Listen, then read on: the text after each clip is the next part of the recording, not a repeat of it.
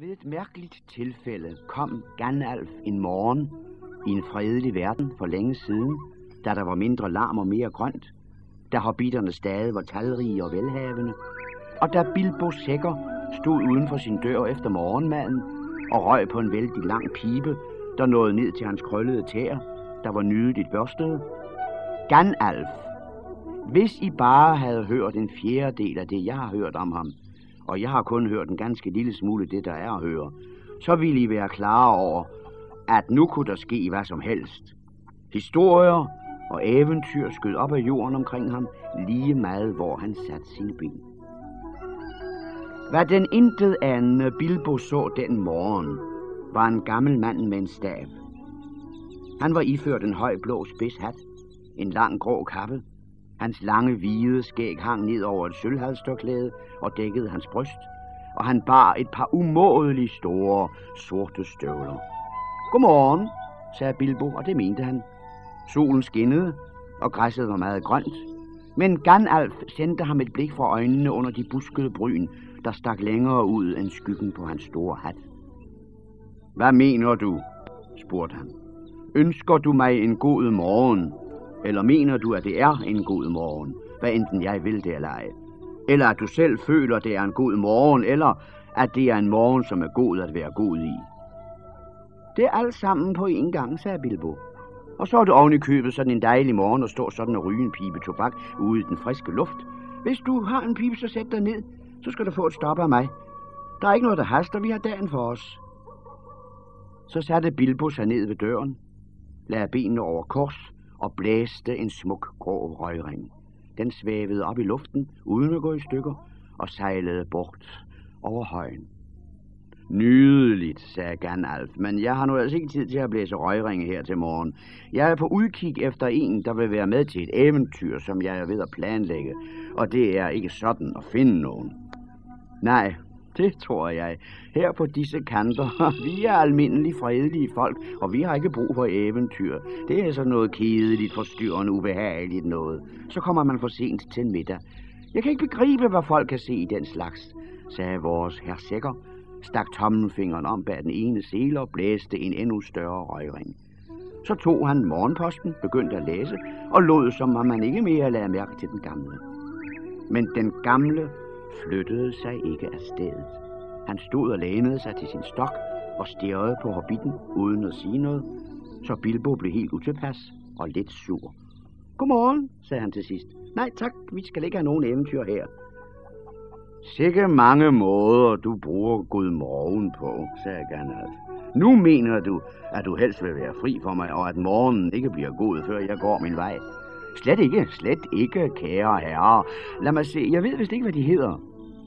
Jo, det gør de. Og jeg ved, hvad de hedder, herr Bilbo Sækker. De kender også godt mit navn, selvom de ikke husker, at det er mig, der hører sammen med dem. Jeg er Ganalf, og Ganalf, det er mig. Tænk bare, at jeg skulle opleve at blive budt godmorgen af Belladonna Togers søn, som om jeg solgte knapper ved døren. Ganalf, Ganalf, jamen du godeste, da ikke den omvandrende troldmand, der forærede den gamle toger et par diamanttryllekraveknapper, som røg på plads af sig selv og ikke faldt ud, før de fik besked på det.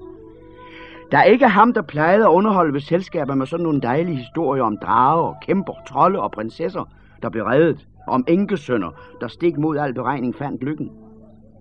Der er ikke ham, der i sin tid lavede noget helt fantastisk fyrværkeri. Jamen, kæreste, fortsatte han. Der er ikke den Ganalf, der havde ansvaret for, at så mange fredsomlige drenge og piger drog ud i det blå på tossede eventyr. Alt muligt.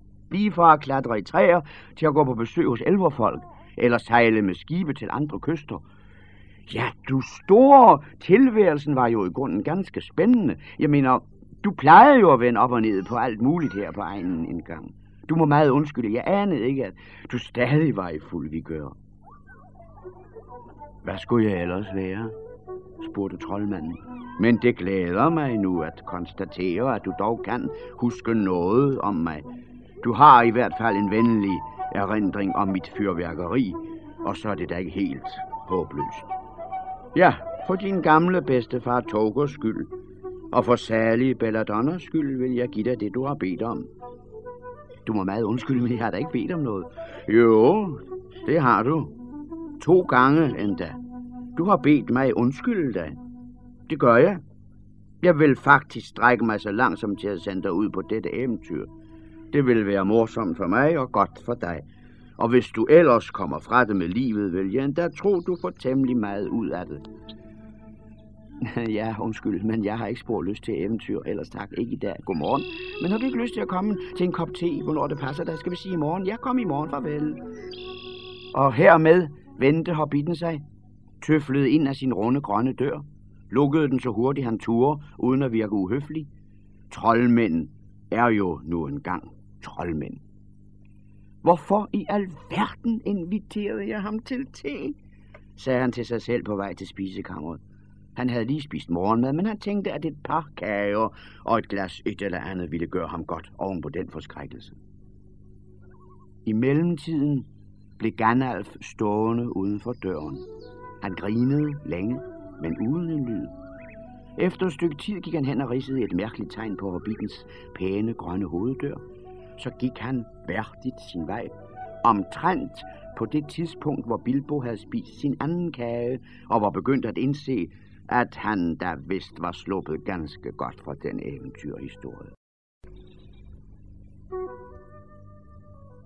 Den næste dag havde han næsten glemt Gandalf. Han huskede ikke særlig godt, hvis han ikke skrev det ned på sin huskeblok. Sådan for eksempel Gandalf T. onsdag. Og dagen før havde han været alt for forvirret til at foretage sig den slags ting. Lige før te-tid lød der en voldsom ringen på hoveddøren, og så kom han i tanke om det. Han styrte ud for at sætte vand over, stillede et par ekstra kopper og et par kager frem, og så løb han ud til døren. Han skulle lige til at sige undskyld, at jeg har lavet dem vente, da han så, at det slet ikke var Gandalf. Det var en dværg med et flot skæg, der var stået ind i et gyldent bælte. Hans meget klare øjne skinnede frem under den grønne hætte. Så snart døren gik op, lod han sig glide indenfor, som om han havde været ventet. Han hængte sin kappe med hætten på den nærmeste knage. Dvalin til deres tjeneste, sagde han med dybt buk. Bilbo sækker til deres tjeneste, svarede hobbiten, som var alt for overrasket til at kunne stille nogen spørgsmål lige for øjeblikket. Da den stillhed, der fulgte, begyndte at blive pinligt, tilføjet han. Mm, jeg skal lige til at drikke te. Har du ikke lyst til at få en kop med? Han sagde det lidt stift, men han mente det venligt. Og hvad kan man stille op, når en ubuden dværg dukker op og hænger sit tøj i en sangtræ, uden et ord til forklaring?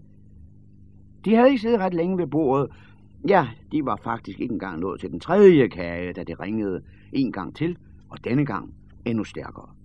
Undskyld, sagde hobbiten og løb ud til døren. Nå, så kom du der om sider, havde han tænkt sig at sige til Gandalf denne gang. Men det var ikke Gandalf. I stedet for Gandalf stod der en dværg, som så ud til at være meget gammel på dørtrinet. Han havde hvidt skæg og rød hætte, og han hoppede også indenfor, så snart døren blev åbnet fuldstændig, som om han var blevet inviteret. Jeg ser, at de allerede er begyndt at komme, sagde han, da han fik øje på dværgelins grønne hætte, der hang på knagen. Han hængte sin egen røde hætte ved siden af. Balin til deres tjeneste, sagde han med hånden på brystet. Mange tak, sagde Bilbo med en gispen. Det var ikke rigtig korrekt, men de er begyndt at komme, havde helt taget pipet fra ham. Han kunne godt lide at have gæster, men han ville gerne kende dem i forvejen, og han foretrak at indbyde dem selv. Øh, kom indenfor og få en kop te, fik han sagt, da han havde trukket vejret dybt. Jeg vil nu hellere have et krus øl, hvis det er dem det samme her, sagde Berlin med det hvide skæg. Men jeg kan da godt spise lidt kage. Kommens kage, hvis de har det. I masser, hørte Bilbo til sin overraskelse sig selv sige, og han tøflede også afsted til kælderen for at fylde et halv liters krus, og så måtte han ud i spisekammeret for at hente to dejlige runde kommenskager, som han havde bagt samme eftermiddag for at have en bid natmad. Da han kom tilbage, sad Dvalin og Balin ved bordet og snakkede sammen som gamle venner. De var faktisk brødre. Bilbo stillede ølkruset hårdt fra sig og lod en kage dumpe ned foran dem. Så ringede det igen voldsomt på døren, og en gang til. Denne gang måtte der være Gandalf, tænkte han, da han pustende skyndte sig gennem gangen. Men det var det ikke. Det var to dværge til. De havde begge to blå hætter, sølvbælter og gule skæg, og de bar begge to på en sæk værktøj og en spade. De smuttede også ind, så snart døren gik op, men nu var Bilbo ikke overrasket mere. Hvad kan jeg gøre for den, de her dværge, spurgte han. Kili til deres tjeneste, sagde den ene, og Fili, tilføjede den anden. De trak deres blå hætter af og bukkede. Til deres og deres families tjeneste, svarede Bilbo. Denne gang huskede han sine gode manerer. Nå, Dvalin og bærlin er nok allerede kommet, sagde Kili. Lad os slutte os til folkemængden. Folkemængden, tænkte herr Sækker. Det lyder ikke så godt. Nu må jeg virkelig sidde og puste et øjeblik og få lidt at drikke. Han havde kun lige fået sig en mundfuld hen i hjørnet, da de igen ringede på døren. Ding dong, dingelingeling, ding dong, som om en eller anden lille fræk hobbitdreng var ved at trække håndtaget af. Der er nok nogen ved døren, sagde han og blinkede. Tja, hvis jeg skal dømme efter lyden, må der være fire år, sagde Fili. Vi så den forresten også komme et stykke vej bag os. Den arme lille hobbit satte sig ned i entréen, gemte hovedet i hænderne og gav sig til at spekulere over det, der skete, og over, hvad der mund skulle til at ske, og på, om det mund ville blive til aftensmad. Så ringede det igen på døren, højere end nogensinde, og han var nødt til at styrte hen for at lukke op. Da det kom til stykket, var der ikke fire, men fem. Der var kommet endnu en dværg til, mens han sad og tænkte i entréen. Han havde dårligt nok drejet håndtaget, før de alle sammen var kommet indenfor. De stod og bukkede og sagde til deres tjeneste, den ene efter den anden. Dori, Nori, Ori, Øjen og Kløjen hed de. Og det varede ikke længe, før der hang to purpurrøde kapper, en grå, en brun og en hvid kappe på knæerne, og så marcherede de med hænderne stukket ned i sølvbæltet, ind for at slutte sig til de andre. Nu var det næsten allerede en folkemængde. Nogen råbte på øl, nogen på porter, en ville have kaffe, og de ville alle sammen have kage, så hobbiten havde nok at gøre et stykke tid. Da en stor kande kaffe var sat over, da kommenskagerne var spist, og dværgene var gået i gang med en omgang boller med smør, lød der en høj banken. Denne gang ringede det ikke, det bankede. Et hårdt bang, bang, bang på hobbitens pæne grønne dør. Bilbo styrtede rasende ned ad gangen. Han skubbede døren op med et puff, og de faldt ind i huset, den ene oven på den anden. Flere dværge, fire dværge til. Og bag dem stod Gandalf og støttede sig til sin stav. Han lå. Han havde lavet en skramme på den pæne dør, og han havde forresten også banket det hemmelige mærke bort, som han havde ridset i går morges. Rolig, rolig, sagde han. Det ligner der ikke dig, Bilbo. Sådan at lade dine venner stå og vente på måtten, og så åbne døren, som man skyder en luftbøsse af. Må jeg have lov at præsentere, det er Bifur, Bofur, Bombur og ikke mindst Thorin. Til deres tjeneste, sagde Bifur, Bofur og Bombur og stillede sig på række. Så hængte de to gule og en lysegrøn kappe fra sig, og en himmelblå med en lang sølvdusk. Den tilhørte Thorin, da han var en meget betydelig dværg. Ja, det var ingen anden end selve den store Thorin Egeskjold, der bestemt ikke brød sig om at gå på næsen på Bilbos måtte med bifur, bofur og bombur over sig. For det første var bombur umådeligt tyk og tung. Jo, Thorin var temmelig vigtig, og han havde ikke sagt noget med tjeneste, men den stakkels her sikker sagde undskyld så mange gange, at han til sidst grøntede ingen årsag og holdt op med at se sur ud. Nå, men så er vi vist alle sammen kommet, sagde Gernalf og så på de 13 kapper, de pæneste med løse selskabshætter og hans egen hat, der hang på rad og række på knæerne. Det kan blive et muntert selskab. Jeg vil da håbe, der er noget tilbage at spise og drikke til os, der er kommet for sent. Hvad er det der? Te? Nej tak. Jeg vil gerne have et glas rødvin. Det vil jeg også gerne, sagde Torin. Og jeg vil gerne have henbærsyltetøj og æblekage, sagde Bifur. Og frugttærte og ost, sagde Bofur. Flæskeæggekage og salat, sagde Bombur. Og flere kager og øl og kaffe, hvis ikke de har noget imod det, råbte de andre dværge gennem døren. Tag lige og sæt et par æg over, så er du rar, råbte Gernalf efter hobbiten, da han tumlede afsted til spisekammerne. Og kom så lige med noget kold kylling og pickles. Han ved nok lige så godt som mig selv, hvad der er i mine spisekammer, tænkte herr Sækker, som var helt perpleks. Han var begyndt at spekulere på, om et rigtigt, modbydeligt eventyr skulle være væltet lige ind i hans hus. Da han havde fået alle flasker, tallerkener, knive og gafler og glas og fade og skeer og ting og sager dynget op på store bakker, var han blevet varm og rød i hovedet, og han ærgerede sig. Givet en vis mand havde alle disse her dværge, sagde han højt. Hvorfor kommer de ikke og giver et nap med? Og se bare, der stod Balin og Dvalin i køkkendøren, og bag dem stod Fili og Kili, og før han kunne få stak kniv, havde de båret bakkerne og et par små borer ind i stuen og dækket op igen. Ganalf sad for bordenden med de 13 dværge omkring sig, og Bilbo sad selv på en taburet ved ilden og nippede til en kiks. Hans appetit var helt sportet. Han prøvede at se ud, som dette her var noget ganske sædvanligt og slet ikke et eventyr. Dværgene spiste og spiste og talte og talte, og tiden gik. Til sidst skubbede de deres stole tilbage, og Bilbo rejste sig og gjorde mine til at ville samle tallerkener og glas sammen. Jeg håber, der I alle sammen bliver til aftensmad, sagde han så høfligt og lidet indtrængende han kunne. Naturligvis, sagde Thorin, og vi bliver også bagefter. Vi kan ikke nå igennem alle vores sager før langt ud på aftenen, og vi må jo først have noget musik. Kili og Fili løb ud efter deres sække og kom tilbage med små violiner. Dori, Nori og Ori trak fløjter frem fra et eller andet sted i deres kapper. Bombur hentede en tromme i entréen. Bifur og Bofur gik også ud og kom tilbage med klarinetter, som de havde stillet blandt spacerstokkene. Dvalin og Berlin sagde, Åh, undskyld, jeg har lavet mine stå ude på verandaen. Tag lige min med, sagde Torin. Så kom de tilbage med bracher, der var lige så store som de selv, og med Torins harpe, som var pakket ind i grønt klæde. Det var en dejlig, gylden harpe, og da Torin slog den, begyndte musikken straks.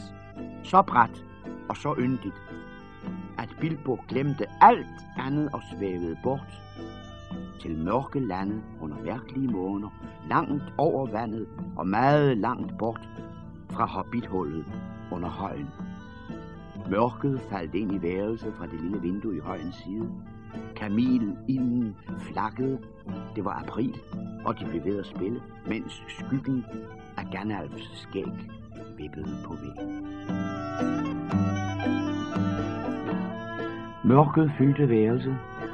Ilden døde hen. Skyggerne forsvandt, og de blev ved at spille. Pludselig begyndte først den ene, så den anden at synge. Mens de sang, følte hobbiten kærligheden til smukke ting vel op i sig. Smukke ting, der var skabt af hænder, ved list og med trolddom. En voldsom, skinsyg kærlighed, det samme begær, som bor i dværgehjertet. Han kiggede ud af vinduet. Stjernerne stod på den mørke himmel over træerne. Han tænkte på dværgenes ædelstene, der skinnede i de mørke huler. Pludselig sprang en flamme i vejret i skoven på den anden side af vandet. Måske var det nogen, der tændte et bål, og han kom til at tænke på drager, der drog ud og plyndrede og slog ned i hans fredelige høj og stak ild på det alt sammen. Han gøs, og han blev næsten med det samme simpelthen her sikker fra sækkedyb nederhøj igen. Han rejste sig skælven op. Han tænkte halvvejs på at hente lampen, og mere end halvvejs på at lade, som om han gjorde det, for at gå ud og gemme sig bag en af øltønderne i kælderen, og ikke at dukke frem igen, før alle dværgene var gået. Pludselig gik det op for ham, at musikken og sangen var holdt op, og at de alle sammen kiggede på ham med øjne, der skinnede i mørket. Hvor skal du hen? spurgte Thorin i en tone, der tilsyneladende viste, at han gættede begge halvdele af hobbitens tanker. Øh, ja, hvad med lidt lys? spurgte Bilbo undskyldende. Vi kan godt lide mørke, sagde alle dværgene. Mørke passer til mørke forhandlinger. Der er længe til daggry. Ja, selvfølgelig, sagde Bilbo og satte sig hurtigt ned. Han satte sig ved siden af taburetten og havnede på kamingitteret, så han væltede ildrageren og skovlen med et brag. Shh, sagde Gandalf, lad Thorin tale. Og sådan begyndte Thorin. Ganalf, mine dværge, herr Sækker, vi er samlet her i huset hos vor ven og medsammensvorne denne fremragende og dristige habit, måtte håret på hans tæer aldrig falde af, og priset være hans vin og øl. Han stansede for at trække vejret og for at give plads for en høflig bemærkning fra hobbiten, men komplimenterne var spildt på den arme Bilbo Sækker, som bevægede munden i protest mod at blive kaldt dristig, og værst af alt med sammensvorene, men der kom ingen lyd fra ham, fordi han var helt ude af sig selv. Så fortsatte Thorin. Vi er samlet for at diskutere vores planer, vores fremgangsmåde, vores midler, vores taktik, vores idéer.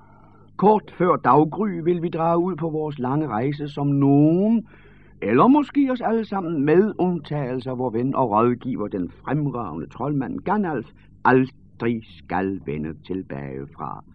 Dette er et højtideligt øjeblik. Vort mål er, så vidt det er mig bekendt, velkendt for os alle. Det er tænkeligt, at hvor er værdige her sikker, og måske også et par af de yngre dværge, jeg tager vist ikke fejl i at nævne Fili og Kili, har brug for en kort redegørelse for tingenes nøjagtige tilstand for øjeblikket. Sådan var Torins måde at tale på.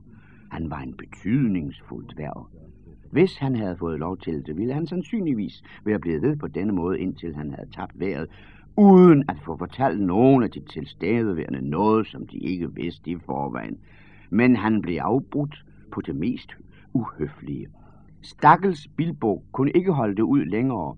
Ved måske aldrig skal vende tilbage, begyndte han at føle, hvordan et skrig var ved at stige op i ham, og snart brød det frem som en fløjten fra et lokomotiv, der dukkede frem for en tunnel. Alle dværgene sprang op og væltede bordet. Med enden af sin tryllestav slog Gandalf en blå flamme, og i fyrværkeriskæret fra den så man den lille hobbit ligge på knæ på kamintæppet. Han bævede som gelé, der er ved at smelte. Så kastede han sig næsegrus på gulvet, mens han blev ved med at råbe, Ramt af lynet! Ramt af lynet! Den ene gang efter den anden.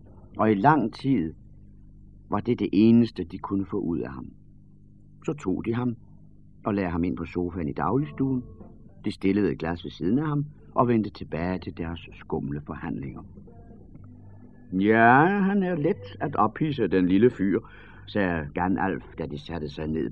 Han får sådan nogle mærkelige anfald, men han er en af de bedste. En af de bedste. Han er hård som en drage, når han er i knibe. Da der var gået et stykke tid, og han havde tømt glasset, sneg han sig nervøst hen til døren ind til stuen. Så hørte han gløgn sige, humf, eller en lyd, der lød omtrent sådan. Tror I, han vil det? Det kan være udmærket, at Gandalf snakker om, at den hobbit er hård. Men i et spændende øjeblik ville sådan et skrig være nok til at vække dragen og hele dens familie, så vi ville blive dræbt alle sammen. Jeg synes nu mere, det lød som skræk end som begejstring. Havde det ikke været for det tegn på døren, ville jeg have svoret på, at vi var havnet i et forkert hus. Straks, da jeg så den lille fyr, der stod og hoppede og trippede på måtten, begyndte jeg at tvivle. Han ligner mere en købmand end en indbrudstyv. Så drejede herr Sikker håndtaget ned og trådte ind. De må meget undskylde, hvis jeg skulle være kommet til at høre, hvad de sagde, sagde han. Jeg vil ikke lade, som jeg forstår, hvad de snakker om, eller forstår deres hentydninger til tyve. Men har jeg munden ikke ret i at tro, det kaldte han at holde på sin værdighed, at de mener, at jeg ikke skulle du til noget. Hm, jeg skal vise dem. Jeg har ingen tegn på min dør. Den blev malet for en uge siden, og jeg er helt sikker på, at de må være kommet til et forkert hus. Straks da jeg så deres pussige ansigter uden for døren, begyndte jeg at tvivle. Men de opførte dem, som om det var den rigtige dør. Fortæl mig bare, hvad det er, de vil have gjort, så skal jeg gøre det. Om jeg så skal gå herfra til det yderste øst for at kæmpe mod de vilde spøgelsesdrager i den fjerneste ørken. Gløgn sagde, jeg talte om dig. Og jeg forsikrer dig for, at der er et mærke på denne dør. Det mærke, man plejer at bruge i denne branche. Eller i hvert fald et, man tidligere har brugt. Tyv ønsker godt arbejde, megen spænding, god betaling. Sådan plejer det at skulle læses. Og man kan sige skattejagt-ekspert i stedet for tyv, hvis du bedre kan lide det. Det er der nogen, der kan. Vi er ligeglade. Gandalf fortalte os, at der skulle være en mand af den slags, som søgte et job med det samme, og at han havde aftalt et møde her denne onsdag ved tid.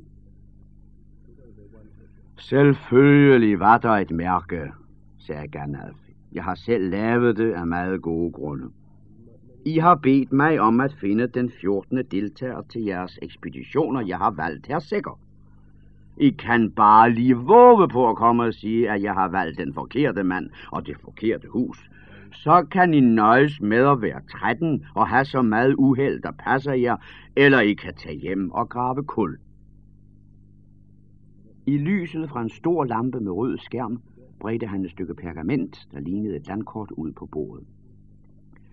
Dette her er tegnet af din bedste far, tror, Torin, sagde han.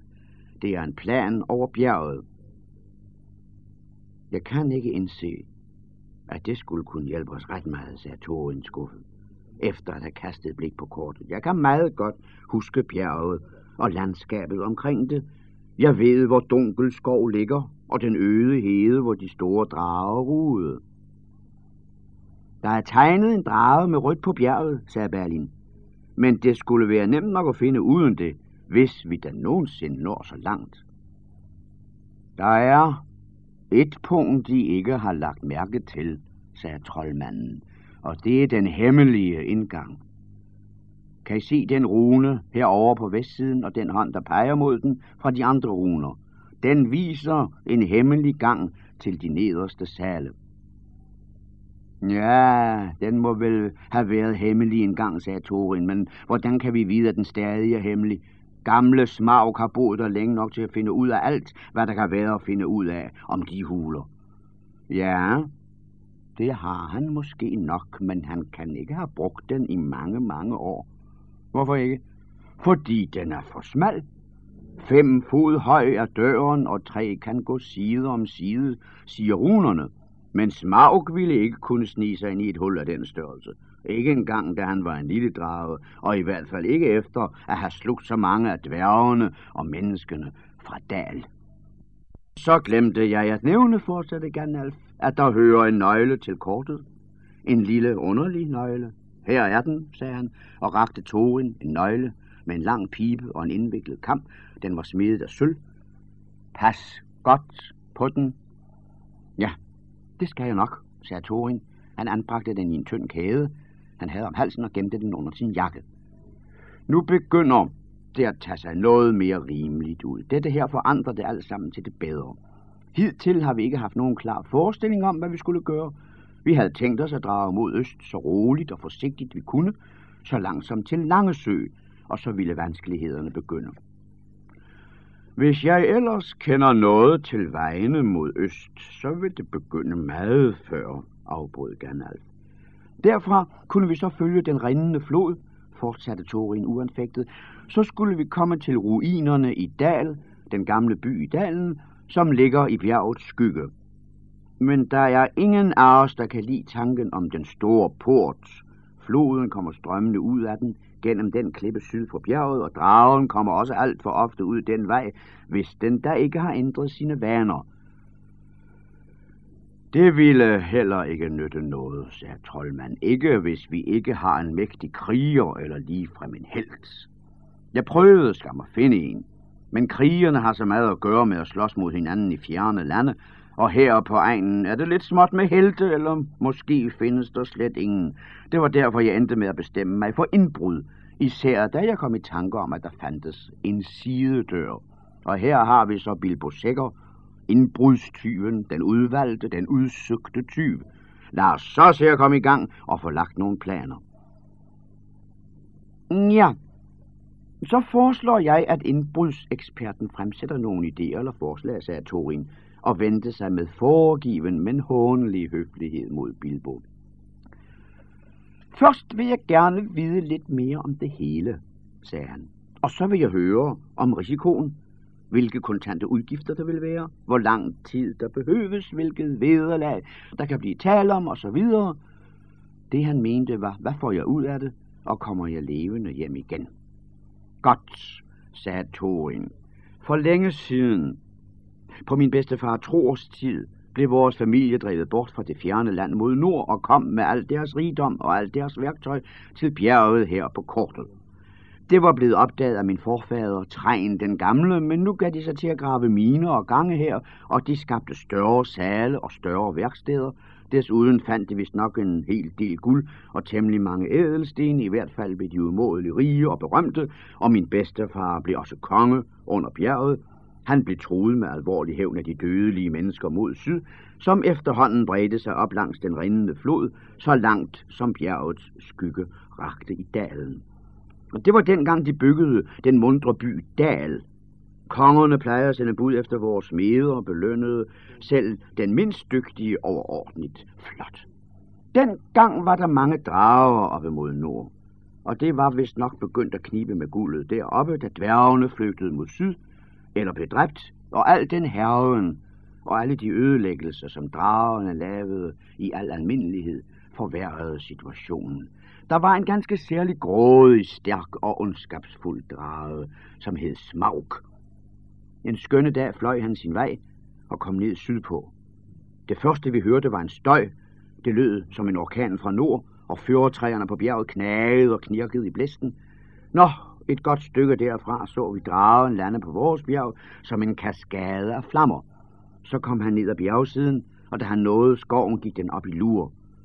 På det tidspunkt ringede alle klokker i dal, og krigerne rustede sig. Dværgene styrede frem for deres store port, men der ventede dragen på den. Ingen kom levende ud den vej. Floden brusede og dampede, og en tåge lagde sig over dal. I den tåge faldt dragen over dem og dræbte de fleste krigere. Det var den sædvanlige, ulykkelige historie. Den var kun alt for almindelig dengang. Så gik han tilbage, han sne sig gennem hovedporten og slog alle i sale, gange og tunneler, alléer, kældre, herskabsboliger på flugt. Derfor var der ikke flere levende dværge inde i bjerget, og han tog alt deres rigdom. De få af os, der var vel udenfor, sad og græd i vores skjulested og forbandede smag, og der fik vi uventet selskab af min far og min bedstefar med svedende skæg. De så dystre ud, men de fortalte ikke ret meget. Da spurgte dem, hvordan de havde båret sig med at slippe bort, sagde de, at jeg skulle holde mund, og at jeg nok skulle få det at vide, når tidens fylde kom. Så drog vi bort, og vi måtte tjene til livets ophold, som vi nu kunne det bedst rundt omkring i landet. Jeg har tit spekuleret på, hvordan min far og min bedstefar bare ad med at slippe derfra, og nu forstår jeg, at de må have haft en privat sidedør, som kun de vidste besked med. Men de må jo have lavet et kort, og jeg kunne nok lige at vide, hvordan Gandalf har fået fat i det, og hvorfor det ikke er kommet til mig, som er den retmæssige arving. Jeg har ikke fået fat i det. Jeg har fået det foræret, sagde troldmanden. Du husker nok, at din bedstefar tror blev dræbt i Morias miner af trolden Atsok. Ja, forbandet være hans navn, sagde Thorin. Og din far Træn drog bort den 21. april. Det var 100 år siden sidste torsdag, og du har ikke set ham siden. Det er sandt, sagde Thorin. Nå ja, din far har givet mig dette her, for at jeg skulle give det til dig. Hør, hør, sagde Bilbo, og han kom tilfældigvis til at sige det højt. Hør, hør, hvad for noget, sagde de alle sammen, og vendte sig pludselig mod ham, og han blev så forvirret, at han sagde, hør, hvad, hvad jeg vil sige. Ja, hvad er det, du vil sige, sagde de. Øh, ja, jeg vil sige, at I skulle gå mod øst og se jer om. Når alt kommer til alt, er der jo sidedøren. Og drager sover vel også samme tider. Hvis I sidder tilstrækkeligt længe på dørtrinet, så vil jeg næsten tro, at I kommer i tanke om et eller andet. Og nu er jeg ved at synes, at vi har talt nok for i nat, hvis I forstår, hvad jeg mener. Hvad med at gå i seng og stå tidligt op og alt det der? Jeg skal nok servere en god morgenmad, før I tager afsted. Før vi tager afsted, mener du vel, sagde Torin. Ja, du er måske ikke tyven. Og er det ikke netop din opgave at sidde på dørtrinet for slet ikke at tale om at trænge ind ad døren? Men vi er enige om det med morgenmaden. Jeg vil gerne have seks æg til min skinke, når jeg skal på rejse. Spejlede, ikke pocherede. Og pas endelig på, at du kommer til at ødelægge blommen. Da de alle havde bestilt deres morgenmad uden så mad, som at sige tak. Hvad der ærgede Bilbo mad, rejste de sig op. Hobbiten måtte finde plads til dem alle sammen. Han fyldte alle sine gæsteværelser. Han redte seng på stole og sofaer, før han havde fået dem alle sammen stuet til side og kunne gå til sin egen lille seng. Han var meget træt og slet ikke glad.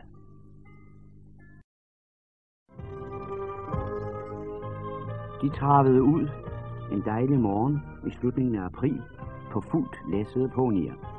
Og Bilbo var iført en mørkegrøn hætte, der var lidt medtaget af vejret, og mørkegrøn kappe, som man havde lånt af Dvalin. Tænk, at det snart er juni, sagde Bilbo, da han sjaskede afsted bag de andre af en meget mudret sti. Det var over 10 tid. Det øsede ned, og det havde det gjort hele dagen. Dværgene travede stadig videre. De vendte sig ikke og interesserede sig ikke for hobbiten. Så stansede de, og Torin mumlede noget om aftensmad, og hvor skal vi finde en tør plet at sove. Indtil da havde de ikke lagt mærke til, at Gandalf var borte. Hidtil havde han fulgtes med dem hele vejen, uden at sige noget om, hvorvidt han var med i eventyret, eller bare holdt dem med selskab et stykke tid. Han var den, der havde spist mest, og talt mest, og levet mest. Men nu var han der simpelthen ikke. Ja, og så netop, når en troldmand ville have været rigtig praktisk, brummede Dori og Nori, som delte hobbitens syn på regelmæssige måltider, der skulle være rigelige og hyppige. Til sidst besluttede de at slå lejr der, hvor de var. De rykkede hen til en klump træer. Der sad de så alle sammen og så sure ud. Da Balin, som altid plejede at være deres udkigsmand, sagde, der er lys derovre. Et stykke vej borte lå et bjerg, der var dækket med træer, der stod temmelig tæt sine steder, og nu kunne de se et lys, der skinnede ud fra den mørke masse af træer med et hyggeligt rødt skær.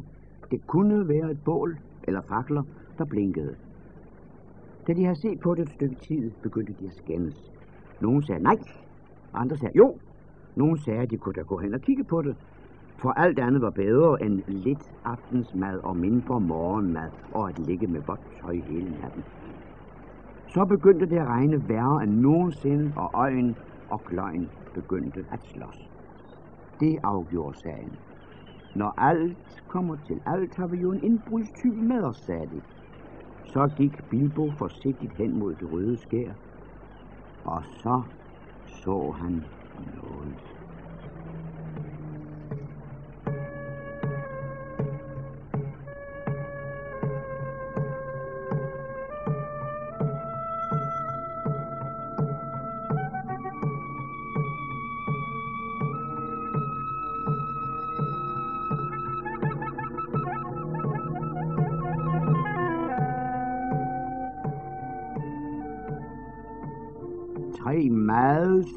Store personer sad rundt om et meget stort bål af bøgeknuder.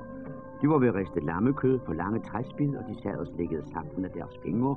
Det var en dejlig lugt, der fik tænderne til at løbe i vand.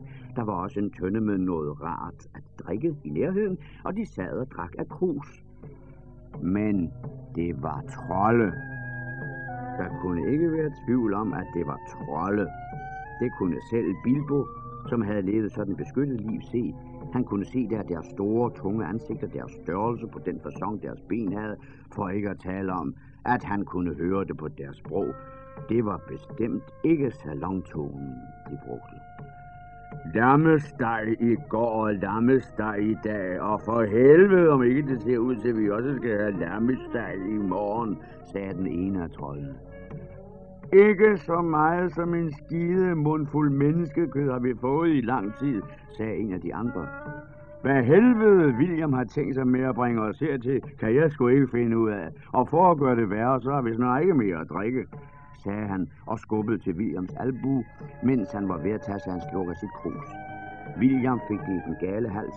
Hold kæft, sagde han, så snart han kunne komme til. Du kan ikke regne med, at folk skal stanse her for at blive et af dig og Bert. I to har spist halvanden landsby, siden vi kom ned fra bjergene. Hvor meget mere skal I have? Efter at have hørt på alt dette, burde Bilbo have foretaget sig noget med det samme. Han var meget ophidset og fyldt med vemmelse. Han ønskede sig 100 mil bort, og alligevel, alligevel kunne han på en eller anden måde ikke få sig selv til at gå tomhændet tilbage til Thorin og hans venner. Derfor blev han stående og tøvede i mørket. Af de forskellige tyvagtige fremgangsmåder, han havde hørt om, forekom det ham lettest at stjæle fra troldenes lommer, så til sidst sneg han sig frem fra træ lige bag William. Bert og Tom gik hen til tønden. William skulle have et krus til. Så tog Bilbo mod til sig og stak sin lille hånd ned i Williams store lomme. Der lå en pung i den. Den var så stor som en sæk for Bilbo. Ha, tænkte han og begyndte at nære interesse for sit nye arbejde, mens han løftede den forsigtigt op. Dette her er da en begyndelse. Og det var det sandelig. Der er uheld ved troldpunge, og denne her var ingen undtagelse. Hør, hvem er du? pev den, da den kom op af lommen, og William drejede sig en omgang og greb Bilbo halsen, før han kunne komme til at gemme sig bag træet. For satan, Bert, se hvad jeg har fanget, sagde William. Hvad er det? spurgte de andre kom hen til ham. Det ved jeg sgu ikke. Hvad er du for en? Bilbo Sækker, en øh, tyv øh, hobbit, sagde stakkels Bilbo, der rystede over det hele. En tyv øh, hobbit, sagde de lidt forbavset. Trolde er langsom i opfattelsen og mægtig mistænksom over for noget, der er nyt for dem. Hvad har en tyv øh, hobbiter bestilt i min lomme, sagde William. Og kan man stege dem, sagde Tom. Du kan jo prøve, sagde Bert og tog en spilepind. Han kan jo ikke blive til meget mere end en mundfuld, sagde William, som allerede har spist et udmærket aftensmåltid. Ikke når han først er blevet flået og udbenet. Jamen, det kan da være, der er flere af hans slags i nærheden. Så kunne vi lave en pege, sagde Bert. Hør du, er der andre af din slags, der snuser rundt her i skovene? Din satans lille kanin, sagde han og så på hobbitens pelsklædte fødder. Han løftede ham i tæerne og rystede ham. I ja, masser, sagde Bilbo, før han kom i tanke om, at han ikke måtte røve sine venner. Nej, slet ingen, overhovedet ingen, sagde han lige bagefter. Hvad mener du så? sagde Bert og løftede ham. Denne gang holdt han ham i håret. Det jeg siger, sagde Bilbo og gispede. Og lad nu være med at stege mig, gode herre. Jeg er selv sådan en god kok, og jeg steger bedre, end jeg steger. Hvis I forstår, hvad jeg mener. Jeg, jeg kan stege og lave dejlig mad til jer. Dejlig morgenmad, hvis I bare vil lade være med at spise mig til aftensmad. Åh, dit arme lille krøg, sagde William. Han havde allerede fået al den aftensmad, han kunne rumme, og han havde drukket masser af øl. Åh, det arme krøg, lad ham slippe. Ikke før han har sagt, hvad han mener med masser og slet ingen, sagde Bert. Jeg bryder mig ikke om at få skåret halsen over, mens jeg sover. Hold hans tæer ind i ilden, til han taler. Nej, det vil jeg ikke være med til, sagde William. Det er i hvert fald mig, der har fanget ham. Du er tykt fæhoved, William, sagde Bert, og det er ikke første gang, jeg siger det i aften. Og du er en lus, og den tager jeg ikke imod fra dig, bilhugger, sagde Bert og støtte en knytnæve i Williams øje. Så blev der en frygtelig da Bert lod Bilbo dumpe ned på jorden, havde han lige netop forstand nok til at kravle væk fra deres fødder, før de gav sig til at slås som hunde og råbe alle mulige overordentligt dækkende skældsord til hinanden med høj røst. Det ville have været det rette øjeblik til at stikke af for Bilbo. Men hans stakkels små fødder var blevet helt mast i Berts store pote. Han kunne ikke få vejret, og det snurrede rundt for ham, så derfor blev han liggende lidt og stønnede uden for lyskredsen. Midt under kampen kom Balin. Dværgene havde hørt larm i det fjerne, og efter at have ventet nogen tid på, at Bilbo skulle komme tilbage, drog de afsted, en for en, for at snige sig så stille som muligt hen mod lyskæret. Næppe havde Tom set balen komme ind i lyset, før han udstødte et frygteligt hyl. Trolde hader simpelthen synet af dværge, når de da ikke er tilberedt. Bert og Bill holdt omgående op med at slås. Kom med en sæk, Tom, hurtigt, sagde de. Før Balin fandt ud af, hvad der foregik, var en sæk over hans hoved, og han blev lagt ned. Der kommer mere nu, sagde Tom, hvis jeg da ikke tager helt fejl. Der plejer at være mange, eller slet ingen, sagde han. Der er ingen tyv hobitter, men der er masser af disse her dværge. Sådan er det. Ja, du har nok ret, sagde Bert, og vi må nok hellere gå ud af lyset. Og det gjorde de så. De stillede sig op og ventede i skyggen med de sække, som de ellers plejede at bruge til at slæbe forekød og andet plyndringsgods i. Efterhånden som dværgene en for en kom hen for at kigge på bålet, de væltede krus og de afgnavede forben, fik de bums en ægel stinkende sæk over hovedet og blev lagt ned. Snart lå dvalin ved siden af Balin, Fili og Kili lå sammen, og Dori og Nori og Ori i en bunke, og Øjn og Gløgn, Bofur, Bifur og Bombur i en ubehagelig dynge i nærheden af bålet. Det skal være dem en lærestreg, sagde Tom. For Bifur og Bombur havde voldt dem temmelig meget besvær og havde slået fra sig, som dværge gør det, når de bliver trænet op i en krog. Thorin kom sidst, og ham fik de ikke overrumlet. Han var klar over, at der måtte være noget galt på færre, da han kom, og han behøvede ikke at se sine venner ligge med benene stribende ud af sækken, for at vide, at det ikke alt var, som det skulle være. Han stod i skyggen lidt væk og sagde, Hvad er dette her for noget? Hvem er det, der har væltet mine folk? Det er trolde, sagde Bilbo et sted bag et træ. Ham havde de helt glemt. De gemmer sig i buskadset med sækken. Nå, så det gør de, sagde Thorin og sprang hen til ilden, før de kunne kaste sig over ham. Han fik fat i en tyk gren, der blussede i den ene ende, og den fik bært i øjet, før han kunne nå at flytte sig. Det satte ham ud og spillede et stykke tid. Bilbo gjorde sit bedste. Han fik fat i Toms ben, så godt han kunne. Det var tyk som en ung træstamme, men han fløj op i toppen af nogle buske, da Tom sparkede gnister op i Torins ansigt. Tom fik grenen i tænderne til gengæld, der røg en fortand, og jeg skal love for, at det fik ham til at hyle op. Men netop i samme øjeblik kom William bagfra og fik hævet sæk ned over hovedet på Torin og helt ned til tæerne, og på den måde endte kampen.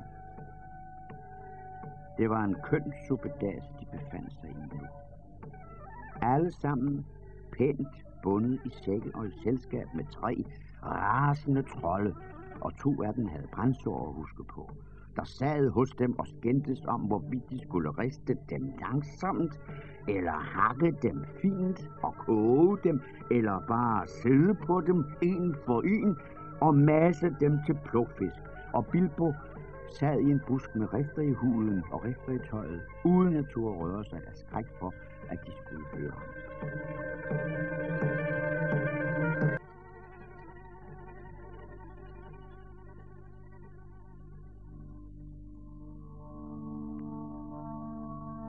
Netop da kom Gandalf tilbage. Men ingen af dem så ham. Trollene var netop blevet enige om at riste dværgene nu og spise dem senere. Det var Berts idé, og efter en del diskussion var de alle sammen gået med til det. Morgenen tager jeg alle sammen og gør jer til sten, sagde pludselig en stemme.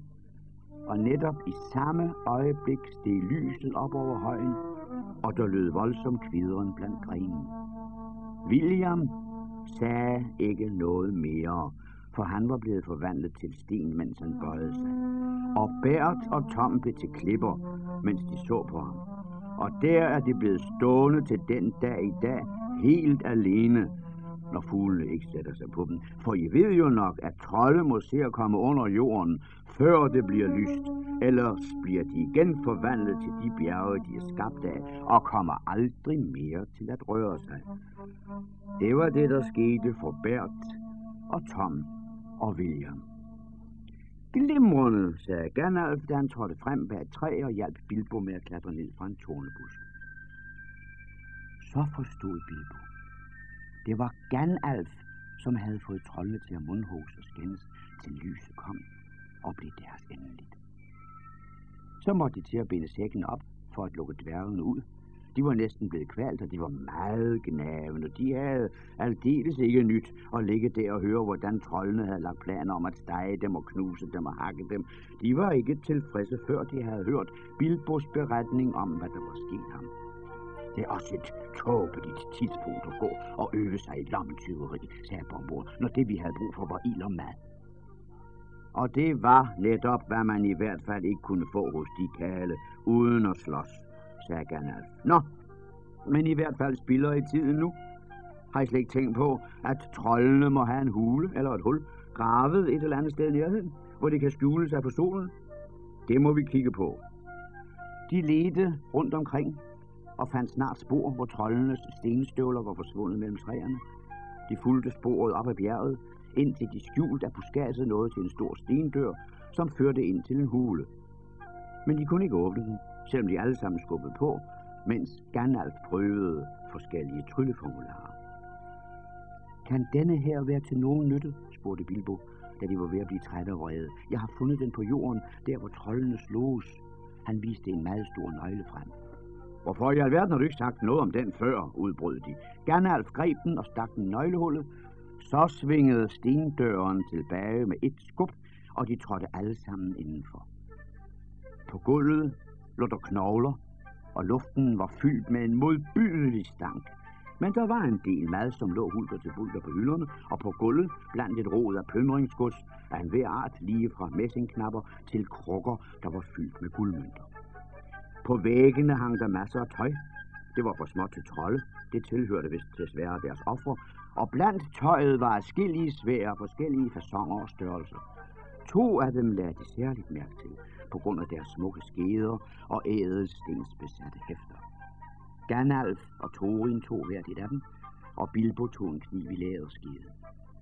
Den ville kun have været en ganske lille lommekniv for en trold, men den var god som et kort svær for hobbiten. Det ser ud som gode klinger, sagde troldmanden, der trak dem halvt op og betragtede dem nysgerrigt. De er ikke smedet af nogen trold, og heller ikke af nogen smed blandt mennesker på disse kanter, eller i vor tid. Men når vi kan læse runerne på dem, vil vi få mere at vide om dem. Lad os komme ud af denne redselsfulde stank, sagde Fili. Så slæbte de afsted med møntkrukkerne, den mad, der ikke var rørt og som så ud til at kunne spises, og med et fad øl, som stadig var fuldt. På det tidspunkt syntes de, de trængte til morgenmad, og da de var meget sultne, rynkede de ikke på næsen af det, de havde fundet i troldenes spisekammer. Deres egne forsyninger var meget beskedende, men nu havde de brød og ost og masser af øl og bacon, de kunne riste i gløderne fra bålet. Derefter sov de, for natten havde været så forstyrret, og derefter foretog de sig ikke mere før ud på eftermiddagen. Så hentede de ponierne og slæbte afsted med guldkrukkerne, som de begravede meget hemmelighedsfuldt, ikke langt fra stien langs floden, og udtalte en masse trylleformularer over dem, for det tilfælde skyld, at de engang skulle komme tilbage og finde dem frem igen. Da det var gjort, steg de alle sammen til hest og travede igen afsted af stien mod øst. Hvor forsvandt du hen, om jeg må have lov at spørge, sagde Torin til Gandalf, mens de red. Jeg skulle kigge fremad, sagde han. Og hvad fik der så hurtigt tilbage? At jeg så mig bagud, svarede han.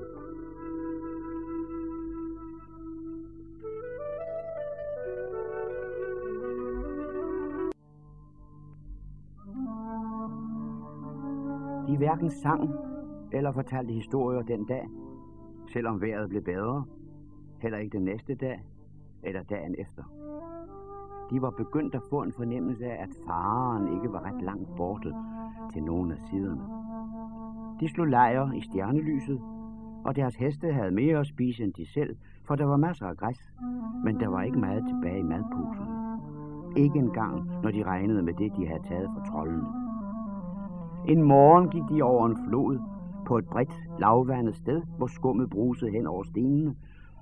Den anden bred var stejl og glat, og da de nåede helt op på den, opdagede de, at de høje bjerge var kommet temmelig nær på dem. Det så allerede ud, som om det kun var en lille dagsrejse fra foden af det nærmeste. Skønt solen faldt i pletter på dets brune side, virkede det mørkt og trist, og bag dets højde ryg glimtede sneklædte tinder. Er bjerget? spurgte Bilbo i en højtidlig tone, mens han betragtede det med store øjne. Han havde aldrig før set noget, der virkede så mægtigt. Selvfølgelig ikke, sagde Balin. Det er kun begyndelsen af togebjergene, og vi må se at komme gennem dem, hen over dem eller under dem på en eller anden måde, før vi kan nå ind i ødemarken på den anden side. Og der er et godt stykke vej selv på den anden side af dem til det ensomme bjerg, hvor smag ruer på vores skat. Åh, sagde Bilbo, og netop i det øjeblik følte han sig mere træt, end han huskede at have gjort nogensinde før. Han kom endnu en gang til at tænke på sin magelige stol foran ilden i sin yndlingsstue i hobbithullet og på kedlen, der snurrede. Og det skulle ikke blive sidste gang. Nu red Ganalf i spidsen. Hvis vi far vild, er det ude med os, sagde han. For det første har vi brug for noget at spise, og for at hvile et sted, hvor der er nogenlunde sikkert, og desuden er det absolut nødvendigt at ramme den rigtige sti i togebjergene. Ellers farer man vild i dem og må ride tilbage og begynde forfra, hvis man da nogensinde kommer tilbage. De spurgte, hvor han var på vej hen, og han svarede, som nogen af jer måske er klare over, at I kommet til udkanten af ødemarken. Et eller andet sted foran os ligger den smukke Kløvedal, hvor Elrond bor i det sidste hyggelige hus. Det lød rart, og det var en trøst. Men de var jo endnu ikke nået dertil, og det var ikke så nemt, som det kunne lyde at finde det sidste hyggelige hus vest for bjergene. Der var åbenbart ingen træer, bjerge eller dale til at skabe afveksling i terrænet foran dem. Kun en eneste kæmpestor skråning, der langsomt førte den opad og opad mod foden af det nærmeste bjerg. Et udstrakt, lyngbrunt landskab med smuldrende klipper, hvor græs og mosgrønne pletter viste, hvor vandet kunne være. Strækningen fra vadestedet til bjergene var større, end man på nogen måde kunne forestille sig. Bilbo var forbløffet. Den eneste sti var afmærket med hvide sten. Nogle af dem var små, andre var halvvejs dækket af mos eller lyng. Det var helt igennem en langsomlig historie at følge sporet, selv med en fører som Gandalf, som lod til at kende vejen temmelig godt. Hans hoved og skæg vuggede hid og tid, mens han så efter stenene, men til syneladende var de ikke nærmere ved deres mål, da dagen begyndte at svinde. Det havde for længe siden været te-tid, og det lå til, at aftensmadtiden ville gå på samme måde. Insekterne sværmede omkring dem, og lyset blev meget svagt, for månen var endnu ikke stået op. Bilbos pony begyndte at snuble over rød og sten. De nåede så pludselig til kanten af et stejlt fald i terrænet, at Gandalfs hest var ved at glide ned ad skråningen. Her er det endelig, udbrød han, og de andre samlede sig omkring ham og så ud over kanten. Langt nede så de en dal. De kunne høre vandet bruse i et stene leje helt nede. Luften var fyldt med duften fra træer, og der lå et lysskær over dalen på den anden side af floden. Bilbo glemte aldrig den måde, hvorpå de gled og rutsjede ned i tusmørket af den stejle zigzagsti til den hemmelige kløvedal. Efterhånden som de kom længere ned, blev luften varmere, og duften fra fyretræerne gjorde ham døsig, så han nu at der kom til at nikke, og var lige ved at falde af eller støde næsen mod ponyens hals. Humøret steg, efterhånden som de nåede længere ned. Træerne blev til bøge og egetræer, og der var noget behageligt ved tusmørket. Græsset var næsten holdt op med at være grønt, da de om sider nåede til en lysning ikke langt fra flodbredden. Mm, det lugter som om her var elverfolk, tænkte Bilbo og så op mod stjernerne.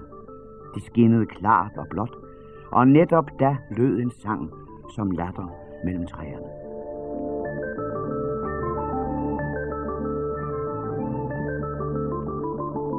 Det var naturligvis elverfolk. Snart fik Bilbo øje på dem, efterhånden som mørket blev tættere. Han holdt så meget af elverfolk, selvom han kun sjældent traf dem, men han var også en lille smule bange for dem. Dværgene kom ikke så godt ud af det med dem. Selv pæne og ordentlige dværge som Thorin og hans venner fandt de tossede, og det er noget tosset noget at mene. Eller også blev de irriteret på dem, for der findes elverfolk, som driller dem og griner af dem, og først og fremmest af deres skæg. Ja, ja, sagde en stemme. Se bare der. Hobbiten Bilbo på en pony. Det var da et herligt syn. Ja, helt utroligt pragtfuldt. Så begyndte de at synge en sang. Til sidst kom en ung fyr frem for træerne og bukkede for Gandalf og Thorin. Velkommen til dalen, sagde han. Tak, sagde Thorin en lille smule stødt. Men Gandalf var allerede stået af hesten og stod mellem elverfolkene og talte muntert med dem. I er kommet lidt på afveje, sagde elvermanden. Det vil sige, hvis det er jeres mening at bruge den eneste sti over vandet til huset bagved. Nu skal vi vise jer den rigtige vej, men I må nok hellere gå til fods, indtil I er kommet over broen. Bliver I lidt og synger sammen med os, eller skal I straks videre? De er ved at lave aftensmad derovre, sagde han. Jeg kan lugte brændet fra køkkenbålet. Bilbo var så træt, at han helst ville være blevet lidt. Elver sang i stjerneskær i juni måned er ikke til at kæmpe sig Der ikke, hvis man bryder sig om den slags ting. Han kunne også godt tænke sig at veksle et par ord på tomandshånd med disse folk, der lod til at kende hans navn og vide alt muligt om ham, selvom han aldrig havde set dem før.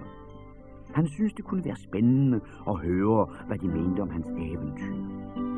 Elverfolk ved så meget, de er helt tosset med at høre nyt, og lige så hurtigt som vandet flyder, eller måske hurtigere, ved de, hvad der foregår mellem landsfolk. Men dværgerne var meget opsat på at få aftensmad så hurtigt som muligt, og ville ikke blive. Og så drog de alle sammen videre. De trak ponyerne til de nåede til en god sti, og til sidst til selve flodbredden. Floden flød hurtigt og larmende afsted, som bjergbække kan gøre det en sommeraften, når solen hele dagen har skinnet på sneen højt oppe. Der var kun en smal stenbro uden rækværk. Den var så smal, at en pony lige kunne gå på den. Hen over den måtte de gå langsomt og forsigtigt, en for en, hver med sin pony ved bislet. Elverfolkene var kommet ned til bredden med klare lygter, og de sang en munter sang, mens selskabet gik over.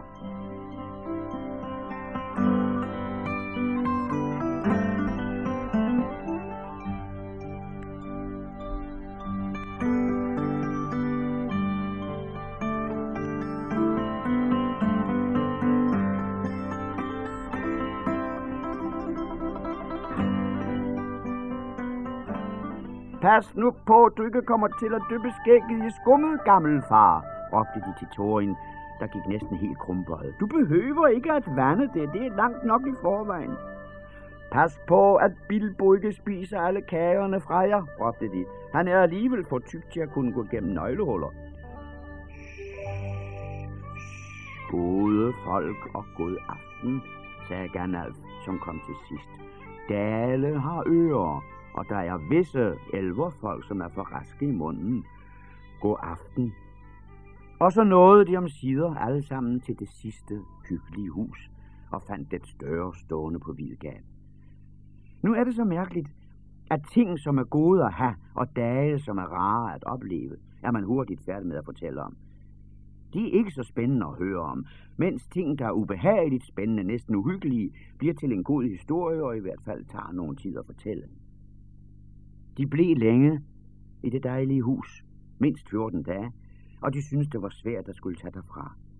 Bilbo ville med glæde være blevet der i al evighed, selvom man så forestiller sig, at et ønske kunne have ført ham direkte tilbage til hobbithullet uden besvær. Men der er altså ikke så meget at fortælle om deres ophold. Herren i huset var en elverven, en af disse folk, hvis forfædre dukkede op i mærkelige fortællinger før historiens begyndelse, og krigene mellem de onde bjergtrolde på den ene side og elverfolkene og de første mennesker nordfra på den anden. Den gang vores fortælling foregik, fandtes der stadig folk, som havde både elverfolk og helte fra nord blandt deres forfædre, og deres fyrste var Elrond, herren i huset her. Han var så ædel og så smuk at skue som en elverfyrste, så stærk som en kriger, så klog som en troldmand, så ærværdig som en dværgekonge og så venlig som sommeren selv. Han optræder i mange historier, men hans rolle i historien om Bilbos store eventyr er kun lille, selvom du vil få at se, at den er vigtig, hvis vi nogensinde når så langt som til slutningen. Hans hus var fuldkomment, hvad enten man holdt af mad, eller søvn, eller arbejde, historiefortælling, eller sang, eller bare af at sidde og tænke, som man nu bedst kunne, eller af en behagelig blanding af det alt sammen. Der i dalen forekom der aldrig noget ondt. Bare jeg havde tid til at fortælle jer nogle enkelte af de historier, eller synge et par af de sange, som de hørte der i huset. De blev alle sammen, også ponierne, gladere og stærkere på de få dage der.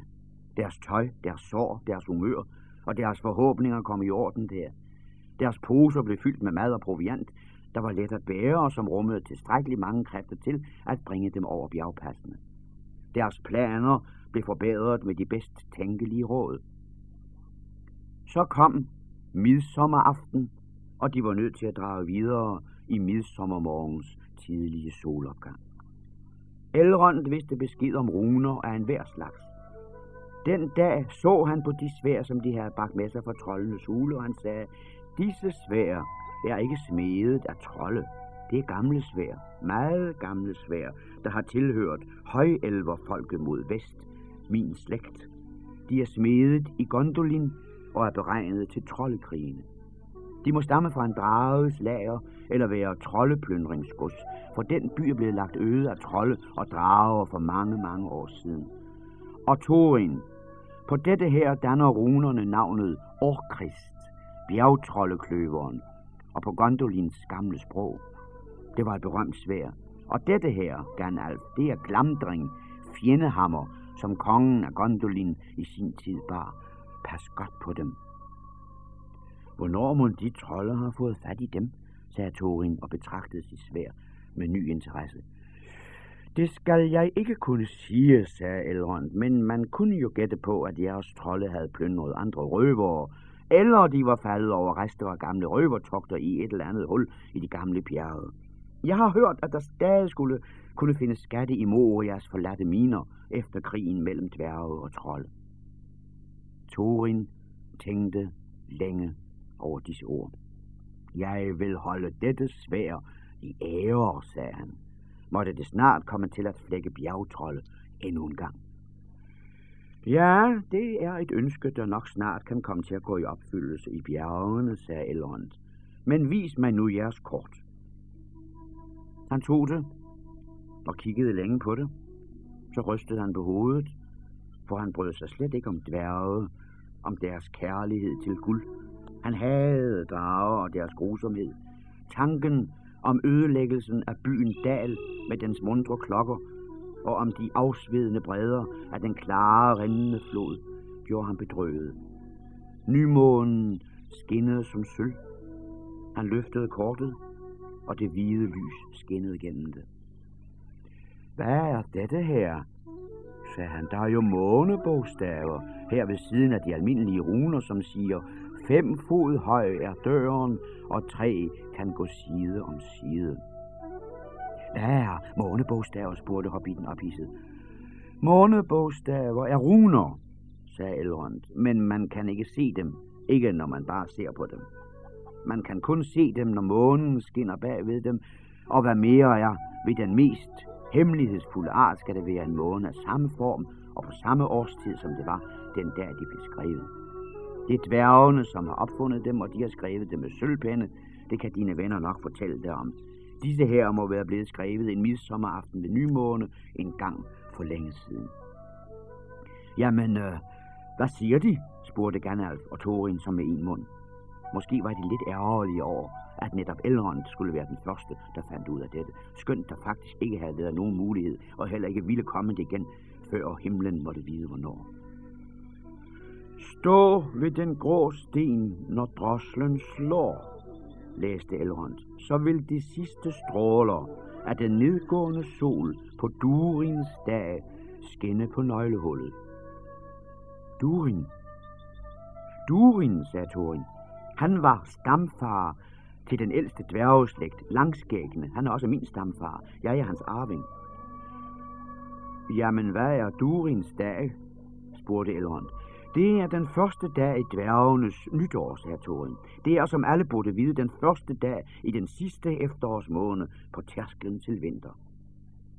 Vi kalder den stadig Durins dag, når den sidste efterårsmåne og solen står på himlen samtidig. Men jeg er bange for, at det ikke vil hjælpe os meget, for nu om stunder overgår det vores evne at finde ud af, hvornår dette tidspunkt vil komme igen. Ja, vi får se, sagde Gandalf. Står der mere? Ikke noget, der kan ses ved denne måne, sagde Elrond, og han rakte kortet tilbage til Thorin. Så gik de ned til vandet for at se elverfolkene danse og synge i midsommeraften. Den næste morgen var den skønneste, friskeste midsommermorgen, man kunne tænke sig. Blå, skyfri himmel, og solen dansede på vandet. Nu red de bort fuldt af afskedssange og sange, der ønskede dem god fart. De havde mod på nye eventyr og vidste besked med den vej, de måtte følge over togebjergene til landet Babel. Bilbo havde aldrig set eller forestillet sig noget i den retning. De befandt sig på en smal afsats højt oppe med et frygteligt fald ned mod en dunkel dal til den ene side. Der søgte de ly for natten under en fremspringende klippe. Han lå under et tæppe og rystede over hele kroppen.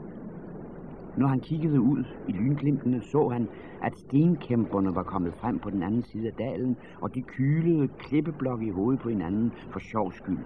De greb dem og smed dem ned i mørket, hvor de ramte træerne langt nede eller splindredes til små stumper med et brag. Så kom stormen og blæsten, og vinden piskede regn og havl rundt til alle sider, så en fremspringende klippeblok ikke var nogen beskyttelse. Snart var de gennemblødte, ponierne stod med hængende hoveder, nogle af dem brinskede redsel. De kunne høre kæmperne skraldgrine og råbe op ud over bjergene. Dette her går ikke, sagde Thorin. Hvis vi ikke blæser ned, eller drukner, eller bliver ramt af lynet, så bliver vi samlet op af en kæmpe og sparket op i luften som fodbold. Ja, hvis du kender et bedre sted, så fører os derhen, sagde Gandalf, som var meget knaben, og han var selv langt fra glad for de kæmper. Enden på deres skænderi blev, at de sendte Fili og Kili ud for at finde et bedre sted, hvor de kunne ligge i ly. De havde meget skarpe øjne, og fordi de var et halvt hundrede år yngre end de andre dværge, plejede de at blive tildelt den slags opgaver, når alle kunne se, at det absolut ikke kunne nytte noget at sende Bilbo. Hvis man gerne vil finde et eller andet, så er der ikke noget så godt som at lede. Det sagde Thorin, i hvert fald til de unge dværge. Når man ser efter, finder man som regel noget, selvom det ikke altid er det, man leder efter. Det viste sig også at være tilfældet ved denne lejlighed. Snart kom Fili og Kili klatrende tilbage. De holdt sig fast til klipperne i blæsten. Vi har fundet en tør hule, sagde de. Ikke så langt væk, rundt om det næste hjørne. Både ponierne og alle vi andre kan komme derind. Har I nu også undersøgt den rigtig grundigt? spurgte troldmanden, som vidste, at bjerghuler sjældent plejede at være tomme. Ja, ja, sagde de, skønt alle vidste, at de ikke kunne have brugt lang tid til det. De var kommet for hurtigt tilbage. Så stor den heller ikke, og den går ikke så langt ind. Blæsten hylede, tordnen rullede stadig, og det var et frygteligt besvær at komme afsted både for dem selv og for ponierne. Men der var ikke så langt at gå, og inden længe nåede man til en lav hule i bjergsiden. Der var netop plads til at få ponierne igennem, når man skubbede på, og når man først havde taget oppakning og sadler af dem. Da de var kommet indenfor, syntes de, det var behageligt at høre blæsten og regnen udenfor, i stedet for omkring sig, og det var behageligt at føle sig i sikkerhed for kæmperne og deres klipper. Men troldmanden tog ingen risiko. Han tændte sin stav, ligesom han havde gjort det dengang i Bilbos spisestue, der nu forekom dem at ligge så langt tilbage. Og ved dens lys udforskede de hulen fra den ene ende til den anden. Den var ret stor, men ikke alt for enorm og mystisk. Den havde tørt gulv, og der var nogle bekvemme kroge. For enden af den var der plads til ponierne, og der stod de og dampede. De var meget begejstrede for forandringen og gumlede i deres muleposer. Øjen og Gløgn ville gerne tænde bål ved døren for at tørre tøj, men Ganalf ville ikke høre tale om det. Så spredte de deres våde klæder ud på gulvet og fandt tørre frem fra bylterne. De lagde deres tæpper på en bekvem måde, fik deres piber frem og blæste røgringe, som Gandalf tryllede med, så de fik forskellige farver. Han lod dem danne sig op mod loftet for at morde dem. De snakkede og snakkede og glemte uværet, mens de diskuterede, hvad hver især ville gøre med sin del af skatten, når de fik fat i den, hvilket for øjeblikket ikke virkede så umuligt. Og så faldt de i søvn, den ene efter den anden. Da det kom til stykket, viste det sig at være godt, at de havde taget Bilbo med. For af en eller anden grund varede det længe, før han kunne falde i søvn, og da han endelig sov, drømte han så modbydeligt. Han drømte, at en sprække i væggen bag i hulen blev større og større og åbnede sig mere og mere, og han var meget bange, men han kunne hverken råbe eller foretage sig andet, end at ligge og kigge. Så drømte han, at hulens gulv var ved at give efter, og han gled. Han begyndte at falde ned. Himlen må vide hvorhen. Her vågnede han op med et frygteligt sæt og opdagede, at noget af hans drøm var virkelig nok. Der var en sprække, som havde åbnet sig bag i hulen, så der allerede var en bred gang. Han nåede lige at se den sidste ponys hale forsvinde i den. Selvfølgelig udstødte han et højt skrig, så højt et skrig, som en hobbit nu kan udstøde, og det vil ikke sige så lidt, når man tager deres størrelse i betragtning.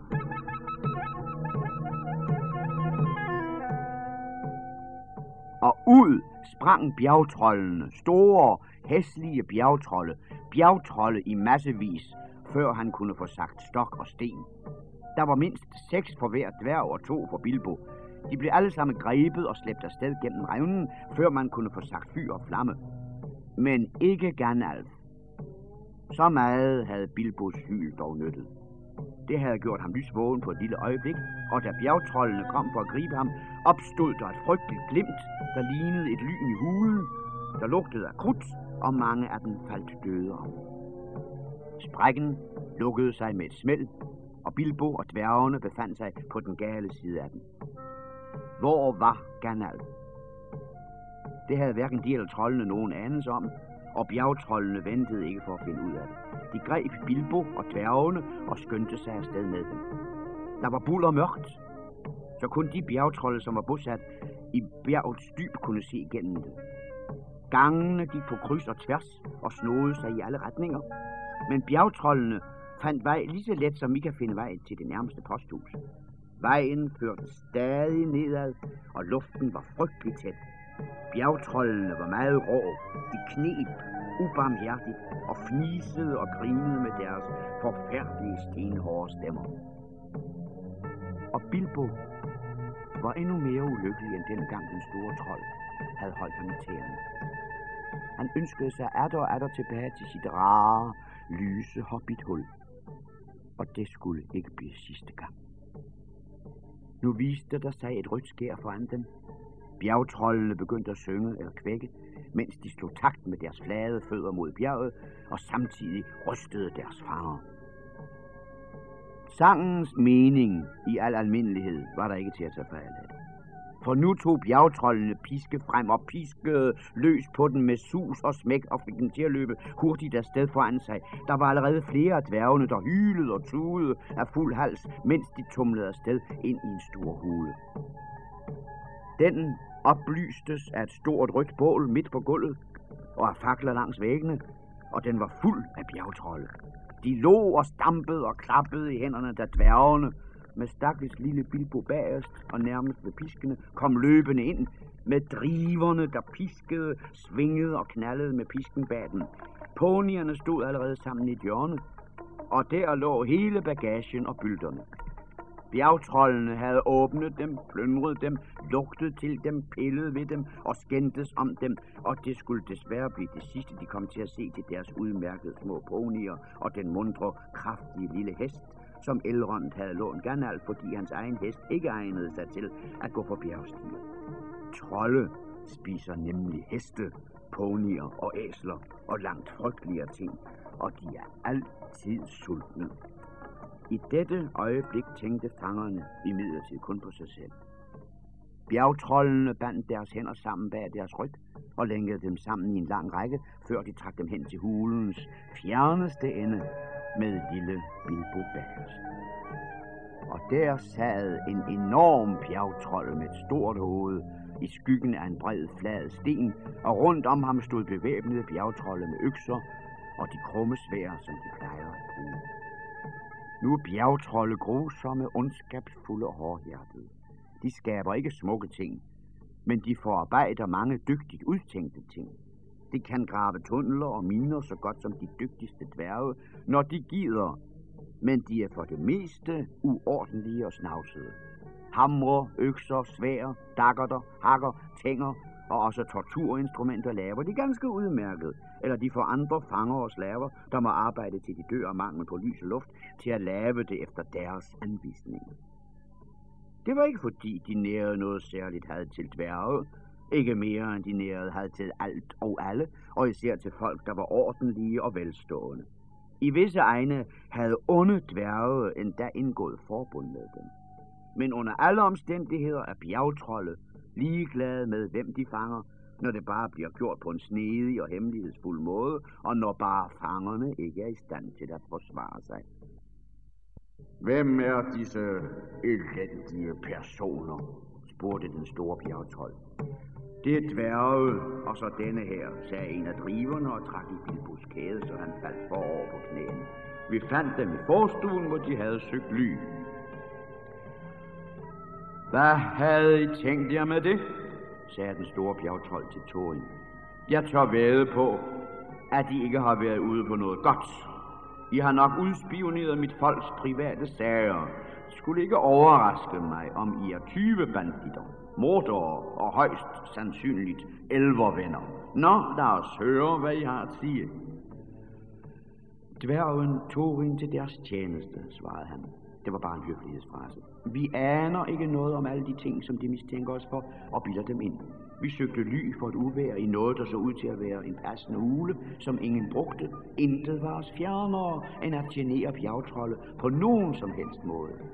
Og det var jo sandt nok. sagde den store bjergtrold. Ja, det siger I. Men må jeg så have lov til at spørge om, hvad I overhovedet har bestillet op i bjergene, hvor I kommer fra og hvor I skulle hen? Ja, jeg vil egentlig gerne vide alt om jer, ikke fordi det benyttede jeg ret meget. Torin Egeskjold, jeg kender allerede alt for meget til dit folk. Men lad os nu høre sandheden, ellers vil jeg arrangere noget ganske særligt ubehageligt til jer. Vi var på rejse for at besøge vores familie vores nevøer og næser, fædre og kusiner i første, andet og tredje led, og andre efterkommere af vores bedste fædre, som bor på den østlige side af disse overordentlige gæstmilde bjerge, sagde Torin, der ikke straks vidste, hvad han skulle svare, i et øjeblik, hvor sandheden i hvert fald ikke var det rigtige at sige. Han er en løgner. En kæmpemæssig løgner, sagde en af driverne. Mange af vores folk blev ramt af lynet ude i hulen, da vi var ved at invitere disse her væsener med herned. Der ligger de sten døde, og det har han jo ikke givet nogen forklaring på. Han rakte Torins svær frem, det svær, som stammede fra troldehulen. Den store trold udstødte et frygteligt brøl af raseri, da han havde set på det, og alle hans soldater skar tænder, raslede med deres skjolde og stampede i gulvet. Det genkendte straks sværet. Det havde i sin tid dræbt hundredvis af bjergetrolde, dengang hvor de smukke elverfolk i Gondolin var gået på jagt efter dem i bjergene eller gik i kamp med dem uden for deres mure. De havde kaldt det Orkrist, bjergtroldekløveren, men bjergtrollene kaldte det bider, de havde det, og endnu voldsommere havde de den, der bar det. Mordor og elver venner, råbte den store bjergtrold. Pisk dem, slå dem, bil dem, gnav dem, før dem bort til mørke huller, fulde af slanger, og lad dem aldrig mere se dagens lys. Han var så rasende, at han sprang op fra sin plads og kastede sig over Torin med åben mund. Netop i det øjeblik gik alt lys i hulen ud, og det store bål slukkedes med et smæld og blev til et tårn af blå glødende røg, der steg lige op mod loftet og spredte en regn af hvide gnister blandt bjergtrollene. Deres jammerhyl, hæseskrig, skræppen, snaderen, vrel og brøl og eder var ubeskrivelige. Gnisterne brændte huller i bjergtrollene, og den røg, der nu faldt ned fra loftet, gjorde luften så tæt, at ikke engang de kunne se igennem den. Snart faldt de over hinanden, rullede rundt i bunker på gulvet, og bed og sparkede og slås, som om de alle sammen var blevet tosset. Pludselig skinnede et svær med sit eget lys. Bilbo så, hvordan det blev stukket lige igennem den store bjergtrold, mens han stod helt paf i alt sit raseri. Han faldt død om, og bjergtroldesoldaterne flygtede hylende ind i mørket for sværet og sværet blev stukket tilbage i sin skede.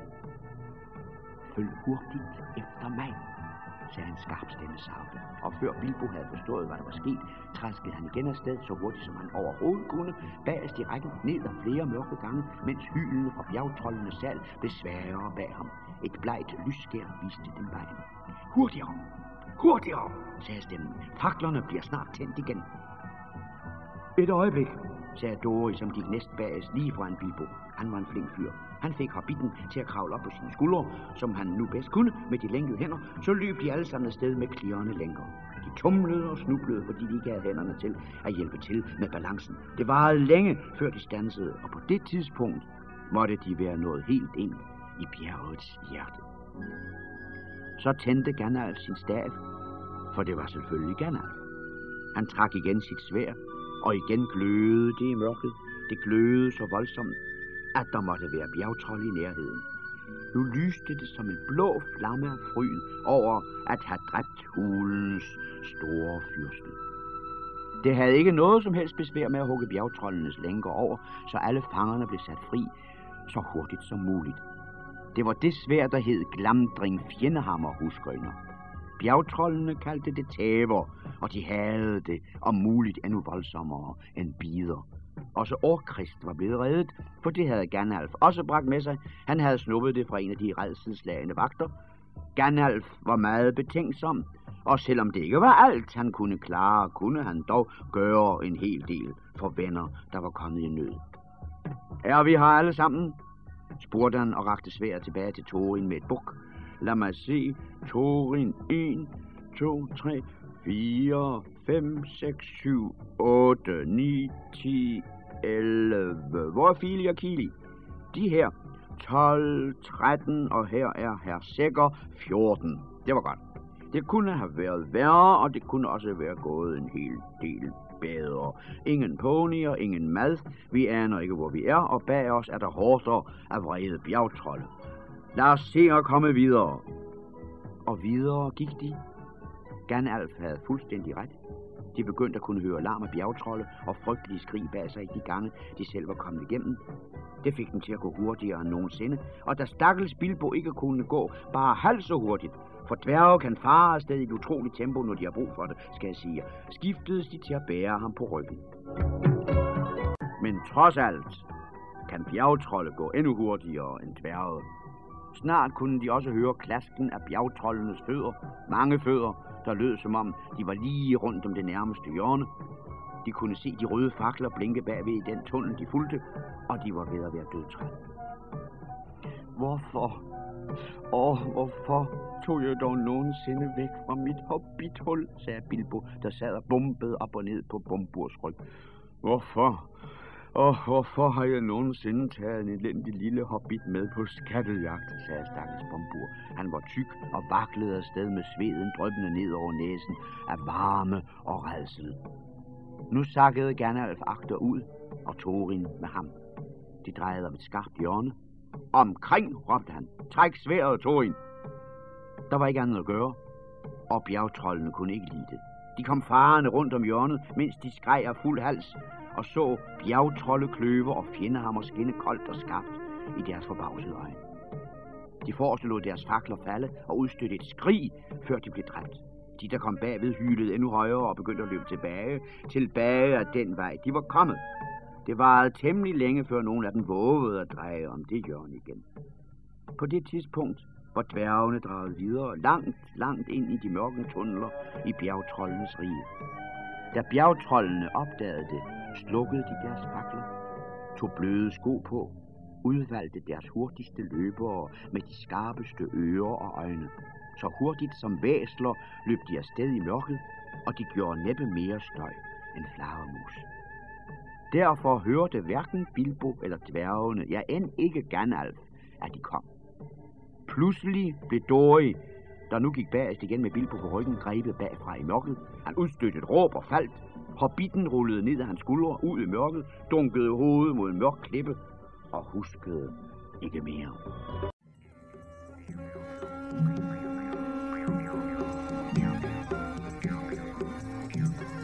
Da Bilbo åbnede øjnene, måtte han spekulere på, om han nu også virkelig havde åbnet dem. For det var akkurat lige så mørkt, som når han holdt dem lukket.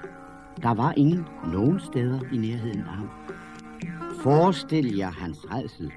Han kunne intet høre, intet se, og det eneste han kunne føle var stengulvet. Han rejste sig meget langsomt og famlede omkring på alle fire, til han rørte tunnelens væg. Men hverken oppe eller nede kunne han finde noget som helst. Ikke det mindste ingen spor af bjergtrolde, ingen spor af dværge. Det svimlede for ham, og han var absolut ikke sikker på, i hvilken retning de havde været ved at gå, da han faldt. Han gættede så godt han kunne, og kravlede afsted et stykke, til hans hånd støtte på noget, der lå på gulvet i tunnelen, og føltes som en ganske lille ring af koldt metal. Det var et vendepunkt i hans livsbane, men det vidste han ikke. Han stak ringen i lommen, næsten uden at tænke over det. Det var til synligheden heller ikke til nogen nytte i øjeblikket. Han kravlede ikke meget længere, men satte sig ned på det kolde gulv og gav sig længe helt hen i sin elendighed. Da der var gået nogen tid, gav han sig til at famle efter sin pibe. Den var ikke knækket, det var der altid noget. Så fandt han sin tobakspung, Og der var tobak i den, og det var endnu bedre. Så famlede han efter tændstikker, men kunne slet ingen finde. Og det slog ham helt ud. Da han kom til fornuft igen, blev han klar over, at det var ganske godt. Hvad ville der måtte være sket ham, hvis han havde strøget tændstikker og røbet sig ved lugten af tobak i disse mørke huller på dette forfærdelige sted? Men i øjeblikket følte han sig meget skuffet. Mens han bankede, slog sig på alle lommer og famlede rundt omkring efter tændstikker, kom han sådan til at røre ved hæftet på hans lille svær. Den lille dakkert, som han havde fået hos trollene. Han havde helt glemt den, og heldigvis havde bjergetrollen heller ikke lagt mærke til den, fordi han bar den under bukserne. Nu trak han den. Den skinnede og blev uklar for hans øjne. Så er det altså også en elverklinge, tænkte han. Og bjergetrollene er altså ikke lige i nærheden, selvom de heller ikke er tilstrækkeligt langt borte. Så rejste han sig og gik afsted med sit lille svær foran sig. Med den ene hånd følte han på væggen. Hans hjerte hamrede og bankede. Nu befandt Bilbo sig sandelig i det, man kalder en knibe. Det var som om tunnelen ingen ende ville tage. Det eneste han vidste var, at den stadig førte jævnt nedad, og at den stadig holdt samme retning, selvom den slog et sving hister her. Det sagde svært glimten ham, og han følte det med hånden mod væggen. Det tog han sig ikke af, men han skyndte sig forbi svingene af skræk for bjergtrolde eller halvt indbildte mørke væsener. Videre og videre gik han, og stadig nedad. Jeg ved ikke, hvor længe han blev ved på den måde. Han brød sig bestemt ikke om at gå videre, og han vågede ikke at stanse videre og videre, indtil han var umådeligt træt. Pludselig trådte han uden varsel i noget vand. Uh! Ah, det var iskoldt. Han stansede bræt. Han anede ikke, om det var en vandpyt på stien, eller bredden af en dyb, mørk underjordisk flod. Sværet skinnede næsten ikke. Han lyttede, og når han hørte godt efter, kunne han høre dråber, der dryp, dryp, dryppede ned i vandet fra et loft, han ikke kunne se. Men der lod ikke til at være nogen andre lyde. Så må det være en vandpyt. Eller en sø. Og ikke en underjordisk flod. Alligevel vågede han ikke at træde ud i den i mørket. Han kunne ikke svømme. Her, dybt nede ved det mørke vand, boede gamle Gollum. Et lille slimet væsen. Jeg ved ikke, hvor han kom fra. Hvem eller hvad han var. Han var Gollum. Så mørk som mørket, bortset fra to runde blege øjne i det magre ansigt. Han havde en lille båd, og han roede ganske stille rundt på søen, for det var en sø. En stor, dyb, dødsens kold sø. Han padlede afsted med sine store fødder, der hang ud over siden, men han lavede aldrig så meget som en lille bølge. Ikke han. Han søgte med sine blege, lampeagtige øjne efter blinde fisk, som han greb hurtigere end tanken med sine lange fingre. Han kunne også godt lide kød. Han syntes, at bjergtrold var dejligt, når han kunne få fat i det. Men han passede på, at de aldrig afslørede ham. Han kvalte dem bare bagfra, hvis de kom herned alene et eller andet sted i nærheden af søens bred, når han var ude at snuse. Det gjorde de meget sjældent, for de havde en fornemmelse af, at der var noget ubehageligt, som lurede på den dernede ved selve bjergets rod. Gollum selv boede på en slimet klippeø midt i søen. Netop nu var han ved at de agtage Bilbo på afstand. Han brugte sine blege øjne som kikkert. Bilbo kunne ikke se ham, men han undrede sig en del over Bilbo, for han kunne se, at det ikke var nogen bjergtrold. Gollum steg op i sin båd og støttede den fra land, mens Bilbo sad på bredden og var helt forvirret. Han vidste hverken ud eller ind. Pludselig kom Gollum hen til ham. Han viskede og væsede. Flaske og velsigne os, min dyrebare. Det bliver et helt festmåltid. Det vil i hvert fald blive en lækker mundfuld for. Gollum. Da han sagde Gollum, frembragte han en frygtelig gurlende lyd i struben. Det var på den måde, han havde fået sit navn, selvom han kaldte sig selv for min dyrebare. Hobbiten var ved at hoppe ud af sit skin, da denne væsen nåede hans ører. Pludselig så han de blege øjne, der stirrede på ham. Hvem er du? sagde han og trak sin dakker. Hvad er han for en, min dyrebare? viskede Gollum, som altid talte med sig selv, fordi han aldrig havde andre at tale med. Det var det, han var kommet for at finde ud af, for lige i øjeblikket var han i grund ikke særlig sulten, kun nysgerrig. Ellers ville han have grebet til først og visket bagefter.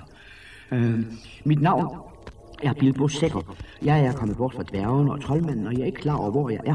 Og hvis jeg bare kan komme væk, så bryder jeg mig heller ikke om at få det at vide. Hvad, hvad er det, den har i sine hænder? spurgte Gollum og så på sværet, som han ikke rigtig synes om. Et svær, en klinge, der stammer fra Gondolin. Sagde Gollum og blev ligefrem høflig. Måske kan du sidde her og snakke en lille smule med det, min dyrebare. Det kan godt lige gå, det kan da være, den kan ikke. Han ville meget gerne vise sig venlig, i hvert fald lige i øjeblikket, og til han havde fundet ud af mere om sværet og hobbiten. Om han virkelig skulle være helt alene, om han var god at spise, og om Gollum virkelig var sulten. Gåder var det eneste, han kunne komme i tanke om. Udmærket, sagde Bilbo, som var ivrig efter at slå til, indtil han havde fundet ud af mere om dette væsen, om det var helt alene, om det var vredt eller sulten, eller om det var en ven af bjergtrollene. Du kan spørge først, sagde han, fordi han ikke havde tid til at komme i tanke om en gåde. Så væsede Gollum. Rødderne ser enkelt øje. Træerne er rejst så højt, der er langt til dette top, vokser aldrig højere op. Det var da let, sagde Bilbo. Det må være bjerget. Gætter den så let? Vi må holde en konkurrence med den, min dyrebare. Hvis dyrebare spørger, og den ikke kan svare, så spiser vi den, min dyrebare. Hvis det spørger os, og vi ikke kan svare, så gør vi, hvad den vil have. Ikke? Vi viser den vejen ud. Ja. Godt, sagde Bilbo, der ikke vågede at være uenig med ham. Hans hoved var ved at sprænges for at komme i tanke om gåder, der kunne frelse ham fra at blive spist. 30 heste på en bakke. De kan knaske, de kan smaske, og så kan de også snakke. Det var den eneste, han kunne komme i tanke om. Og han tænkte temmelig meget på det med at spise. Det var en temmelig gammel gåde, og Gollum kendte svaret lige så godt som I gør. Den er elgammel, væse, han. Tænder, tænder, min dyrebare. Vi har nu kun seks. Så stillede han sin anden gåde. Hør, den skriger uden ryst. Se, den flyver vingeløst. Den kan bide uden tænder. Uden munden, den lærer og skænder. Et øjeblik, udbrød Bilbo, som stadig følte ubehag ved tanken om noget med at spise. Heldigvis havde han hørt noget i den retning før. Han tænkte sig godt om og kom i tanker om svaret. Blæsten, blæsten selvfølgelig, sagde han. Og han var så tilfreds, at han fik lavet en gåde på stedet. Denne her vil forvirre sådan et forbandet lille underjordiske kryb, tænkte han. Et øje i et blåt fjes, så et øje i et grønt fjes.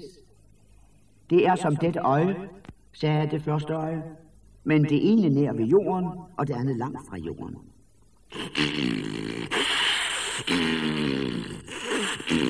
sagde Gollum. Han havde været under jorden meget, meget længe og var ved at glemme den slags ting. Men netop som Bilbo var begyndt at håbe, at det elendige væsen ikke skulle kunne svare, kom Gollum i tanker om noget for den tid, for meget længe siden, da han boede med sin bedstemor i et hul i en høj ved en flod.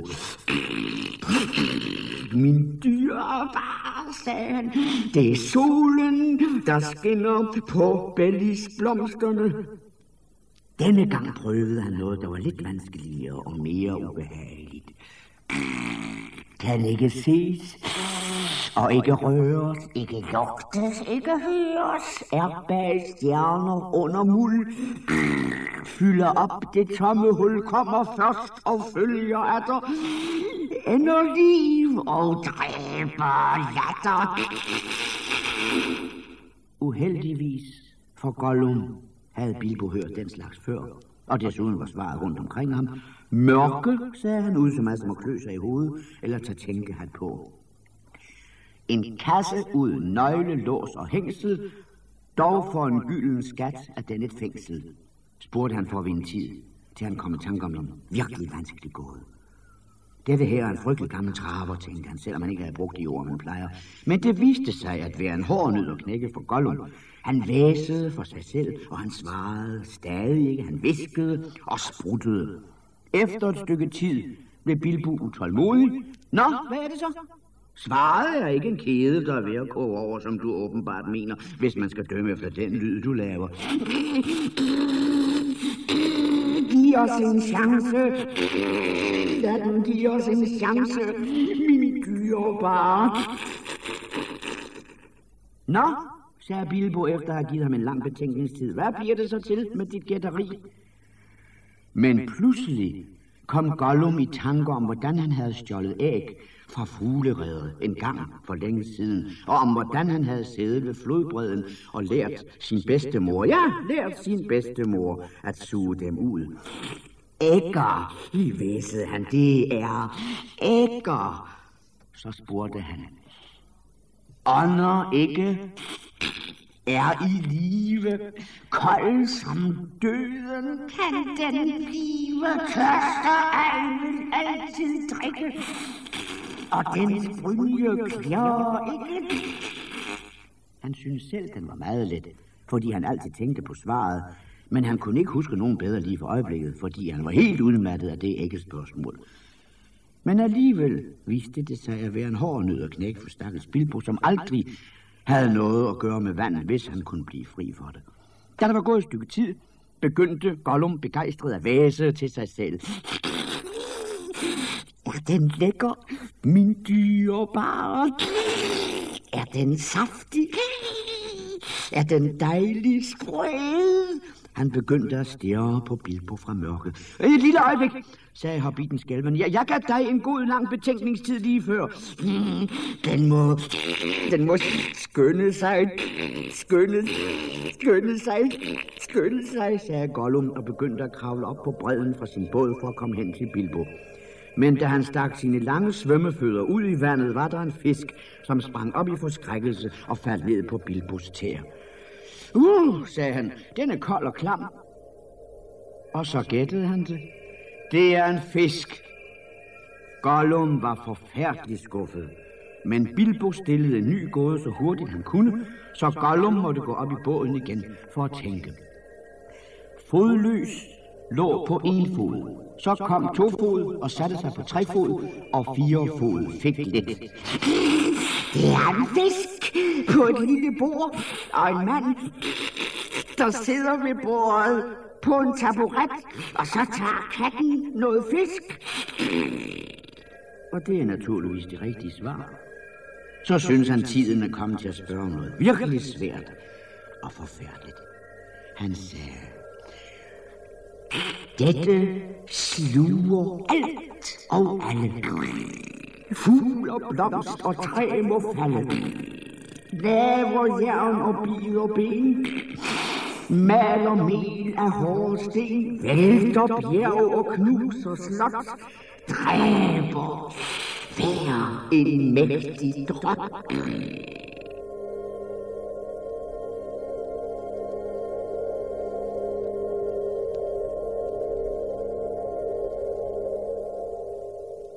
Stakkels Bilbo sad i mørket og tænkte på alle de forfærdelige kæmper og menneskeædende uhyre, som han havde hørt om i historier. Men der var ingen af dem, der havde gjort alt dette her på én gang. Han havde en fornemmelse af, at svaret måtte være noget helt andet, og at han burde kende det. Men han kunne ikke komme i tanke om det. Han begyndte at blive bange, og det hjælper ikke på tænkningen. Gollum begyndte at stige ud af sin båd. Han plaskede ud i vandet og padlede sig ind til bredden. Bilbo kunne se hans øjne nærme sig. Det var som om tungen klæbede fast i munden. Han havde lyst til at råbe, giv mig mere tid, giv mig mere tid, men det eneste, der kom som et pludselig vrel, var, tid, tid! Bilbo blev frelst af rent og skært held, for det var naturligvis det rigtige svar. Den, den skal stille os et spørgsmål. Min dyrebare. Ja, ja, ja, ja, ja. Bare et spørgsmål til. Ja, ja, ja, sagde Gollum.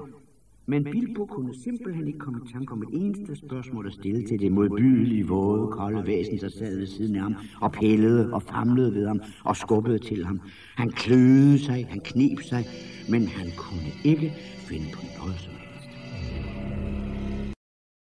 Spørg os! Spørg os, sagde Gollum. Bilbo knep sig og slog løs på sig selv. Han greb sit lille svær. Han famlede dagen sin lomme med den anden hånd. Der fandt han pludselig den ring, han havde fundet i gangen, og fuldstændig glemt. Hvad er det, jeg har i min lomme? sagde han højt. Han talte med sig selv. Men Gollum troede, det var en gåde, og han blev frygtelig ophidset. Det er ikke retfærdigt. Det er ikke retfærdigt, væsede han. Det er ikke retfærdigt, min dyrebare. Det er ikke retfærdigt sådan at spørge os, hvad den har i sine vemmelige små lommer. Bilbo, der forstod, hvad der var sket, og som ikke havde noget bedre at spørge om, holdt fast ved sit spørgsmål. Hvad er det, jeg har i min lomme? Spurgte han højere. Væsede Gollum. Den må give os tre gæt. Tre gæt. Udmærket. Fyr løs, sagde Bilbo. Hænderne, sagde Gollum. Forkert, sagde Bilbo, som heldigvis lige havde taget hånden op igen. Gæt om igen. Det sagde Gollo mere ophidset end nogensinde. Han tænkte på alle de ting, han havde i sine egne lommer. Fiskeben, bjergtrolletænder, våde muslingeskaller og et stykke af en flagermusevinge, en skarp sten, han kunne skærpe sine hugtænder på, og andre vemmelige ting. Han prøvede at tænke på, hvad andre havde i deres lommer. Kniv, sagde han til sidst. Forkert, sagde Bilbo, som selv havde tabt sin for nogen tid siden. Sidste gæt. Nu befandt Gollum sig i en meget værre tilstand, end han havde gjort, da Bilbo stillede ham ikke spørgsmål. Han væsede og spruttede, rokkede frem og tilbage og slog fødderne mod gulvet. Han sprællede og vred sig, men han vågede stadig ikke at spille sit sidste gæt. Nå, hvad bliver det til? sagde Bilbo. Jeg venter. Han prøvede at lyde tapper og munter, men han følte sig ikke sikker på, hvordan denne leg ville ende. Lige meget om Gollum gættede rigtigt eller forkert. Fristen er udløbet, sagde han. Snor, eller slet ingenting, hylede Gollum. Og det var ikke helt rimeligt sådan at komme med to forslag på en gang. Begge dele er forkert, råbte Bilbo lettet. Han sprang op med det samme, trykkede ryggen mod den nærmeste mur og holdt sit lille svær foran sig. Han vidste naturligvis, at gådelejen var hellig og umådelig gammel, og at selv ondskabsfulde væsener var bange for at snyde, når de lejede den. Men han havde en fornemmelse af, at han ikke tog at stole på, at dette slimede væsen ville holde sit løfte i en snæver vending. Når alt kom til alt, så havde det sidste spørgsmål ikke været en rigtig gåde efter de ældgamle love. Men Gollum gik i hvert fald ikke til angreb på ham med det samme. Han kunne se sværet i Bilbos hånd. Han sad stille, skælvende og viskende. Til sidst kunne Bilbo ikke vente længere. Nå, sagde han, hvad bliver det til med dit løfte? Jeg vil væk herfra nu. Du må vise mig vejen. Lovede vi det dyrebare? Vise den ækle lille sækker vejen ud? Ja, ja, men hvad er det, den har i sine lommer? Hvad? Ikke en snor? Dyrebare. Men heller ikke ingenting. Åh, oh, nej, Gollum, det rager ikke dig, sagde Bilbo. Et løfte er et løfte. Mm, den er gnaven, og den er utålmodig. Dyrebar væsede Gollum, men den må vente. Ja, det må den. Vi kan ikke gå så hurtigt op gennem tunnelerne. Vi må først hente nogle ting. Ja, nogle ting, der skal hjælpe os. Nå ja, men så skynd dig, sagde Bilbo, der følte sig lettet ved tanken om, at Gollum ville gå sin vej. Men han tog fejl. Det var virkelig Gollums mening at komme tilbage. Han var både vred og sulten nu. Han var et sølle, ondskabsfuldt væsen, og han havde allerede lagt en plan. Ikke langt borte lå hans ø, som Bilbo ikke vidste noget om. Og der på sit skjulested gemte han forskellige værdiløse ting og sager, og en meget smuk ting, en meget smuk og helt vidunderlig ting. Han havde en ring, en guldring, en kostbar ring. Min fødselsdagsgave, viskede han til sig selv, som han så ofte havde gjort i de endeløse mørke dage.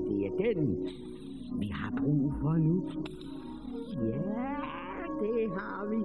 Han havde brug for den, fordi det var en mægtig ring. Og hvis man tog den ring på sin finger, så blev man usynlig.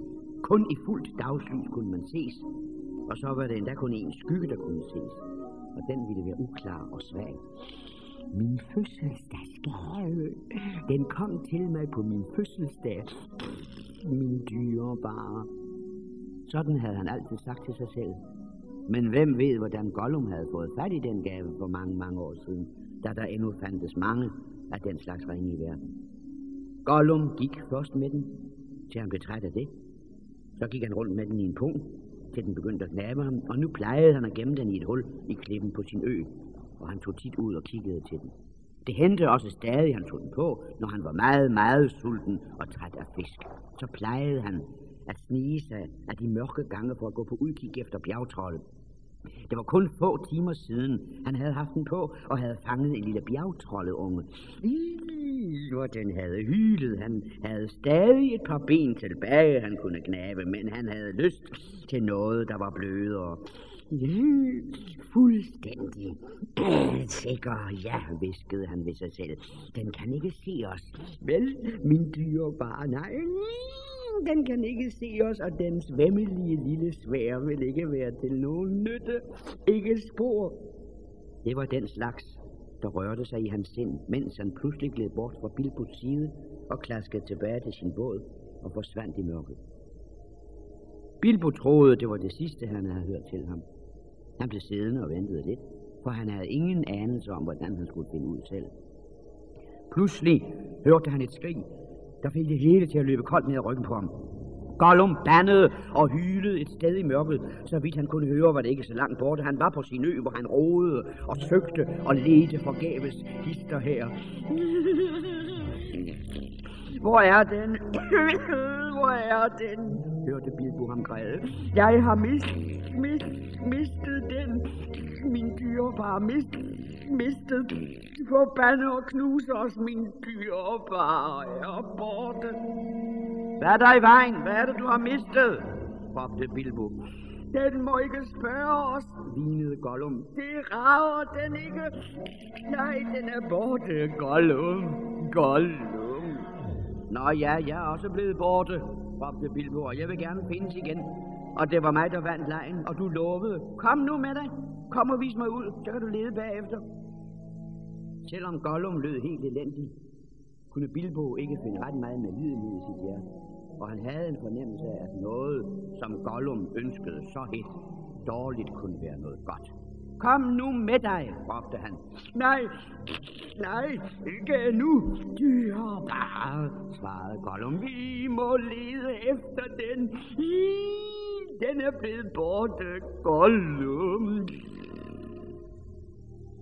Ja, men du fik ikke gættet mit sidste spørgsmål, og du lovede, råbte Bilbo. Gættede ikke, sagde Gollum, og så lød der pludselig en skarp væsen fra mørket. Hvad er det, den har i sine lommer? Det må den sige først. Fortæl os det.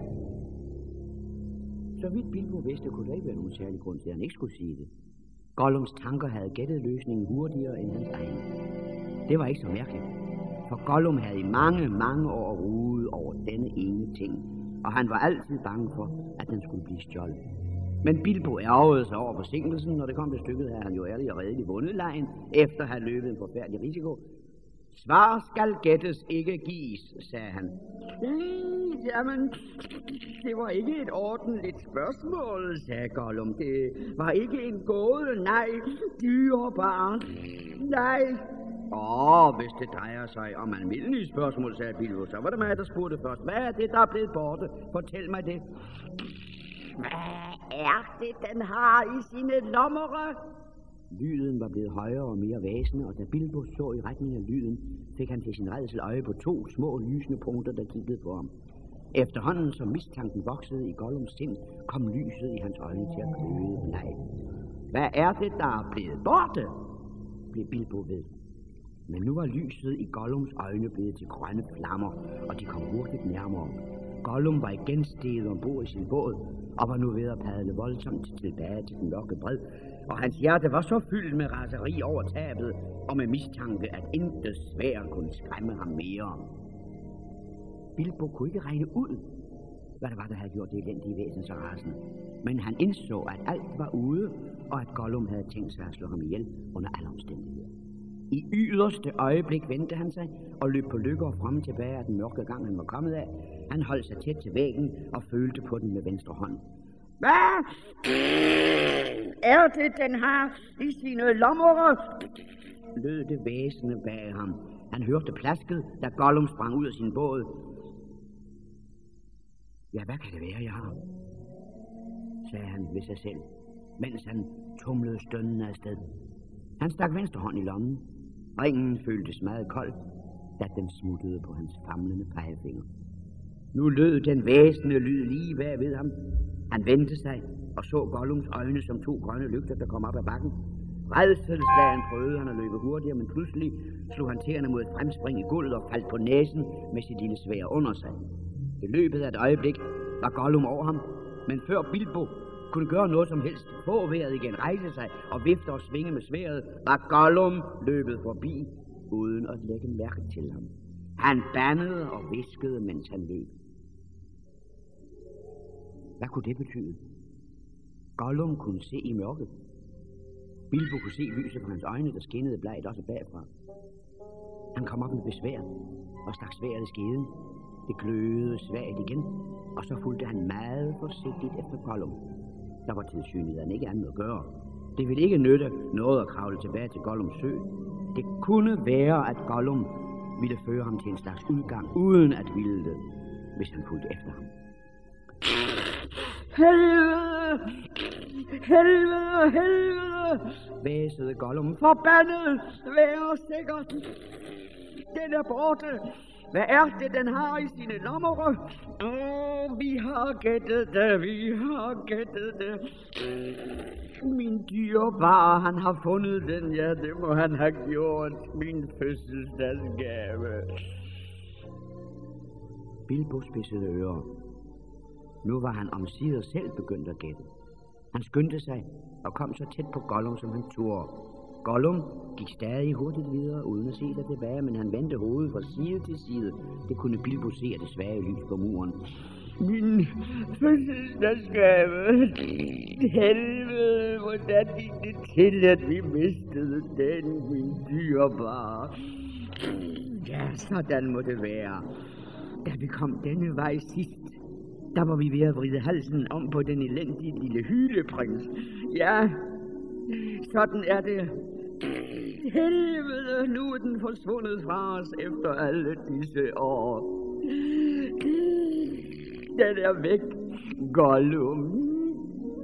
Pludselig satte Gollum sig ned og begyndte at græde. En fløjtende, gurlende lyd, der var forfærdelig at høre på.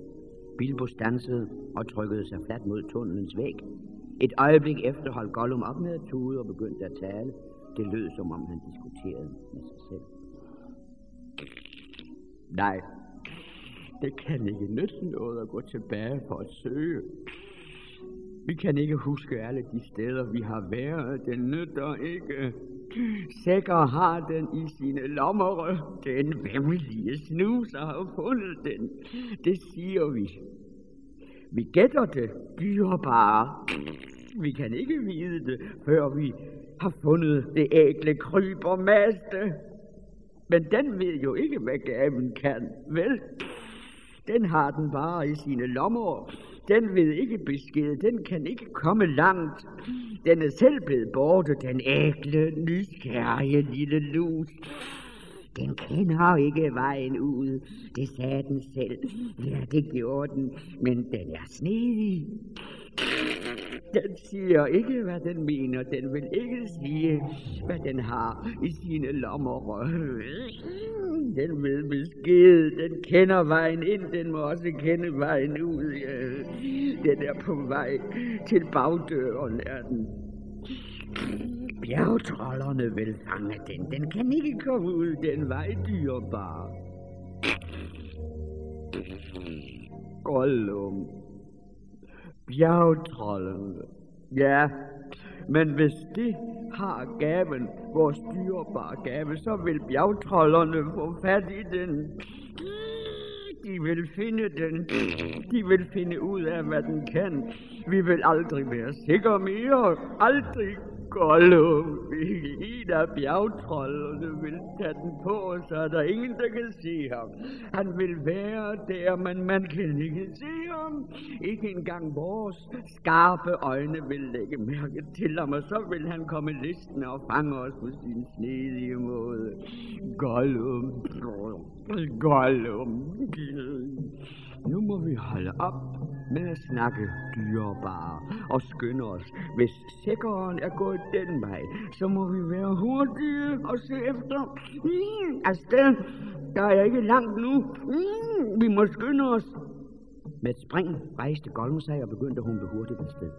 Bilbo skyndte sig efter ham. Han var stadig forsigtig, men nu var hans største frygt, at han skulle snuble over et nyt fremspring og komme til at lave spektakel, når han faldt. Han var svimmel af håb og forbløffelse. Den ring, han havde fundet, måtte åbenbart være en tryller. Den gjorde en usynlig. Man havde naturligvis hørt den slags ting i de gamle eventyr, men det var ikke til at tro, at han virkelig skulle have fundet en ved et tilfælde. Men her var den altså. Gollum med de lysende øjne var gået lige forbi ham, og kun en meter fra ham. De løb videre.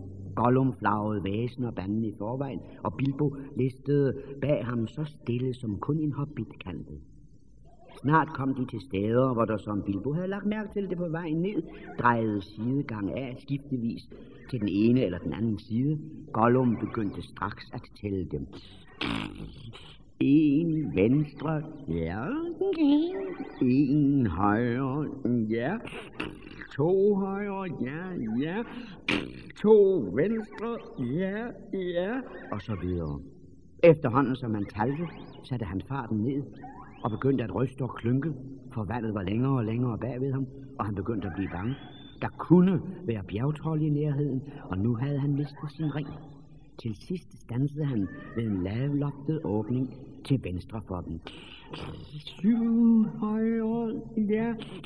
Seks venstre, ja.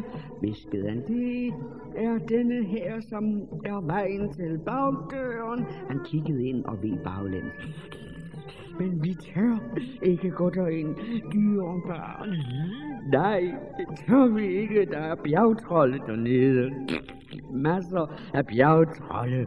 Det kan vi lugte. Hvad skal vi gøre? Gid de må blive mast. Vi må vente her, dyrebare. Vente lidt og se. Så standede de bræt op. Gollum havde trods alt ført Bilbo til vejen ud. Men Bilbo kunne ikke komme forbi. Der sad Gollum og skød ryg lige midt i åbningen, og hans øjne skinnede koldt i hans hoved, mens det svajede fra side til side mellem hans knæ.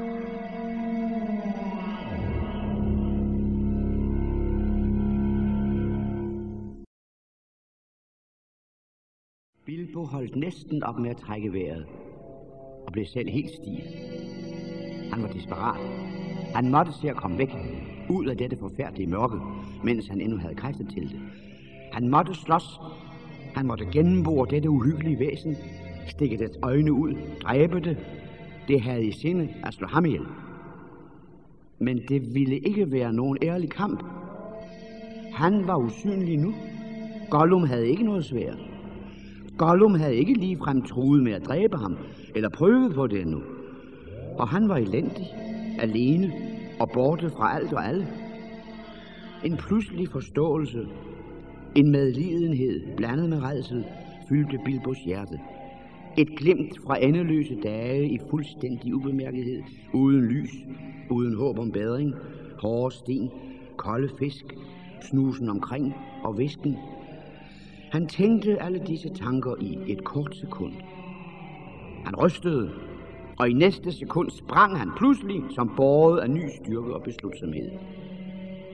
Det ville ikke have været noget højt spring for et menneske, men det var et spring i mørket.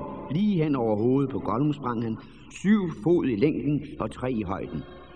Det var godt, han ikke vidste, at han var lige ved at smadre hovedet mod gangens lave buede loft.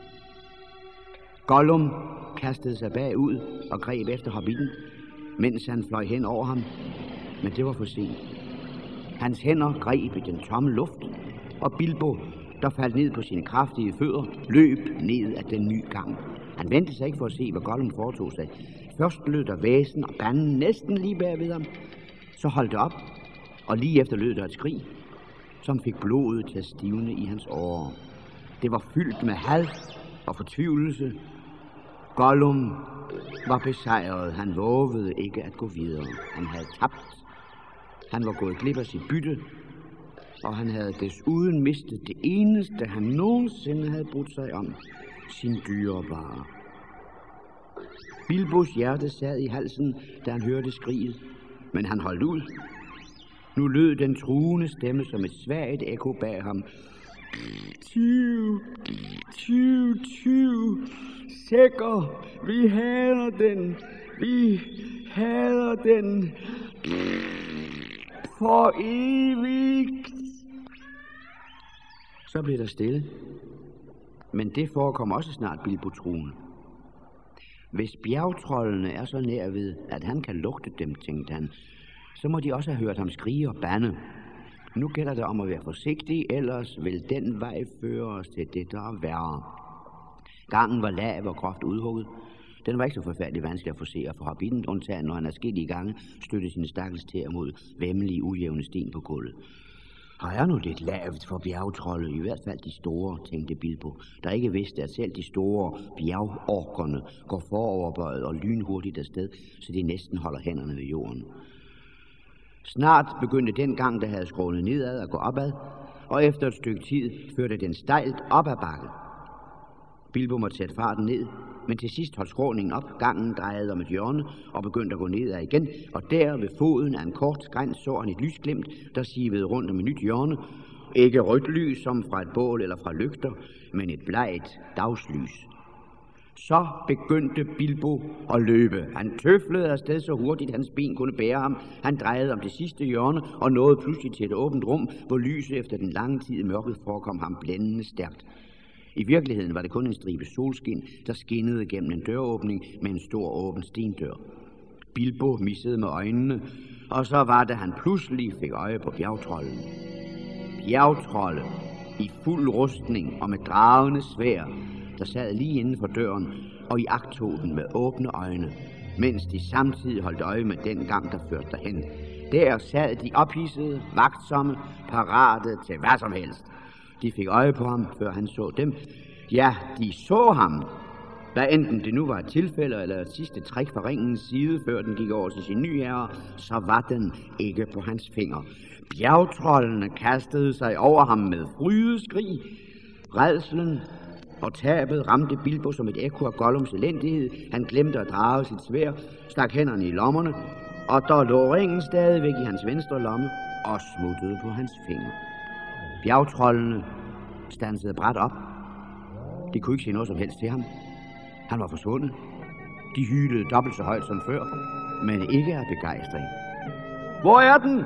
skreg de. Gå tilbage af gangen, råbte nogen. Denne vej, vrælede nu. Nej, denne her vej, vrælede andre. Hold øje med døren, brølede deres anfører. Der blev piftet i fløjter der lød våbenlarm, sværene raslede, bjergtrollene bandede og svor og løb hid og dit, men de faldt over hinanden og var meget vrede.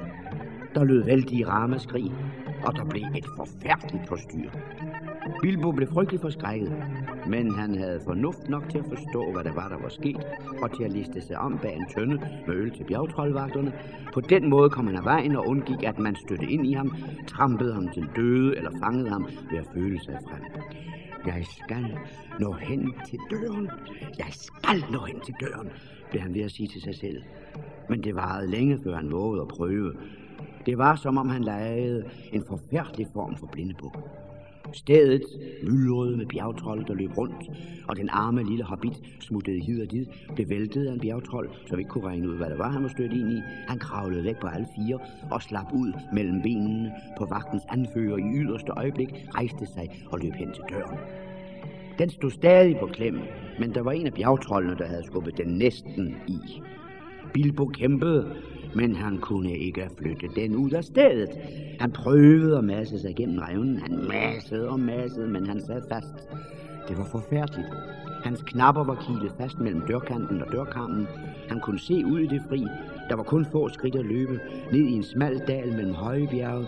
Solen dukkede frem bag en sky og skinnede klart på dørens yderside, men han kunne ikke komme igen. Pludselig råbte en af bjergtrollene. Der er en skygge ved døren. Der er noget udenfor. Bilbo stod med hjertet i halsen. Han trykkede med fortvivlelsens kraft. Knapperne sprang af i alle retninger. Han var kommet igennem. Med flået trøje og vest. Han sprang ned ad trappen som en ged, mens de forbløffede bjergtrolde endnu var i færd med at samle hans pæne messingknapper op fra dørtrinet. Selvfølgelig begyndte de snart at løbe efter ham. De huje og råbte, mens de jagede ham mellem træerne. Men de bryder sig ikke om solskin. Det gør deres ben usikre og får det til at svimle for dem. De kunne ikke finde Bilbo, der smuttede ind og ud af træernes skygger. Han løb hurtigt og stille og holdt sig for solskinnet.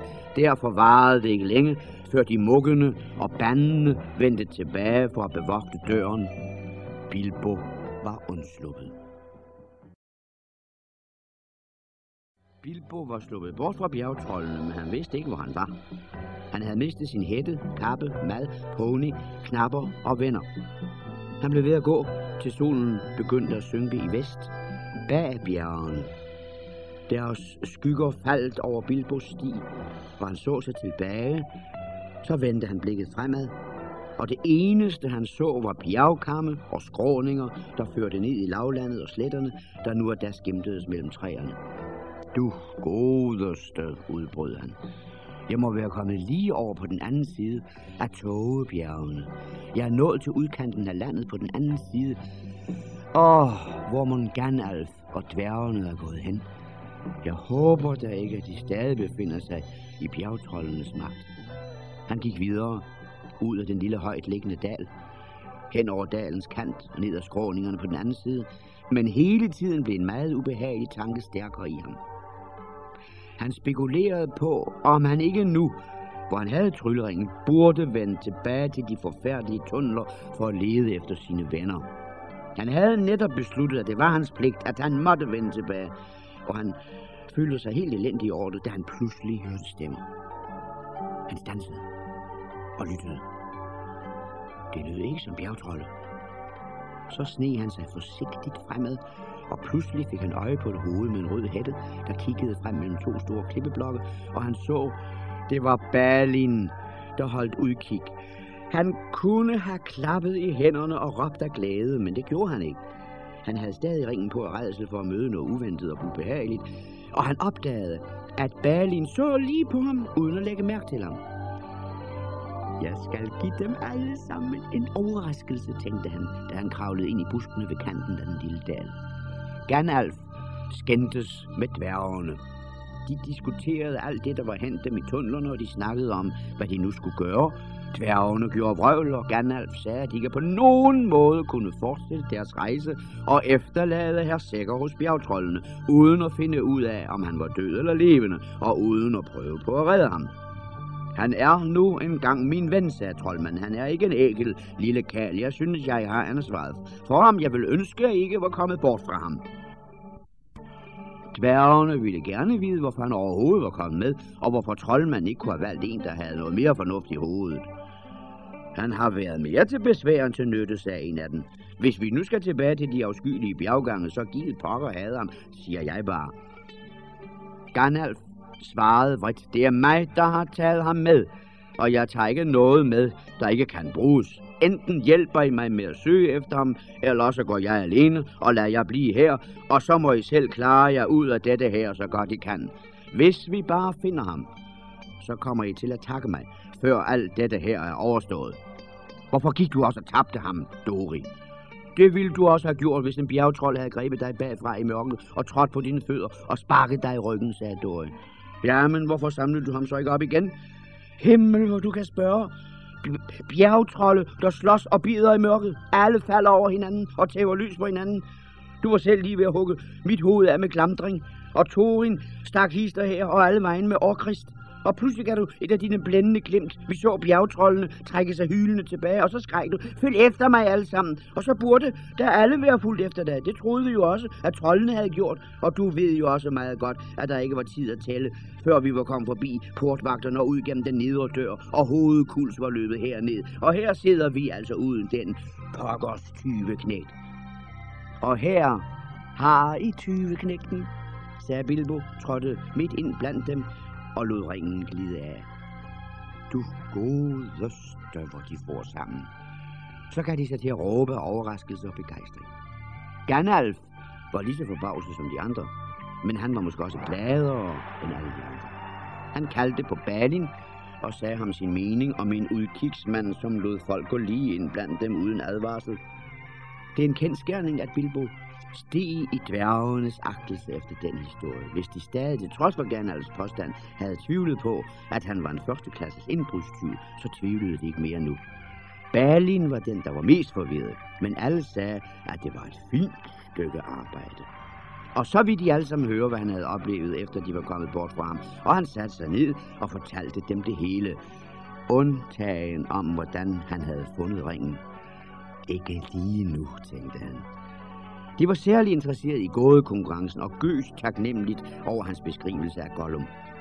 Og så kunne jeg ikke finde på noget nyt spørgsmål, når han sad der ved siden af mig, sluttede Bilbo. Og så sagde jeg, hvad er det, jeg har i min lomme? Og det kunne han ikke gætte, selvom han fik lov til at gætte tre gange. Og så sagde jeg, og hvad så med dit løfte, vis mig vejen ud. Men så faldt han over mig i mørket for at slå mig ihjel, og jeg løb, og jeg faldt. Og så gik han fejl af mig i mørket, og så fulgte jeg efter ham, fordi jeg kunne høre, at han talte med sig selv. Han troede, at jeg virkelig kendte vejen ud, så derfor løb han den vej, og så satte han sig ned ved indgangen, så jeg ikke kunne komme forbi. Derfor sprang jeg hen over ham og slap ud og løb ned til porten. Jamen, hvad så med vagterne, spurgte de. Var der ikke nogen dem? Åh, oh, jo, der var masser, men dem smuttede jo udenom. Jeg sad fast i døren, der kun stod på klemmer. Jeg har tabt en hel masse knapper, sagde han, og så bedrøvet på sine forrevne klæder. Men jeg maste mig igennem alligevel, og her er jeg så. Dværgene betragtede ham med fornyet respekt, da han talte om at smutte udenom vagterne og springe over Gollum og masse sig igennem, som om det ikke var noget særligt. Var det ikke det, jeg sagde? Ja, sagde Gandalf og. Her, her sikker har mere i sig, end I regner med. Han sendte Bilbo et mærkeligt blik fra øjnene under de buskede øjenbryn, mens han sagde det, og Hobbiten måtte spekulere på, om Gandalf skulle have gættet den del af historien, som han havde lavet være med at fortælle. Bilbo ville nu gerne vide, hvordan troldmanden var dukket op igen, og hvordan de alle sammen var kommet til det sted, hvor de nu befandt sig. Rent ud sagt.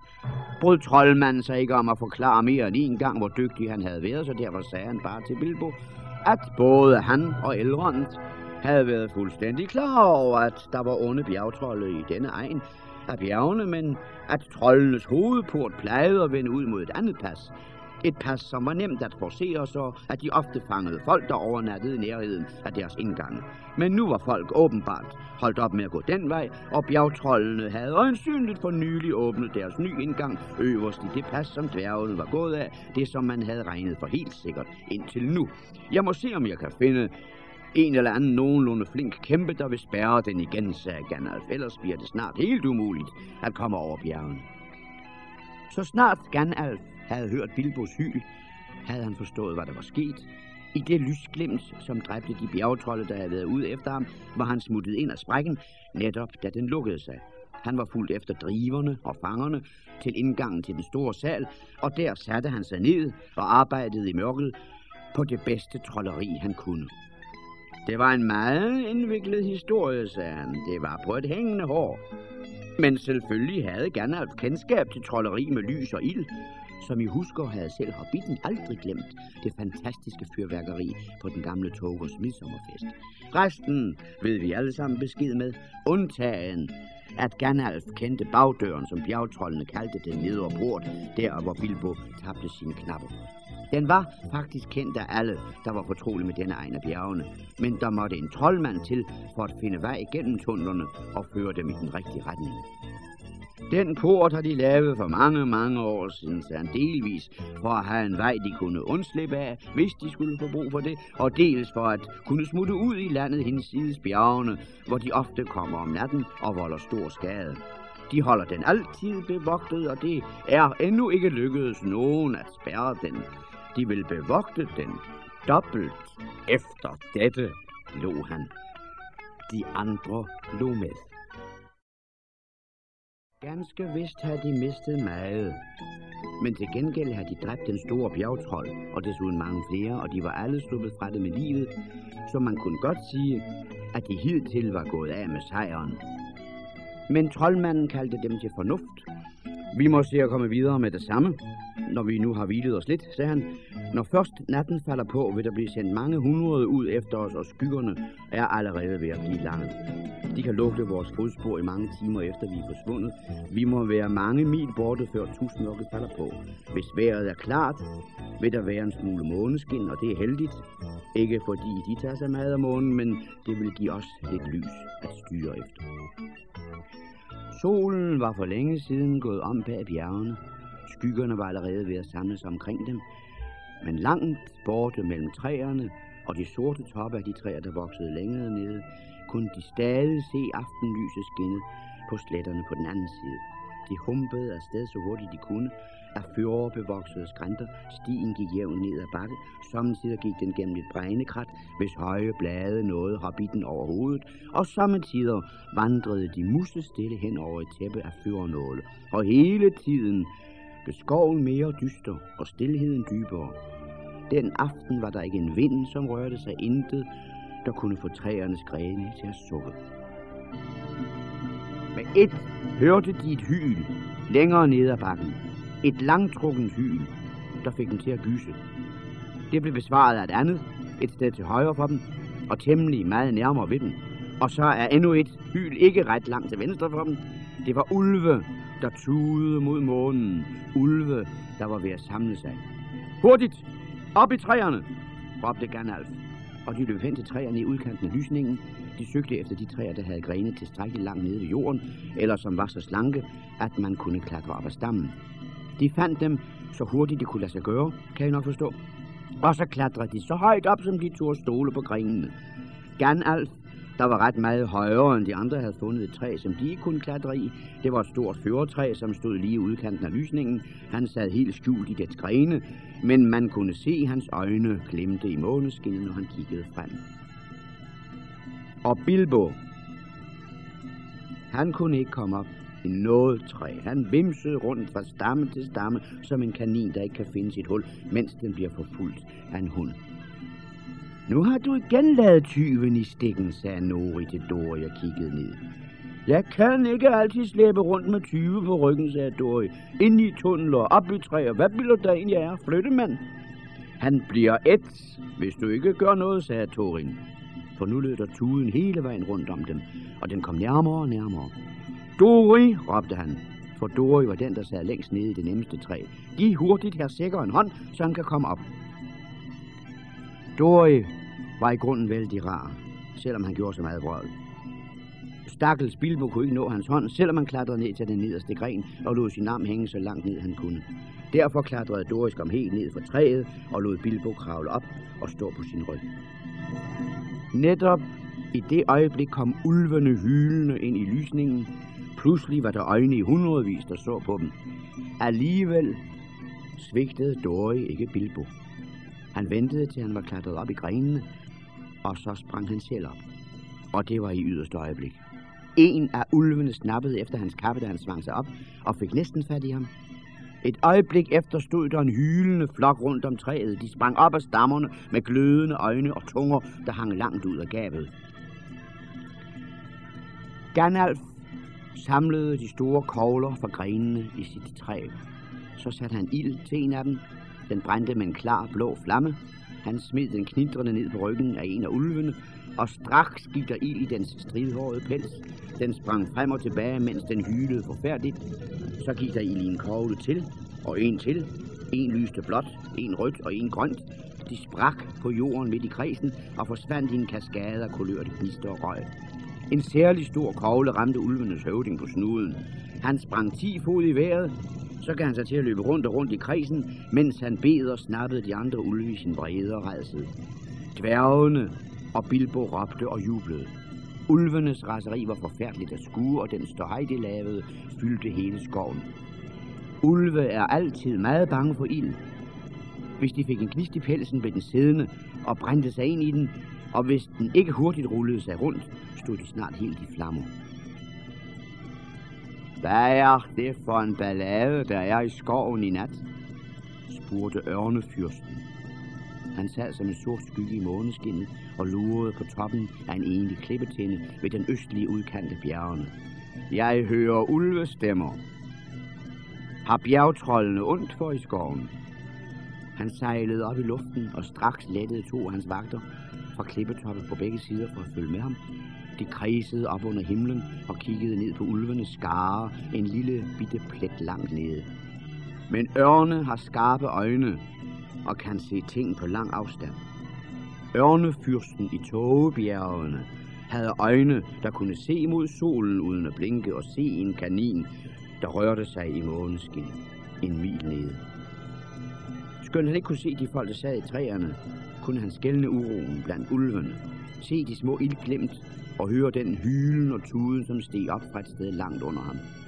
Og han kunne se månen skinne i bjergtrollenes spyd og hjelme, der lange rækker af de ondskabsfulde væsener sned sig ned ad bjergsiden og snodede sig ind i skoven.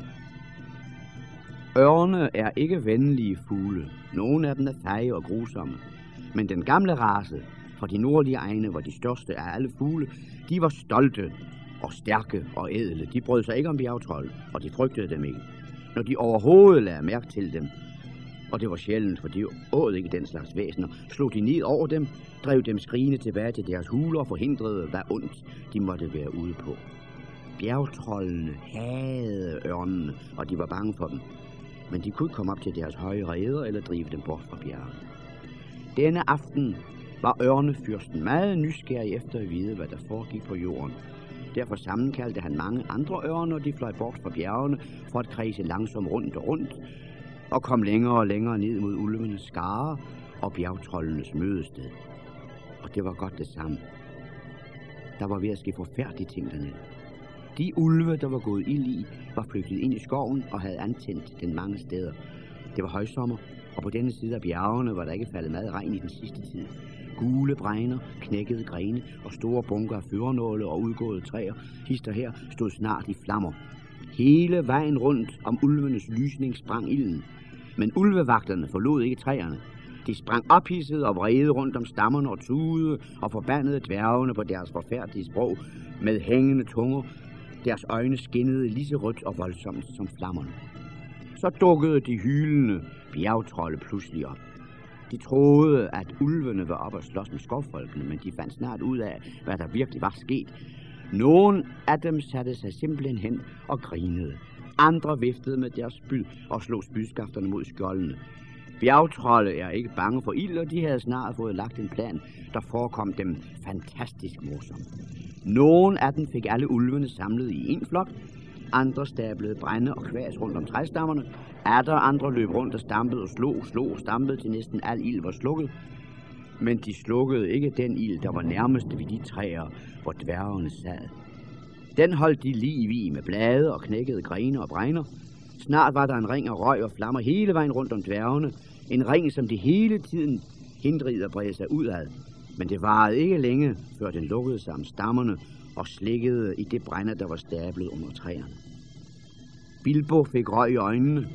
Han følte varmen fra flammerne, og gennem røgen kunne han se bjergtrollene danse rundt i ring, som folk omkring et midsommerbål.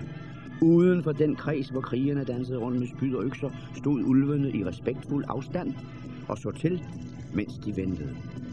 Flammerne nåede til Gandalfs træ. På et øjeblik spredte den sig til de andre. Barken brød i brand. De nederste grene knækkede. Så klatrede Gandalf op til toppen af sit træ. Et pludseligt glimt sprang som et lyn fra hans stav, da han gjorde sig parat til at springe højt oppefra ned mellem bjergtrollenes by.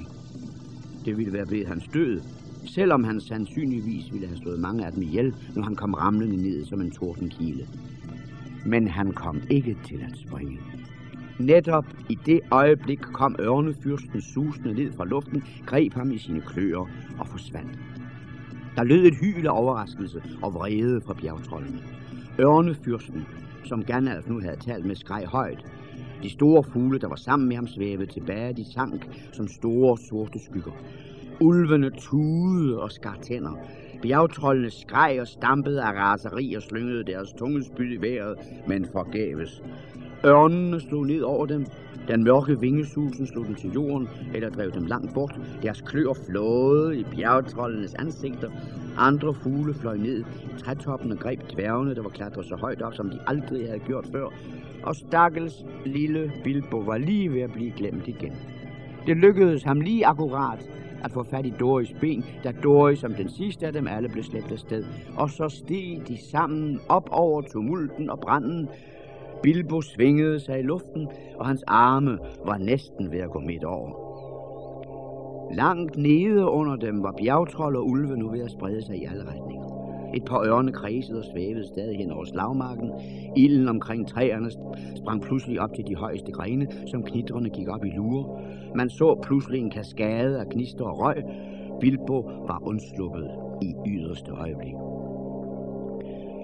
Snart skinnede skæret fra branden langt nede under dem, som et rødt glimt på den sorte jord. De var meget højt oppe mod himlen og steg hele tiden i de store, fejende kredse. Bilbo glemte aldrig denne flyvetur, hvor han måtte klamre sig til Doris ankler. Han stønnede, mine arme, mine arme, og Doris stønnede, mine stakkels ben, mine stakkels ben. Flyveturen endte i yderste øjeblik for ham, det var lige før hans arme ikke kunne mere. Han slap Doris ankler med et gisp og faldt ned på en hård afsats, hvor ørnen havde sin rede. Der blev han liggende uden at sige noget, og hans tanker var en blanding af overraskelse over at være blevet frelst fra ilden, og redsel over at skulle falde ned fra dette sted til de dybe skygger på begge sider.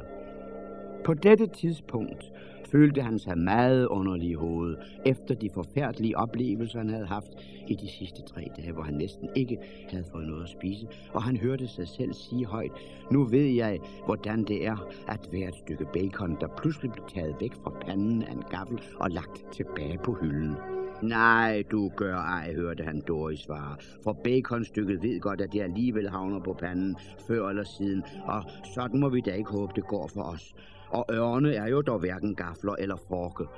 Nej, nej, de ligner slet ikke storke. Øh, nej, forke, mener jeg, sagde Bilbo, i det han satte sig op og så bekymret på ørnen, der havde sat sig i nærheden. Han spekulerede på, hvad han ellers havde sagt af vrøvl, og på, om ørnen måske ville synes, at det var uhøfligt. Man bør jo ikke være uhøflig over for en ørn, når man ikke er større end en hobbit og befinder sig i dens rede midt om natten. Ørnen sleb bare sit næb mod en sten, pillede i sine fjer og lod, som om den ikke lagde mærke til noget. Snart efter var der en af de andre ørne, der kom flyvende derhen. Ørnefyrsten bydede jeg at bringe fangerne til den store afsatsgrejden og fløj bort igen. Den anden ørn greb Dore i kløerne og fløj bort med ham i mørket og lod Bilbo være helt alene. Han havde akkurat kræfter til at spekulere på, hvad sendebuddet kunne have ment med fanger, og til at spekulere på, hvordan det ville være at blive flået til aftensmad som en anden kanin, når det blev hans tur. Ørnen kom tilbage, greb ham i jakkens ryg med kløerne og lettede. Denne gang fløj den kun et kort stykke. Det varede ikke længe før Bilbo, skælvende af redsel, blev lagt ned på en bred klippeafstand. Man kunne kun komme ned til den ved at flyve. Hvis man ikke sprang over en afgrund, var der ingen vej bort fra den. Der fandt han alle de andre, der sad med ryggen mod bjergvæggen. Ørnefyrsten var der også. Han sad og talte med Gandalf. Så skulle Bilbo alligevel ikke spises. Mens han lyttede til, hvad Gandalf sagde, forstod han, at de nu for alvor skulle slippe væk fra de modbydelige bjerge. Han og den store ørn diskuterede deres plan om at bære ham, dværgene og Bilbo langt bort og sætte dem ned langt ude på sletten. Ørnefyrsten ville ikke bære dem til et sted, hvor der boede mennesker i nærheden. Så ville de bare skyde på os med deres store takstræsbuer, sagde han, for de ville tro, at vi var ude efter deres får. Og på alle andre tidspunkter ville de nok også have ret. Men vi er glade for at snyde bjergtrollene for deres bytte, og vi er glade for at kunne gøre gengæld over for dig. Men vi vil ikke risikere vores liv på sletterne mod syd for dværgenes skyld. Udmærket, sagde Gandalf. Altså. Så før os hvorhen og hvor langt de vil. Vi står allerede i dyb taknemmelighedsgæld til jer, men foreløbig er vi ved at dø af sult. Ja, jeg er næsten allerede død af sult, sagde Bilbo med en lille svag stemme, som ingen hørte. Nå, jamen, det kan der vel gøres noget ved, sagde ørnefyrsten. Lidt senere kunne man så se et klart bål på klippeafsatsen, og dværgenes skikkelser, der sværmede rundt om det, mens de lavede mad, og frembragte en dejlig stegeduft. Ørnene var kommet med tørre grene, der kunne bruges som brændsel, og de var kommet med kaniner, harer og et lille får. Dværgene klarede selv alle forberedelserne. Bilbo var for svær til at hjælpe til, og han var heller ikke ret god til at flå kaniner eller skære kød ud, for han var vant til at få det leveret gryde klart fra slagteren. Også Gandalf lå ned. Han havde gjort sit ved at tænde ilden, for øjen og gløjen havde mistet deres fyrtøj. Ikke engang nu om stunder er dværge begyndt at bruge tændstikker. Således endte eventyrene i Tågebjergen. Snart føltes Bilbos mave fuld igen, og han befandt sig godt, og han havde en fornemmelse af, at han ville kunne sove fredeligt og roligt, men han ville egentlig hellere have haft et stykke smørbrød end kødstykker, der var stigt på spid. Han sov bedre sammenrullet på den hårde klippe, end han nogensinde havde gjort det i sin bløde seng hjemme i sit eget lille hul. Men hele natten drømte han om sit eget hus, og i søvne vandrede han rundt i alle sine værelser for at lede efter noget, som han ikke kunne finde, og han kunne heller ikke huske, hvordan det skulle se ud. Denne gang fik han lov til at sætte sig på ryggen af en ørn og klamre sig fast mellem dens vinger. Luften susede hen over ham, og han lukkede øjnene. Lad være med at knibe, sagde hans Søren. Du behøver ikke at være bange som en kanin, selvom du godt kunne ligne en. Det er dejligt vejr til morgen, og det blæser ikke ret meget. Hvad kan være bedre end at flyve? Bilbo ville gerne have sagt et varmt bad, og så en gang sen morgenmad på plænen bagefter. Men han syntes, det var bedre slet ikke at sige noget, og løsnede sit greb en lille smule. Længe efter havde ørnene åbenbart selv oppe fra deres store højde fået øje på det sted, de var på vej til, for de begyndte at synke i store spiraler. Det gjorde de længe, og til sidst åbnede hobbiten øjnene. Jorden var kommet meget nærmere, og under dem var træer og et udstrakt græsland, og gennem det hele løb en flod, men midt i floden skød en klippe op, næsten som et bjerg. Nu slog ørnene hurtigt ned på denne klippe en for en, og satte deres passagerer af. Farvel, skreg de. Farvel, hvorhen I en far til rejsen er endt, og jeres redder tager imod jer. Det er en høflig hilsen, som ørne plejer at bruge. Måtte vinden under jeres vinger bære jer, hvor solen sejler og månen vandrer, svarede Gandalf, som kendte det rigtige svar. Øverst på bjerget var der en flad afsats, og en tiltrådt sti med mange trappetrin førte ned til floden. Her samlede rejseselskabet sig for at diskutere, hvad der nu skulle gøres. Det har hele tiden været min mening at sørge for, at de om muligt kom over bjergene i sikkerhed, sagde troldmanden. Og det har jeg nu gjort med dygtighed og held. Nu er vi faktisk kommet en hel del længere mod øst, end jeg havde tænkt at følge jer. Dværgene sukkede og så meget nedslået ud, og Bilbo græd. De var begyndt at tro, at Gandalf ville tage med dem hele vejen. Jeg har ikke tænkt mig at forsvinde lige i dette øjeblik, sagde han. Jeg kan godt give jer et par dage til. Jeg kan sikkert nok hjælpe jer ud af jeres øjeblikkelige vanskeligheder. Jeg har også selv brug for lidt hjælp. Der bor ikke mange folk her på disse egne, men der er nogen, som jeg kender, og som ikke bor så langt herfra. Og det er den nogen, der har hugget trappen ud på den store klippe. Vi må gå ud og lede efter ham, og hvis alt går, som det skal, ved vores første møde, så tror jeg nok, jeg tager afsted, og ligesom ørnene ønsker jeg farvel, hvorhen i en far. Det var ikke længe før de gik over floden. De bar hobbiten. Den nogen, som jeg har talt om, sagde Gandalf, er en meget betydelig person. I må alle sammen være meget høflige, når jeg præsenterer jer. Jeg tror nok, jeg vil præsentere jer langsomt, to af gangen, og I må gøre jer meget umad for ikke at irritere ham, ellers må himlen vide, hvad der vil ske. Han kan være ganske forfærdelig, når han er vred, selvom han er flink nok, når han er i godt humør. Dværgene samlede sig alle sammen rundt om troldmanden. Kunne du ikke finde en, der var lidt mere ligevægtig? Og var det ikke bedre, hvis du forklarede det hele lidt tydeligere? Jeg har forklaret det tydeligt nok, sagde troldmanden knævent, og hvis I endelig skal vide mere, så hedder han Bjørn. Han er meget stærk, og så er han skinbytter. Abbehar, Mener du en pelshandler? Han er skinbytter. Det vil sige, at han skifter ham. Sommetider er han en stor sort bjørn, og sommetider er han en stor, stærk, sorthåret mand med lange arme og langt skæg. Nogen siger, at han er en bjørn, der nedstammer fra de store gamle bjørne, som boede i bjergene før kæmperne kom. Andre siger, at han er et menneske, der nedstammer fra de første mennesker, som levede før Smaug, og de andre drager kom til denne del af verden, og før bjergtrollene dukkede op fra de nordlige bjerge. Under alle omstændigheder underkaster han sig ikke nogen anden trolddomskraft end sin egen. Han bor i en egeskov, og han har et stort træhus, og som menneske holder han kvæg og heste, der er næsten lige så mærkelig som han selv. De arbejder for ham og snakker med ham. Han spiser dem ikke, og han hverken jager eller spiser vilde dyr. Han har mange, mange kuber med store, stærke bier. Han lever mest af fløde og honning. Nu havde Bilbo og dværgene nok at tænke på, og de stillede ikke flere spørgsmål. Først midt på eftermiddagen fik de øje på de store bede med blomster, der var begyndt at dukke op. Der var især kløver, store strækninger med den lave, hvide, sødt honningduftende kløver. Der var en summen og brummen i luften.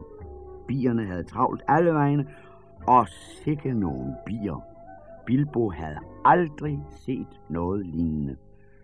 Hvis en af dem stak mig, tænkte han, så ville jeg svulme op og blive dobbelt så stor, som jeg er nu. De var større end gedehamse. Dronerne var noget større end en tommelfinger, og de gule striber på deres kulsorte kroppe skinnede som guld. Vi er ved udkanten af hans bimark, og I må nok hellere vente her, sagde troldmanden til dværgen, og når jeg kalder eller fløjter, skal I begynde at følge efter mig, men kun to og to. Husk det og lad der gå fem minutter mellem hvert par. Bombur er den tykkeste, han gælder for to. Han må nok hellere komme alene, og til sidst. Kom her, sikker.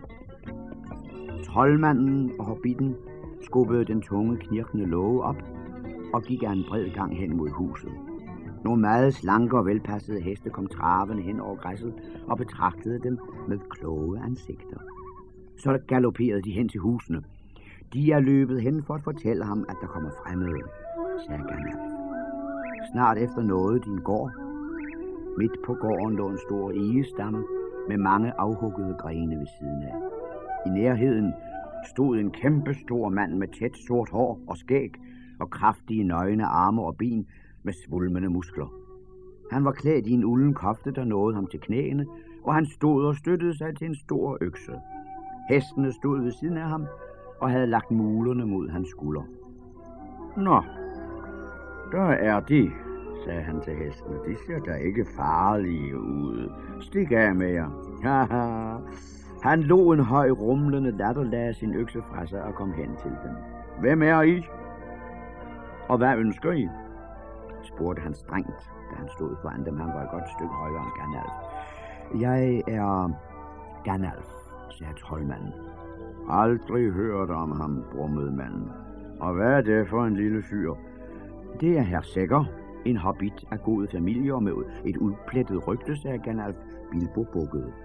Jeg er troldmand, fortsatte Gandalf. Jeg har hørt om dig, selvom du ikke har hørt om mig. Men du har måske hørt om min gode fætter Radagast, som bor i nærheden af Dunkelskovs sydlige grænse. Ja, han er vist ikke så slem af en troldmand at være, Tidligere har jeg besøgt ham nu og da, sagde Bjørn. Åh, nu ved jeg godt, hvem du er, eller hvem du siger, du er. Hvad vil du? Sandt at sige har vi mistet vores oppakning og er også faret lidt vild, og vi har meget brug for hjælp, eller i hvert fald for råd. Jeg må sige, at vi har haft en skrab omgang med de bjergtrolde i bjergene. Bjergtrolde, sagde manden mere streng. Ah, nå, så I har haft vrøvl med dem. Hvad skulle I også i nærheden af dem? Vi havde skam heller ikke tænkt os at nærme os dem. De overraskede os om natten i et pas, vi var nødt til at gå over, og så kom vi ud af bjergene mod vest og kom her til egnen, men det er en lang historie. Nå, jamen så må I nok hellere komme ind for at fortælle mig noget af den, hvis det da ikke tager hele dagen, sagde manden og førte dem gennem en mørk dør, der vendte fra huset ud til gården. De fulgte efter ham og kom ind i en stor sal med en arne i midten. De gik gennem denne halvmørke sal, der kun oplystes af ilden og hullet over ilden, og kom gennem en mindre dør ud på en slags veranda. Her sad de på træbænke, mens Ganalf fortalte sin historie, og Bilbo dinglede med benene. Jeg var på vej over bjergene med en ven eller to, sagde troldmanden. Eller to? Jeg kan kun se en, og det er endda kun en lille en, sagde Bjørn. Nå ja, sandt at sige, så ville jeg ikke ulejlige dig med os alle sammen, før jeg havde fundet ud af, om du havde travlt. Må jeg have lov at kalde? Ja, kald du bare væk. Så udstødte Gandalf et langt skingers fløjt, og straks kom Thorin og Dori rundt om huset af havegangen og stillede sig op foran dem og bukkede dybt. Nå, ja, du mente nok en eller tre, kan jeg se, sagde Bjørn. Men dette her er da ikke hobbiter, det er dværge. Torin Egeskjold til deres tjeneste, Dori til deres tjeneste, sagde de to dværge og bukkede igen. Jeg har ikke brug for jeres tjeneste, ellers tak, sagde Bjørn. Det er vist jer, der har brug for min. Jeg er ikke helt vild med dværge, men... Øh, hvis det passer, at du er Torin, søn af Træn, søn af Tror, er det ikke rigtigt? Og at din kammerat er en pæn dværg, og at I er fjender af bjergtrollene, og at I ikke er ude på noget ondt her i mit land, Ja, hvad er I forresten ude på? De er på vej for at besøge deres forfædres land mod øst på den anden side af Dunkelskov, indskød Gandalf. Og det er et fuldstændigt tilfælde, at vi overhovedet er havnet i dit land. Nå, ja, så fortæl videre, sagde Bjørn. Vi kom ud for et forfærdeligt uvejr, og stenkæmperne var ude og kyle med klippeblokke. Øverst i passet søgte vi ly i en hule. Habitten og jeg og flere af vores kammerater Kalder du to for flere? Nå, ja. Faktisk var der flere end to. Hvor er de? Er de blevet slået ihjel? Er de blevet et? Er de taget hjem? Øh, øh, nej, nej, de kom ikke alle sammen, da jeg fløjtede. Forstår du, vi er bange for, at vi er lovlig mange gæster for dig. Nå, ja, men så fløjt igen. Jeg skal åbenbart have selskab, og et par stykker fra eller til gør øse meget forskel, brummede Bjørn. Ganalf fløjtede igen. Men Nori og Ori var der næsten før han havde fået fløjtet færdig, for I husker jo nok, at Ganalf havde sagt til dem, at de skulle komme to og to med fem minutters mellemrum. Nå, da, sagde Bjørn, I kom sandelig hurtigt. Hvor har I gemt jer? Men kom indenfor, æsketrolde, Nori til deres tjeneste. Ori, tak, tak. Når jeg får brug for jeres tjeneste, skal jeg nok selv bede om den. Sæt jer ned og lad os komme videre med den historie, ellers bliver det spisetid, før vi er færdige. Og så snart vi var faldet i søvn, fortsatte Gandalf, var der en sprække bag i hulen, som åbnede sig. Bjergtrollene kom frem og greb habitten og dværgene og vores ponyflok. Ponyflok? Hvad var I da? Et omrejsende cirkus? Eller måske kalder I altid sex en flok. Øh, nej, vi havde faktisk mere end seks ponyer, for vi var nemlig mere end seks. Og jamen, der er jo to til.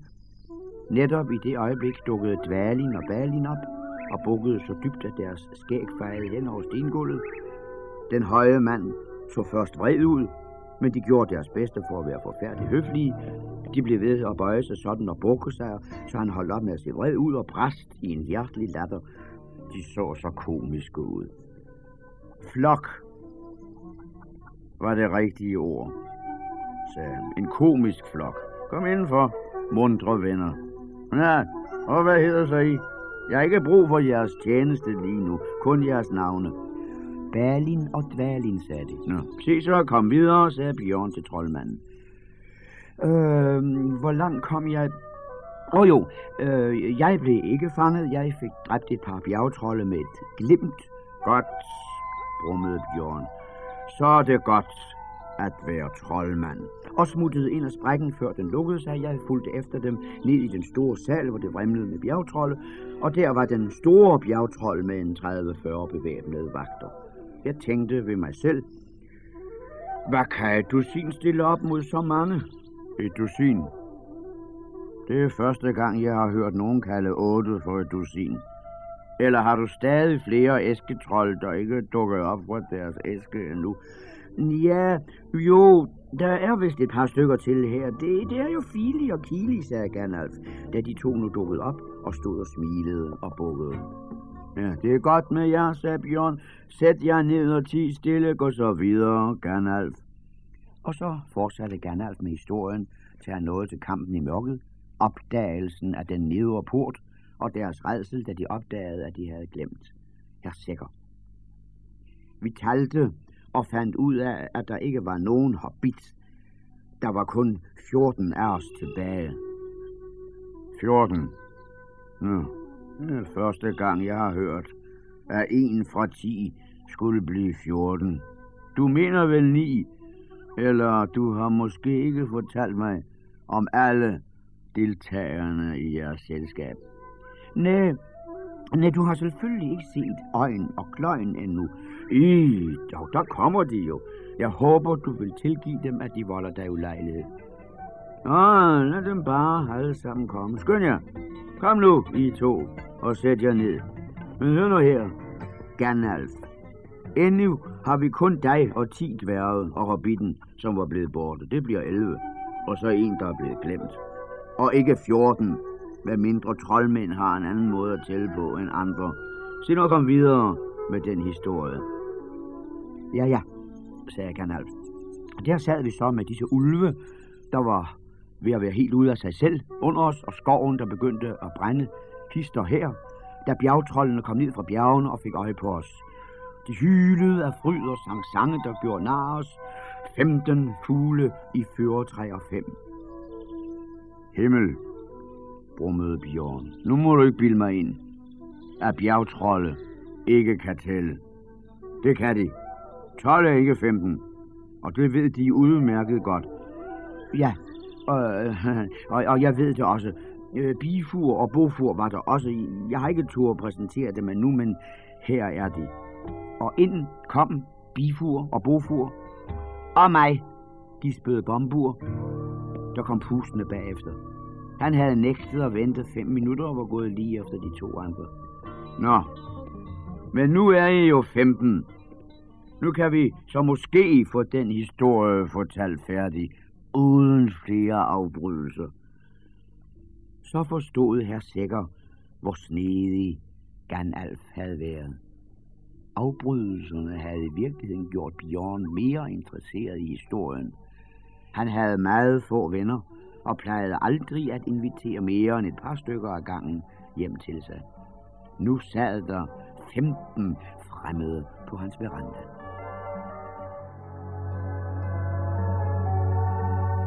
Inde i salen var det nu næsten mørkt. Bjørn klappede i hænderne, og ind travede fire smukke hvide ponier og mange store, langlemmede grå hunde.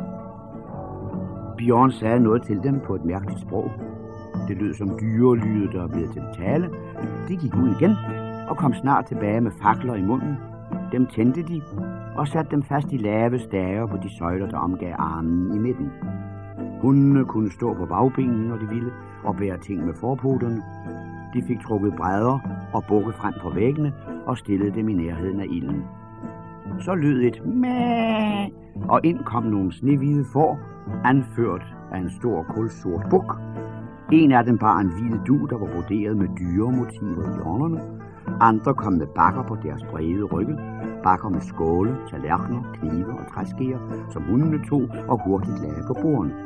Bordene var ganske lave, ja, de var så lave, at selv Bilbo ville kunne sidde bekvemt ved dem. En af ponierne skubbede to stole med lave, brede rørsæder og små korte ben hen til Gandalf og Thorin, og ved den anden ende af bordet stillede den Bjørns store, sorte stol af samme slags. Han måtte have de lange ben langt ind i bordet. De andre ponyer kom rullende ind med runde, trommeformede stykker af træstammer, der var høvlet og poleret og lave nok selv til Bilbo, så det varede ikke længe, før de alle sad bænket ved Bjørns bord, og salen havde ikke set mage til selskab i mange år.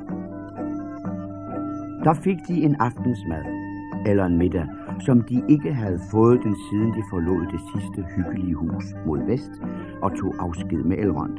Lyset fra faklerne og armen flakkede hen over deres ansigter, og på bordet stod to høje røde bivokslys.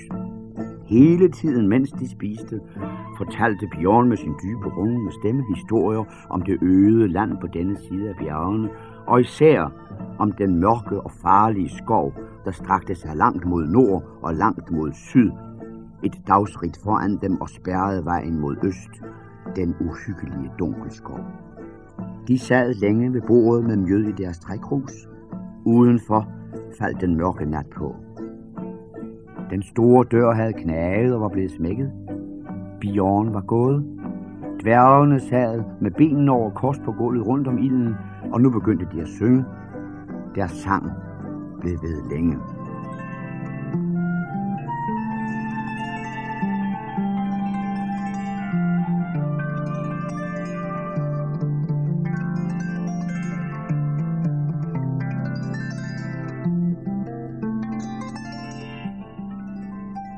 Bilbo begyndte at nikke.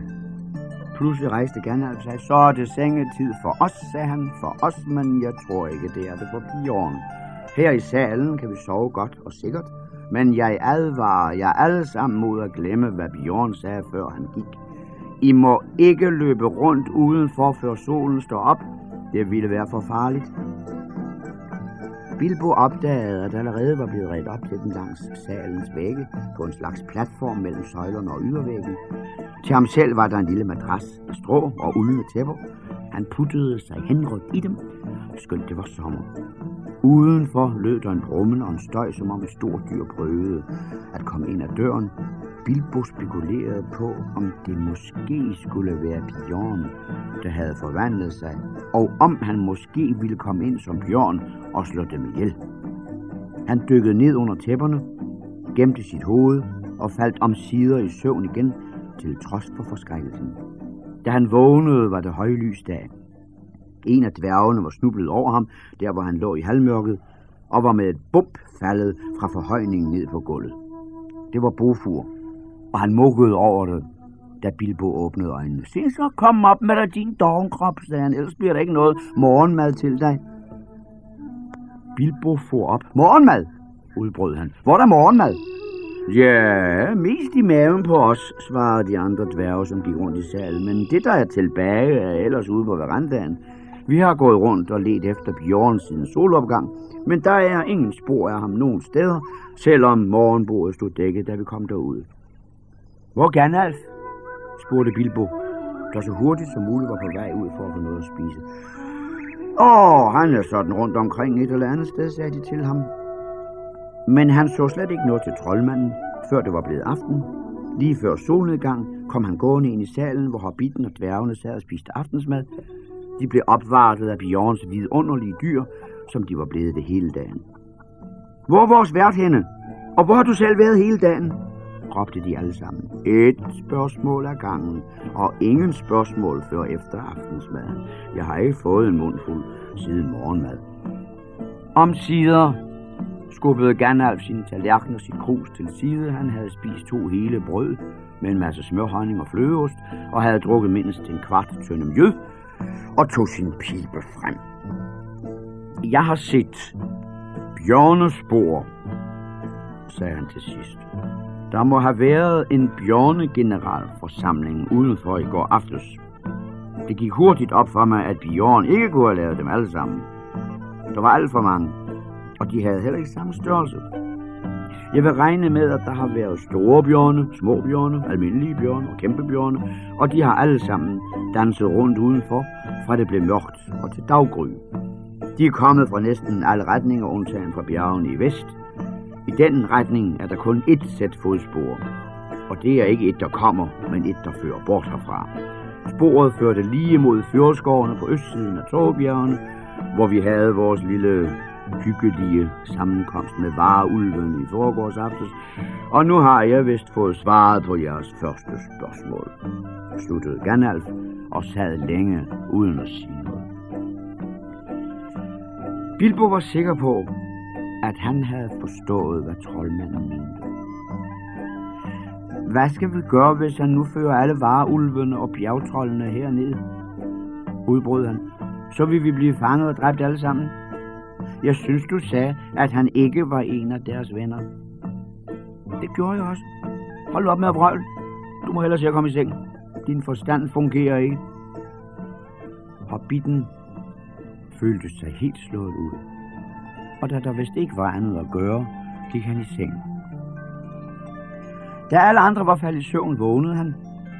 Han hørte den samme skraben og puffen og snusen og brummen, som han havde hørt før. Næste morgen blev de alle sammen vækket af Bjørn selv. Nå, så I er her alle sammen endnu, sagde han. Han løftede hobitten op og lå.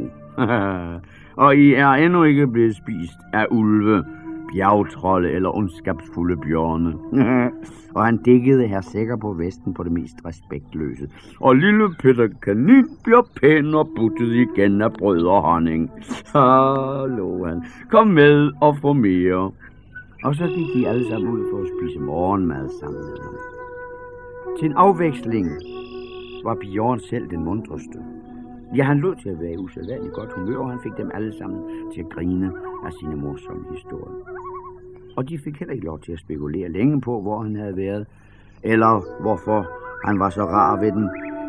Han havde været over på den anden side af floden, og en lille tur op i bjergene, og den afsvedende lysning havde hurtigt overbevist ham om, at noget af deres historie var sand. Men han havde fundet ud af mere end det. Han havde fanget en ulv og en bjergtrold, der flakkede rundt i skoven. Fra dem havde han hørt nyt. Sammen med ulvene var bjergtrollepatruljerne stadig på jagt efter dværgene, og de var ude af sig selv af raseri på grund af den store bjergtrolls død. Og også fordi ulvehøvdingen havde brændt snuden, og fordi mange af hans fornemmeste tjenere, takket være troldmandens ild, havde lidt døden. Så meget havde han tvunget dem til at sige. Men han havde gættet, at der måtte være flere ondskabsfulde planer, at hele bjergtrollehæren sammen med ulveforbundsfælder i landet ved foden af bjergene snart ville drage ud for at finde dværgene, eller for at hævne sig på de mennesker og andre væsener, der boede der, og som de mente måtte beskytte dem. Det var en god historie, I fortalte mig, sagde men jeg kan bedre lide den nu, hvor jeg er sikker på, at den er sand. I må meget undskylde, jeg ikke troede på jer, men nu kan jeg kun sige, at jeg har skyndt mig hjem, så hurtigt jeg kunne for at se, om I var i sikkerhed, og for at tilbyde jer al den hjælp, jeg kan give jer. Efter dette vil jeg have højere tanker om dværge. I dræbte den store bjergtrold. Ja, dræbte den store bjergtrold, lå han voldsomt ved sig selv. Hvad gjorde du selv med bjergtrolden og ulven? spurgte Bilbo pludselig. Kom og se, sagde Bjørn, og de fulgte efter ham rundt om huset. Et bjergtroldehoved var sat fast udvendigt på lågen, og et varulveskin var sømmet fast til et træ lige indenfor. Bjørn var en grusom fjende, men nu var han deres ven. Og Gandalf mente, det ville være klogt at fortælle ham hele deres historie og grunden til deres rejse, for at de kunne få al den hjælp, han kunne give dem. Dette var, hvad Bjorn lovede at ville gøre for dem. Han ville skaffe dem hver en pony og Gandalf en hest til deres rejse ind til skoven, og han ville forsyne dem med så meget mad, at der med lidt sparsomlighed ville være til flere uger, og pakke det, så det ville være så let som muligt at bære det. Nødder, mel, forsejlede krukker med tørret frugt og røde lærpotter med honning og tvebakker, der kunne holde sig friske længe, og som de kun behøvede at spise lidt af for at kunne gå langt. Jeres vej gennem Dunkelskov bliver mørk, farlig og vanskelig, sagde han. Og der er det ikke let at finde hverken vand eller mad. Jeg vil give jer skinsække til at bære vand i, og jeg vil også give jer nogle buer og pile. Men jeg tvivler meget stærkt på, at I vil kunne finde noget i Dunkelskov, som det er sundt at spise og drikke. Jeg ved, der skal være en enkelt flod derinde, men den bør I hverken drikke af eller bade i, for man siger, at den fører trolddom med sig, så man bliver sløv og glemsom. Og i det dybe mørke derinde tror jeg ikke, I vil komme til at skyde noget, hverken noget sundt eller noget usundt, uden at gå bort fra stien. Og det må I ikke under nogen omstændigheder. Flere råd kan jeg ikke give jer. Ved indgangen til skov må jeg bede jer sende min hest og mine ponyer tilbage, men jeg ønsker jer god fart, og hvis I nogensinde skulle komme denne vej igen, så står mit hus ja åbent. Så snart de var kommet uden for de høje hække om den østlige del af hans jord, drejede de mod nord, og så styrede de mod nordvest. Bjergtrollene våger ikke at komme i nærheden af mit hus, havde Bjørn sagt. Det er godt beskyttet ved nattetid. Men hvis jeg var hjem, ville jeg ride hurtigt. For hvis de snart rider ud på deres togt, vil de nok gå over floden mod syd og gennemsøge udkanten af skoven for at afskære jer. Og ulve løber hurtigere end ponyer. Desuden vil det være sikrere for jer at drage mod nord, for det er det, de mindst vil vente, og så får de en længere ridetur, inden de fanger jer. Se nu at komme afsted, så hurtigt de kan. Det var derfor, de nu red afsted uden at sige noget, og galopperede, hvor jorden var græsbevokset og blød. De mørke bjerge lå til venstre for dem, og i det fjerne kom floden med træerne stadig nærmere. Solen var kun lige begyndt at gå over i vest, da de tog afsted, og indtil aften skinnede den gyldent på landskabet omkring dem. Det var svært at forestille sig, at der kunne være bjergtrolde bag dem, og da de havde lagt mange mil mellem sig og Bjørns hus, begyndte de at snakke og synge igen og glemme den mørke skovsti, der lå foran dem. Men om aftenen, da tusmørket kom, og bjergtinderne igen glødede mod solnedgangen, sov de fleste af dem uroligt og drømte om tudende ulve og skrigende bjergtrolde. Men næste morgen gryede igen lys og smuk, og endnu mens skyggerne var lange, drog de afsted igen. Således red de nu i to dage til, og hele tiden så de ikke andet end græs, blomster, fugle og enkelte træer, og nu er der små flokke af røde hjorte. Den tredje aften var de så ivrige efter at skynde sig, for Bjørn havde sagt, at de skulle nå skoven tidligt den fjerde dag, at de blev ved at ride videre i tusmørket, og efter mørket var faldet med månen stående på himlen. Da lyset blev svagere, forekom det Bilbo, at han skiftevis til højre og venstre så skyggen af en stor bjørn, der snusede afsted i samme retning. Men når han vågede at sige noget om det til Gandalf, sagde troldmanden bare, Shh, det skal du ikke tage dig af. Næste dag startede de før daggry, skønt deres nat havde været kort. Så snart det blev lyst, kunne de se, at skoven så at sige kom dem i møde. Nå ja, her har vi så Dunkelskov, sagde Gandalf. Det er den største skov i den nordlige del af verden. Jeg håber, I synes om den. Og nu må I sende disse dejlige lånte ponyer tilbage. Det var dværgen ikke rigtig tilfredse med, men troldmanden sagde, at de var dumme. Bjørn er ikke så langt borte, som I tror, og I må nok hellere holde jeres løfte under alle omstændigheder, for han er en uhyggelig fjende.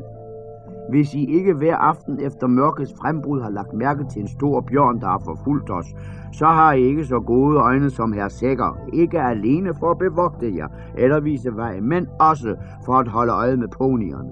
Bjørn er måske nok jeres ven, men han elsker sine dyr, som om de var hans egne børn.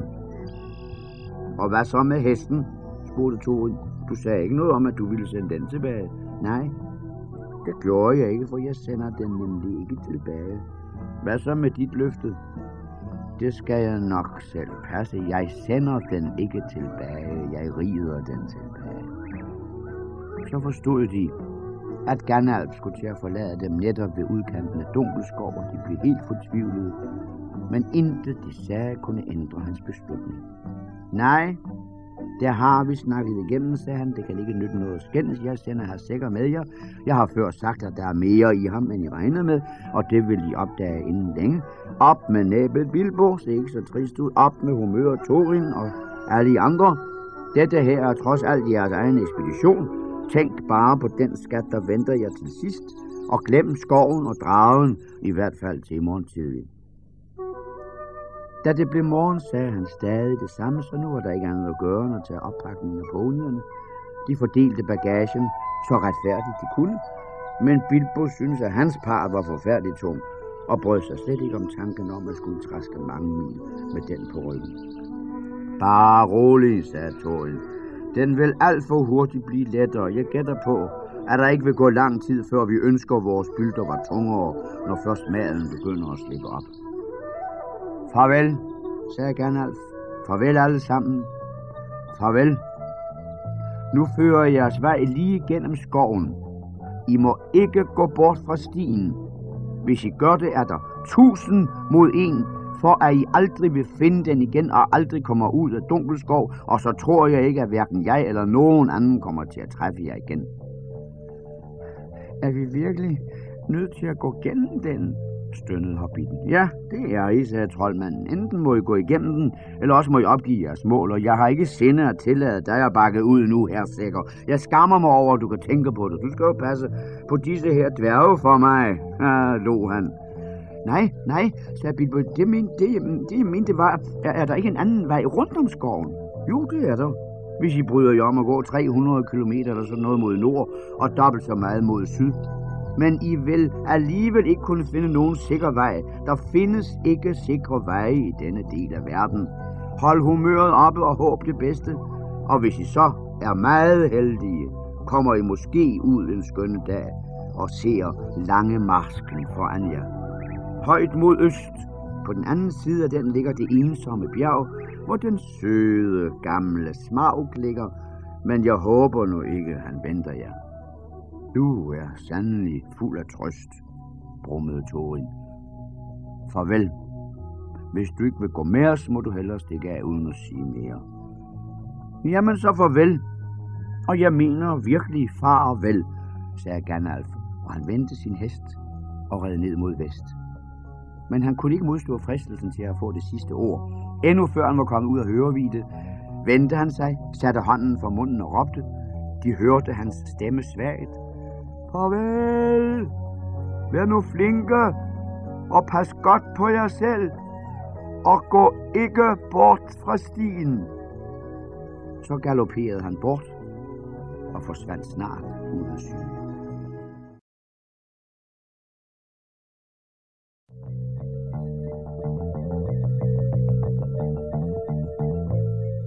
De gik afsted i gåsegang.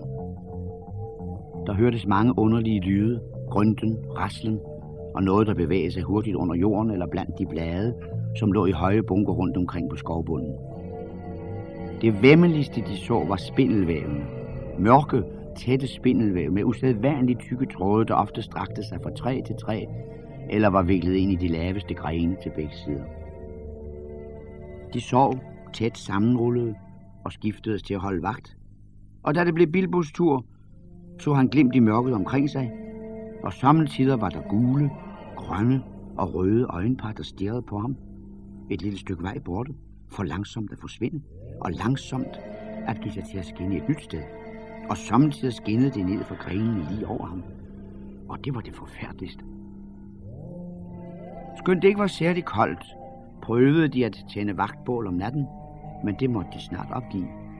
Det var som om det tilkaldte i hundredvis af øjne omkring dem, skønt de væsener øjnene tilhørte, hvad det så ellers var for nogen, passede på ikke at afsløre deres kroppe i skæret af flammerne. Men værre end nu var det, at det lokkede i tusindvis af mørkegrå og sorte insekter til. Nogle af dem var så store som en hånd, og flagrede og sværmede om ørerne på dem. Det kunne de ikke holde ud, og de brød sig heller ikke om de store flagermus, som var på størrelse med en høj hat. Alt dette blev ved i hvad der forekom hobbiten at være mange, mange år, og han var hele tiden sulten, for de var uhyre sparsomlige med provianten. Maden kunne ikke strække til i al evighed. De prøvede at skyde efter egern, og de spildte mange pile, før det lykkedes dem at skyde et ned på stien. Men da de havde stigte, viste det sig at smage forfærdeligt, og de skød ikke flere egern. De var også tørstige, for de havde ikke for meget vand, og i al den tid havde de ikke set nogen kilde eller bæk. Således var deres situation, da din skønne dag opdagede, at stien var spærret af et vandløb. Det strømmede hurtigt og stærkt hen over stien. Det var ikke særlig bredt, men vandet var sort. Sådan så det i hvert fald ud i den dunkle belysning. Det var godt, at Bjørn havde advaret dem imod bækken, ellers ville de have drukket af den uanset dens farve og fyldt nogle af deres tomme vandposer ved dens bredder. Nu tænkte de kun på, hvordan de skulle kunne komme over den, uden at komme til at røre vandet. Der havde været en træbro, men den var rådnet og faldet sammen. Bilbo knælede ved kanten, og i det han kiggede ned, udbrød han. Der ligger en båd ved den anden bred. Ah, hvorfor kunne den nu ikke lige så godt ligge ved denne her? Hvor langt borte tror du det er, spurgte Torin, for nu var de klar over, at det var Bilbo, der havde det skarpeste syn. Og det er slet ikke så langt, det er vel en 12 meter. 12 meter? Jeg vil da mindst have troet, det var 30. Men mine øjne ser ikke så godt, som de gjorde for 100 år siden. Men 12 meter eller en mil, det kan næsten komme ud på et. Vi kan ikke springe så langt, og vi tør hverken vade eller svømme. Er der ingen, der kan kaste et reb? Ja, hvad skulle det nytte? Båden må sikkert være fortøjet. Selvom vi kunne få en krog i den, og det tvivler vi på, at vi kan. Nej, jeg tror ikke, at den er fortøjet, sagde Bilbo. Men jeg kan naturligvis ikke være sikker på det i denne belysning. For mig ser det ud, som om den bare lige er trukket op på bredden, som er lav der, hvor stien fører ned til vejen. Doris er den stærkeste, men Fili er den yngste og har de bedste øjne, sagde Thorin. Kom herhen, Fili, og se om du kan se den båd her, sikkert taler om. Det mente Fili nok, han kunne. Så da han havde stirret længe for at få en forestilling om retningen, kom de andre med reb til ham. De havde mange med, og i enden af det længste festnede de en af de store jernkroge, de havde brugt til at hægte oppakningen fast til skulderremmene med. Fili tog den, vejede den i hånden og slyngede den over floden. Den faldt i vandet med plads. Det var ikke langt nok, sagde Bilbo, som stod og stirrede fremad. Et par fod til, og du ville have ramt båden med den. Prøv igen. Jeg tænker ikke, at trolddommen er stærk nok til at gøre det noget, fordi du rører ved lidt vådt røb. Da Fili havde trukket krogen tilbage, tog han den i hånden, som om han var noget betænkelig ved det.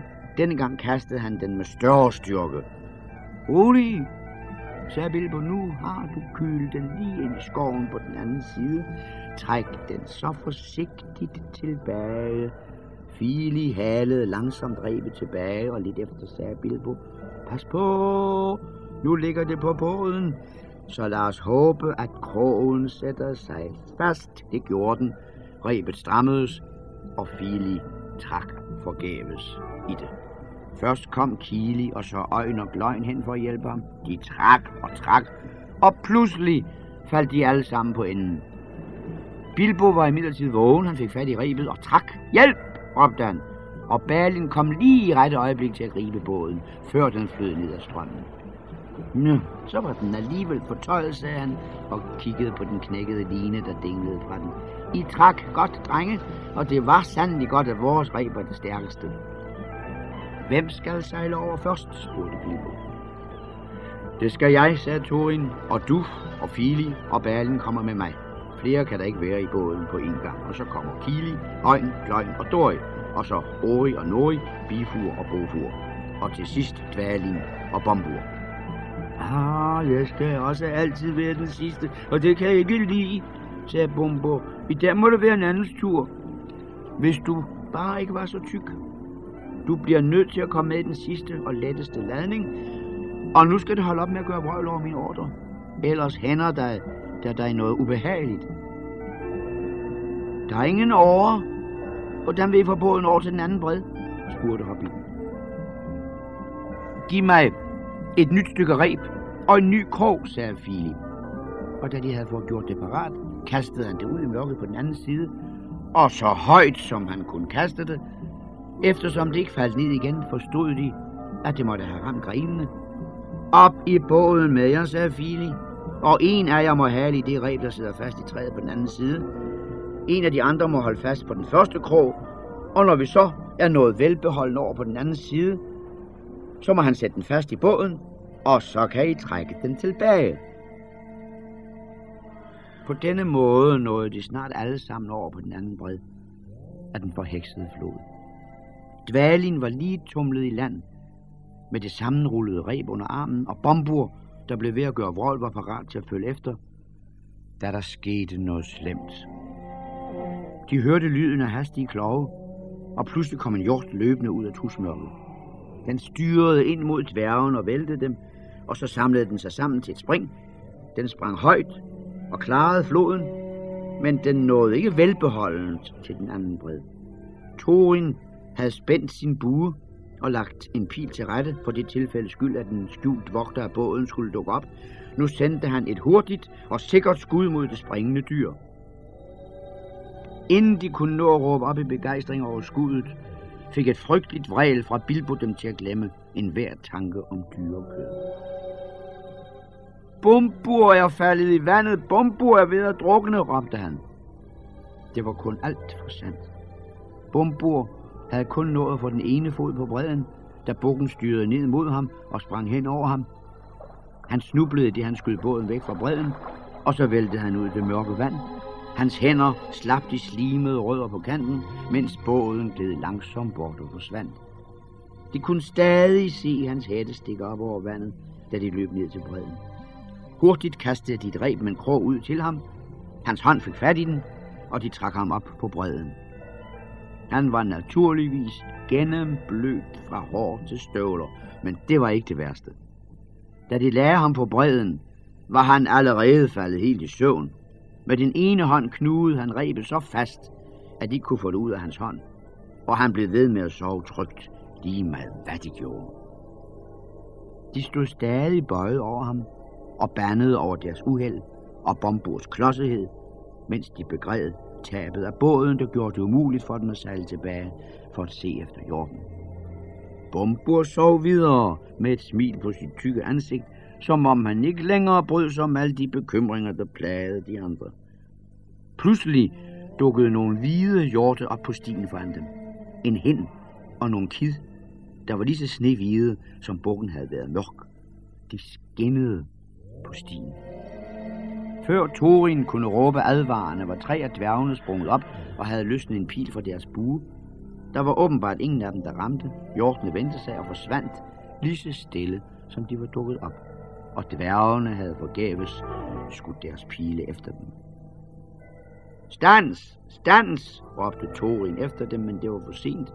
De ophidsede dværge havde spildt deres sidste pile, og nu var de buer, som Bjørn havde givet dem til ingen nytte. Den aften knebte med humøret i rejseselskabet, og det blev ikke bedre de følgende dage. De måtte slæbe på Bomburs tykke, tunge krop. De skiftede til at være fire om den 13. opgave, mens de andre delte deres bylder. Hvis bylterne ikke var blevet alt for lettet de sidste dage, ville de aldrig have kunnet klare det. Men en sovende og smilende bombur var en dårlig erstatning for fyldte madposer, lige meget hvor tunge de havde været. I løbet af et par dage kom det øjeblik, hvor der næsten ikke var noget tilbage at spise eller drikke. De kunne ikke finde noget spiseligt i skoven. Der var ikke andet end svampe og urter med blege blade og en ubehagelig lugt. Omtrent fire dagsrejser fra den forheksede flod nåede de til et sted, hvor de fleste træer var bøgetræer. Til at begynde med var de lige ved at glæde sig over forandringen men lyset afslørede kun endeløse rækker af lige grå stammer som søjler i en stor tusmørkehal. Bombur sov stadig, og de blev meget trætte. Samtidig hørte de en foruroligende latter, og samtidig var der også nogen, der sang i det fjerne. To dage senere opdagede de, at stien begyndte at gå nedad, og inden længe nåede de til en dal, hvor der næsten ikke voksede andet end mægtige egetræer. Er der da ingen ende på denne forbandede skov, spurgte Toren. En eller anden må klatre op i et træ og prøve at få sit hoved op over for at spejde. Det eneste, der er at gøre, er at vælge det højeste træ, der hænger ud over stien. Selvfølgelig betød en eller anden Bilbo. Den arme herr Sækker havde ikke ret meget en øvelse i at klatre i træer, men de løftede ham op i de nederste grene i et vældigt egetræ, der voksede lige ud til stien, og så måtte han klatre det bedste han kunne. Han skubbede sig op gennem de sammenvoksede kviste og blev hele tiden svirvet i øjet. Han blev grøn og snavsede af den gamle bark på de største grene, og mere end en gang gled han og reddede sig i yderste øjeblik. Og efter en frygtelig kamp på et vanskeligt sted, hvor der slet ikke lå til at være nogen som helst egnede grene, nåede han op til toppen. Han spekulerede hele tiden på, om der skulle være æderkopper i træet, og på, hvordan han skulle komme ned igen, hvis han da ikke ligefrem dumpede ned. Til sidst stak han hovedet op over løvtaget, og der fandt han ganske rigtigt æderkopperne.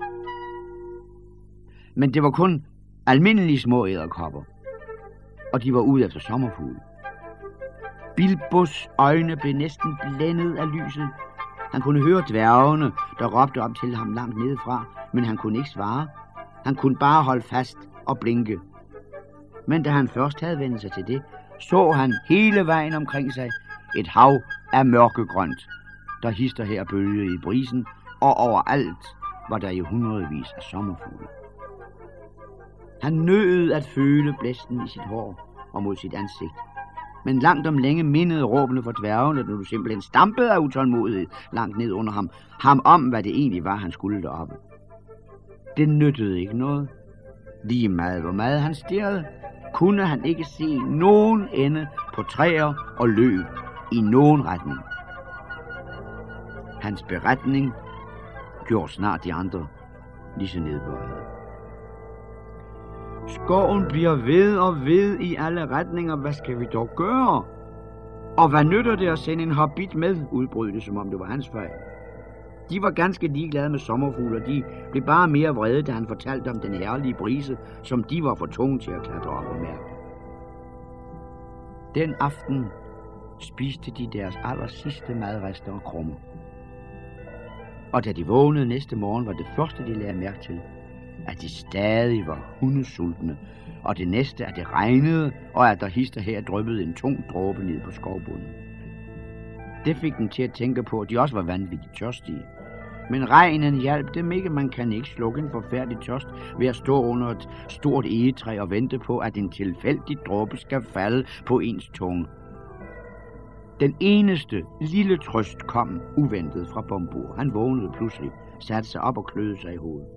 Han kunne slet ikke finde ud af, hvor han var, eller hvorfor han var så sulten. Da han hørte, at der slet ikke var noget at spise, satte han sig ned og græd, for han følte sig så svag, og benene rystede under ham. Hvorfor, hvorfor skulle jeg også vågne, græd han.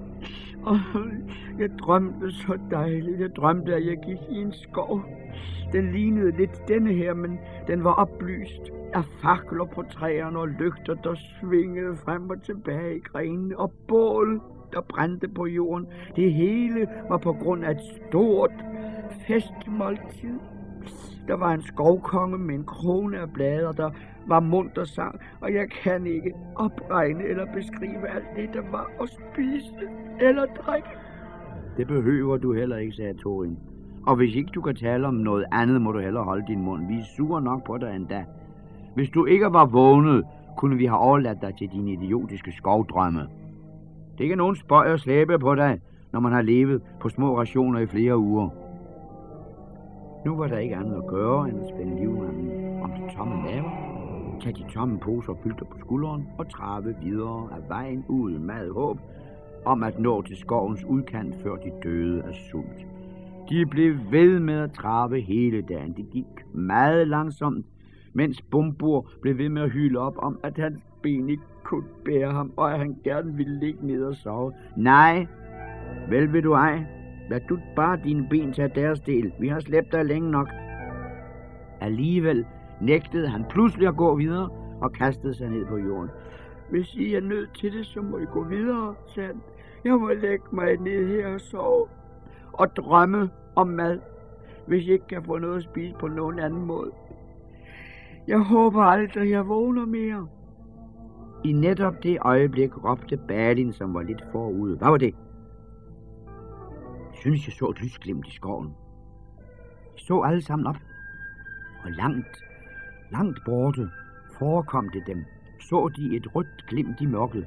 Så et til, og et til, der sprang frem ved siden af. Selv Bombo rejste sig op, og de skyndte sig afsted, uden at tænke på, at det kunne være trolde eller bjergtrolde. Lyset var foran dem og til venstre på stien, og da de til sidst var kommet på højde med det, blev det klart for dem, at der brændte fakler og bål under træerne, men det var et godt stykke fra deres sti. Det ser næsten ud, som om min drøm er ved at blive til virkelighed, gispede Bombur, der forpustet kom hen til dem. Han var parat til at styrte lige ind i skoven efter lyset, men de andre huskede kun alt for godt troldmandens og Bjørns advarsler. Et festmåltid vil ikke være til mig nytte, hvis vi aldrig kommer tilbage fra det, sagde Thorin. Ja, men uden noget festmåltid vil vi alligevel ikke være lige ret meget længere, sagde Bombur, og Bilbo var fuldstændig enig med ham. De diskuterede det forfra og bagfra i lang tid, til de omsider blev enige om at sende par spioner ud. De skulle snige sig hen i nærheden af lyset og finde ud af mere om det, men de kunne ikke blive enige om, hvem der skulle sendes afsted. Der var ingen, som var særlig ivrig efter at løbe risikoen for at fare vild og aldrig finde deres venner igen.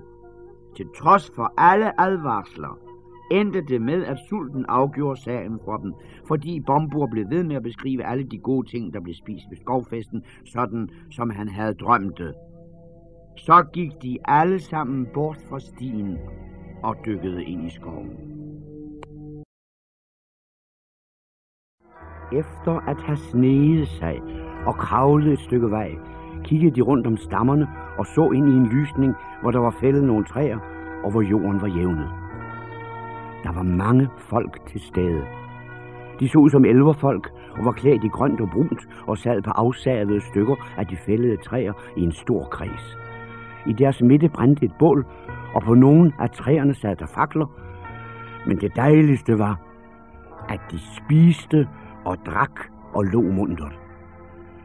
Lugten af stegt kød var så betagende, at de alle sammen, uden at vente på at spørge hinanden til råds, rejste sig og tumlede ind i kredsen med den ene tanke, at ville tække noget mad. Næppe var den første af dem trådt ind i lysningen, før alle lys slukkede som ved trolddom. Nogen sparkede til bålet. Det sprang i vejret som en raket i klare gnister og forsvandt. De stod fortabt i et mørke, helt uden lys, og de kunne ikke engang finde hinanden. Det var i hvert fald længe. Efter at have tumlet sanseløs rundt i mørket, ved at faldet over træstammer, ved at buse lige ind i træerne og have råbt og skrejet, til de måtte have vækket alt og alle i skoven i mange mils omkreds, lykkedes det dem til sidst at samle sig i en flok og fortalt, om alle var der ved at røre ved hinanden. På det tidspunkt havde de naturligvis fuldstændig glemt, i hvilken retning stien lå, og de var helt ude af stand til at finde vej, i hvert tilfælde ikke før det blev morgen. Der var ikke andet at gøre, end at slå sig ned for natten, hvor de var. De vågede ikke engang at undersøge jorden for madrester af angst for at blive skilt igen. Men de havde ikke ligget længe, og Bilbo var kun lige begyndt at blive døsig, da Dorin, der havde vagt, sagde med en savte visken, Lysene kommer frem igen derover, og der er flere af dem end nogensinde. De sprang alle sammen op. Og ganske rigtigt, ikke langt fra dem var der i snesevis af lys, og de hørte stemmerne og latteren helt tydeligt. De sne sig langsomt hen imod dem i en enkelt række. Hver af dem holdt den, der gik foran i ryggen. Da de var kommet helt derhen, sagde Thorin, ikke noget med at storme frem denne gang. Ingen må røre sig for sit skjulsted, før jeg siger til. Jeg sender først herr Sækker derind for at snakke med dem. Ham bliver de ikke bange for. Men hvad bliver jeg for dem, tænkte Bilbo. Og jeg håber i hvert fald ikke, de vil gøre ham noget. Da de var nået til udkanten af lyskredsen, skubbede de pludselig Bilbo frem bagfra. Før han fik tid til at tage sin ring på, snublede han frem i det stærke lys fra bålet og faklerne. Det nyttede ikke noget. Atter gik alt lys ud, og der blev buller mørkt. Hvis det havde været svært for dem at finde hinanden før, så var det langt værre denne gang. Og de kunne simpelthen ikke finde hobbiten. Hver gang de talte efter, blev det kun til 13. De råbte og kaldte, Bilbo Sækker, hobbit, din forbandede hobbit. Hej, hobbit, din pokkers hobbit, hvor er du? Og den slags ting. Men de fik ikke noget svar. De var netop ved at opgive håbet, da Doris snublede over ham ved et rent held. I mørket faldt han over noget, som han troede var en træstamme, men han opdagede, det var hobbiten, der lå sammenrullet og snorksov. Han måtte ruskes voldsomt for at blive vågen, og da han vågnede, var han slet ikke tilfreds. Mm, jeg lå og drømte så dejligt, brummede han. Noget med at spise en helt fantastisk middag. Åh, himmel, nu er han min sanden bliver ligesom Bombur, sagde de. Hold nu op med dine drømme. Drømmemiddag er der ikke meget ved, og vi kan ikke dele dem. Jamen, det er det bedste, jeg kan regne med at få på dette rejselsfulde sted, mumlede han, da han lagde sig ned ved siden af dværgene for at prøve at falde i søvn og finde tilbage til sin drøm. Men de havde ikke set lyset i skoven for sidste gang.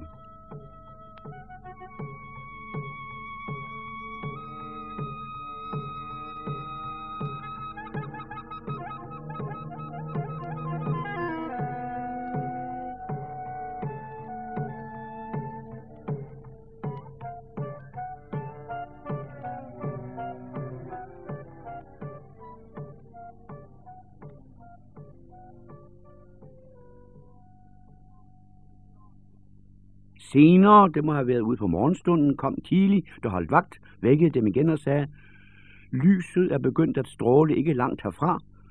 Der er fakler i hundredvis, og der må være blevet tændt en hel masse bål pludseligt og ved trolddom, og hør sangen og harperne. Efter at have ligget og lyttet lidt, mærkede de, at de ikke kunne modstå ønsket om at komme nærmere og endnu en gang prøve at få hjælp. De rejste sig igen, og denne gang var resultatet katastrofalt. Den fest, de så, var større og mere pragtfuld end de andre, og i spidsen for en lang række gæster sad en skovkonge med en krone af blade på sit gyldne hår, næsten som Bombur havde beskrevet skikkelsen i sin drøm. Elverfolkene lod skåle gå fra hånd til hånd og hen over bålet, der var flettet blomster i deres skinnende hår, grønne og hvide ædelstene glimtede på deres kraver og i deres bælter, og deres ansigter og deres sang var fyldt med munterhed. Sangene klang højt og klart og smukt, og Torin trådte ind midt i blandt dem. Midt i et ord blev der dødstille. Alt lys gik ud. Bålene forsvandt i sort røg, Dværgene fik asker og slakker i øjnene, og skoven genlød atter af deres råb og skrig.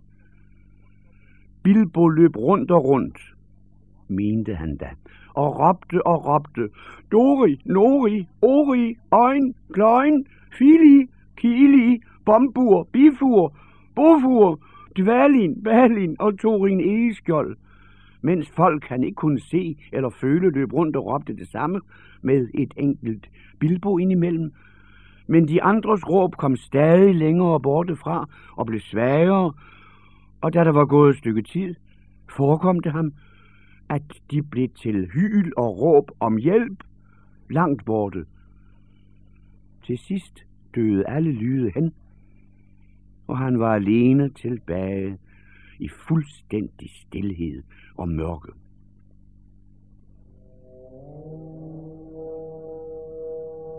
Det var et af de værste øjeblikke, han havde været ude for. Men han blev snart enig med sig selv om, at det ikke nyttede at gøre noget, før dagen kom med en lille smule lys, og at det slet ikke nyttede at tumle rundt og blive træt, uden at turde håbe på et morgenmåltid, der kunne give en kræfterne tilbage. Derfor satte han sig ned med ryggen mod et træ, og det var ikke sidste gang, han kom til at tænke på sit fjerne hobbithul med de dejlige spisekammer. Han var helt sunket hen i tanken om bacon og æg og ristet brød og smør, da han følte nogen røre ved sig. Det var som om en tyk, klæbrig snor rørte hans venstre hånd, og da han prøvede at flytte sig, opdagede han, at hans ben allerede var viklet ind i det samme modbydelige stas, så han faldt, da han rejste sig op. Den store æderkop, som havde haft så travlt med at binde ham, mens han sov, kom bagfra hen til ham. Han kunne ikke se andet end uhyrets øjne, men han kunne føle dens hårde ben, mens den arbejdede med at vikle sine afskyelige tråde rundt og rundt om ham. Det var heldigt, at han var kommet til bevidsthed i tide. Snart ville han slet ikke have kunnet røre sig. Nu måtte han kæmpe vildt for at komme fri. Han slog uhyret væk med hænderne. Det prøvede at forgive ham, for at få ham til at falde til ro, som små æderkopper gør det med fluer, indtil han kom i tanke om sit svær og trakte. Så sprang æderkoppen tilbage, og han fik tid til at skære sine ben løs. Derefter var det hans tur til at gå til angreb. Æderkoppen var åbenbart ikke vant til væsener, der bar sådan en brød ved siden. Ellers ville den nok have skyndt sig hurtigere væk. Bilbo faldt over den, før den kunne forsvinde, og stak den i øjnene med sit svær. Den blev helt ud af sig selv, sprang og dansede og sparkede ud med benene i frygtelig svæt, til det lykkedes ham at dræbe den med endnu et stik. Så faldt han om og huskede ikke mere i lang tid. Da han kom til sig selv igen, var han omringet af det sædvanlige, dæmpede grå skovdagslys. Æderkoppen lå død ved siden af ham, og klingen på hans svær havde sorte pletter. På en eller anden måde gjorde det, at han havde dræbt kæmpe æderkoppen helt alene i mørket, uden at få hjælp af dværgene, troldmanden eller nogen andre, en stor forskel for herr Sækker. Han følte sig som en helt anden person. En meget stærkere og tabrere person, til trods for sin tomme mave, mens han stod og tørrede sværet af i græsset og stak det tilbage i skeden. Jeg vil give dig et navn, sagde han til sværet. Jeg vil kalde dig Stik. Så gik han på opdagelse. Skoven var uhyggelig og tavs, men selvfølgelig var han nødt til først at lede efter sine venner, der ikke kunne være langt borte, hvis de ikke var blevet taget til fange. Eller det, der var værre, af elverfolkene. Bilbo havde en fornemmelse af, at det ville være uklogt at råbe, og han stod længe og spekulerede på, i hvilken retning vejen kunne ligge, og i hvilken retning han skulle begynde at gå for at søge efter dværgene. Åh, hvorfor huskede vi ikke på Bjørns og Gandalfs råd? Jamrede han sikkert noget, vi har rodet os ind i nu. Vi. Ja, bare det dog er vi. Det er forfærdeligt at være helt alene. Til sidst forsøgte han, så godt han kunne, at finde ud af, fra hvilken side hjælpråbene var kommet om natten, og heldigvis. Han var født temmelig heldig, gættede han, som I vil få at se mere eller mindre rigtigt. Da han var blevet enig med sig selv, sne han sig afsted, så stille han kunne. Hobbitter er dygtige til at færdes stilfærdigt, især i skove. Det har jeg fortalt jer før. Desuden havde Bilbo taget ringen på, før han begyndte. Derfor hverken så eller hørte æderkopperne ham komme. Han havde listet sig frem et stykke, da han lagde mærke til et sted, hvor mørket var helt sort. Selv i denne skov virkede det sort, som et stykke midnat, der ikke var blevet ryddet til side. Da han nærmede sig, så han, at det bestod af det ene spindelvæv bagved, over og indviklet i det andet. Pludselig lagde han også mærke til, at der sad kæmpemæssige, uhyggelige æderkopper i grenene over ham, og selvom han havde ringen på, rystede han for, de skulle opdage ham. Han stod lidt bag et træ og holdt øje med en gruppe af dem. Så opdagede han, at han i den dybe skovstilhed kunne høre disse modbydelige væsener tale med hinanden. Deres stemmer var en slags knirken og væsen, men han forstod mange af de ord, de sagde. De talte om dværgene. Det var en skrab kamp, men det var umagen værd, sagde en af dem. Det er skam noget vemmeligt tykt skin, de har. Ha, men jeg tør ved med, at der er masser af saft under det. Og de kommer til at smage godt, når de har hængt lidt, sagde en anden. Ja, Lars, nu ikke lad dem hænge for længe, sagde en tredje. De er ikke så fede, som de kunne være. De har nok ikke spist for godt på det sidste, vil jeg regne med. Slå dem ihjel, siger jeg, væsede en fjerde. Slå dem ihjel nu, og lad dem hænge lidt, når de er døde. Jeg tør garantere for, at de er døde nu, sagde den første. Vel er de ej. Jeg så en af dem sprælle lige før. Han er vist lige kommet til sig selv, efter at have sovet dejligt. Kom med ind og se. Med disse ord løb en af de fede æderkopper op ad et reb til den nåede dusin bylder, der hang i en række fra en høj gren. Bilbo så dem hænge der i mørket og blev redselslagen ved at se en dværgefod stikke ud fra flere bylder og hister her en næsetip og et hjørne af et skæg eller en hætte. Æderkoppen gik hen til den tykkeste bylt. Det er som en nok stakkels gamle bombur, tænkte Bilbo, og knep hårdt i den næse, der stak ud. Der lød et dæmpet hyl fra bylden. En tog stak frem og sparkede æderkoppen hårdt. Der var stadig liv i bombur. Man hørte en lyd, som når nogen sparker til en slap fodbold, og den rasende æderkop faldt ned fra grenen, men havde held til at blive hængende sin egen klæbrige tråd i yderste øjeblik. De andre grinede. Ja, du havde ret, sagde de. Der er liv i kødet, og det sparker. Det skal vi snart få sat punktum for, væsede den vrede æderkop og klatrede tilbage til grenen. Bilbo indså, at det øjeblik, hvor han måtte gøre noget, var kommet. Han kunne ikke komme op til uhyrene, og han havde ikke noget at skyde med. Men da han så sig om, opdagede han, at der lå mange sten i noget, der så ud til at være et lille udtørret vandløb. Bilbo var ganske god til at kaste med sten, og han var ikke længere om at finde en fin, glat, ægformet sten, der lå godt i hans hånd. Mens han samlede sten, var æderkoppen nået hen til Bombur, og han ville snart have været død. I samme øjeblik kastede Bilbo. Stenen ramte æderkoppen lige midt i hovedet, og den faldt sanseløs for træet, bums, ned på jorden med alle ben krøllet sammen. Den næste sten virvlede gennem et stort spindelvæv, skar trådene over og ramte den æderkop, der sad midt i det, så den faldt død ned på stedet.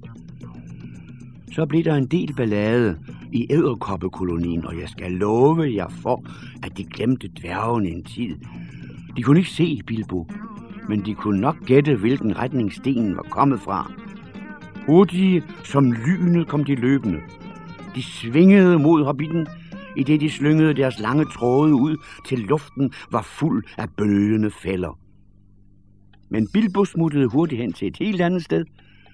Han fik den idé, at han ville føre de rasende æderkopper længere og længere væk fra dværgene, hvis han kunne, at gøre dem nysgerrige, ophissede og vrede på en gang.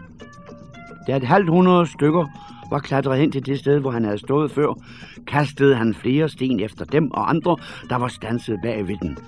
Så gav han sig til at danse rundt mellem træerne og begyndte at synge en sang for at ophisse dem og få dem alle sammen til at løbe efter sig, og også for at dværgene skulle høre hans stemme.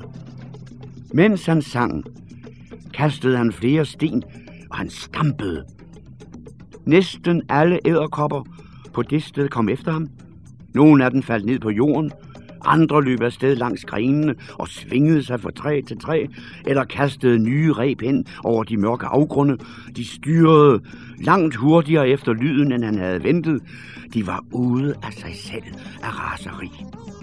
Så pilede Bilbo hen til et nyt sted.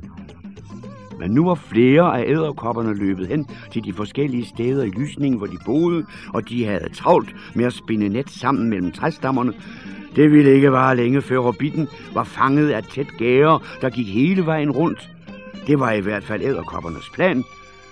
Nu tog Bilbo, der stod midt blandt de jagende, spændende insekter mod til sig. Han vendte sig og opdagede, at det sidste mellemrum mellem to høje træer var blevet spærret med et spindelvæv, men heldigvis ikke et rigtigt net, kun nogle lange tråde af ekstra tyk æderkopperæb, der var trukket hurtigt frem og tilbage fra stamme til stamme.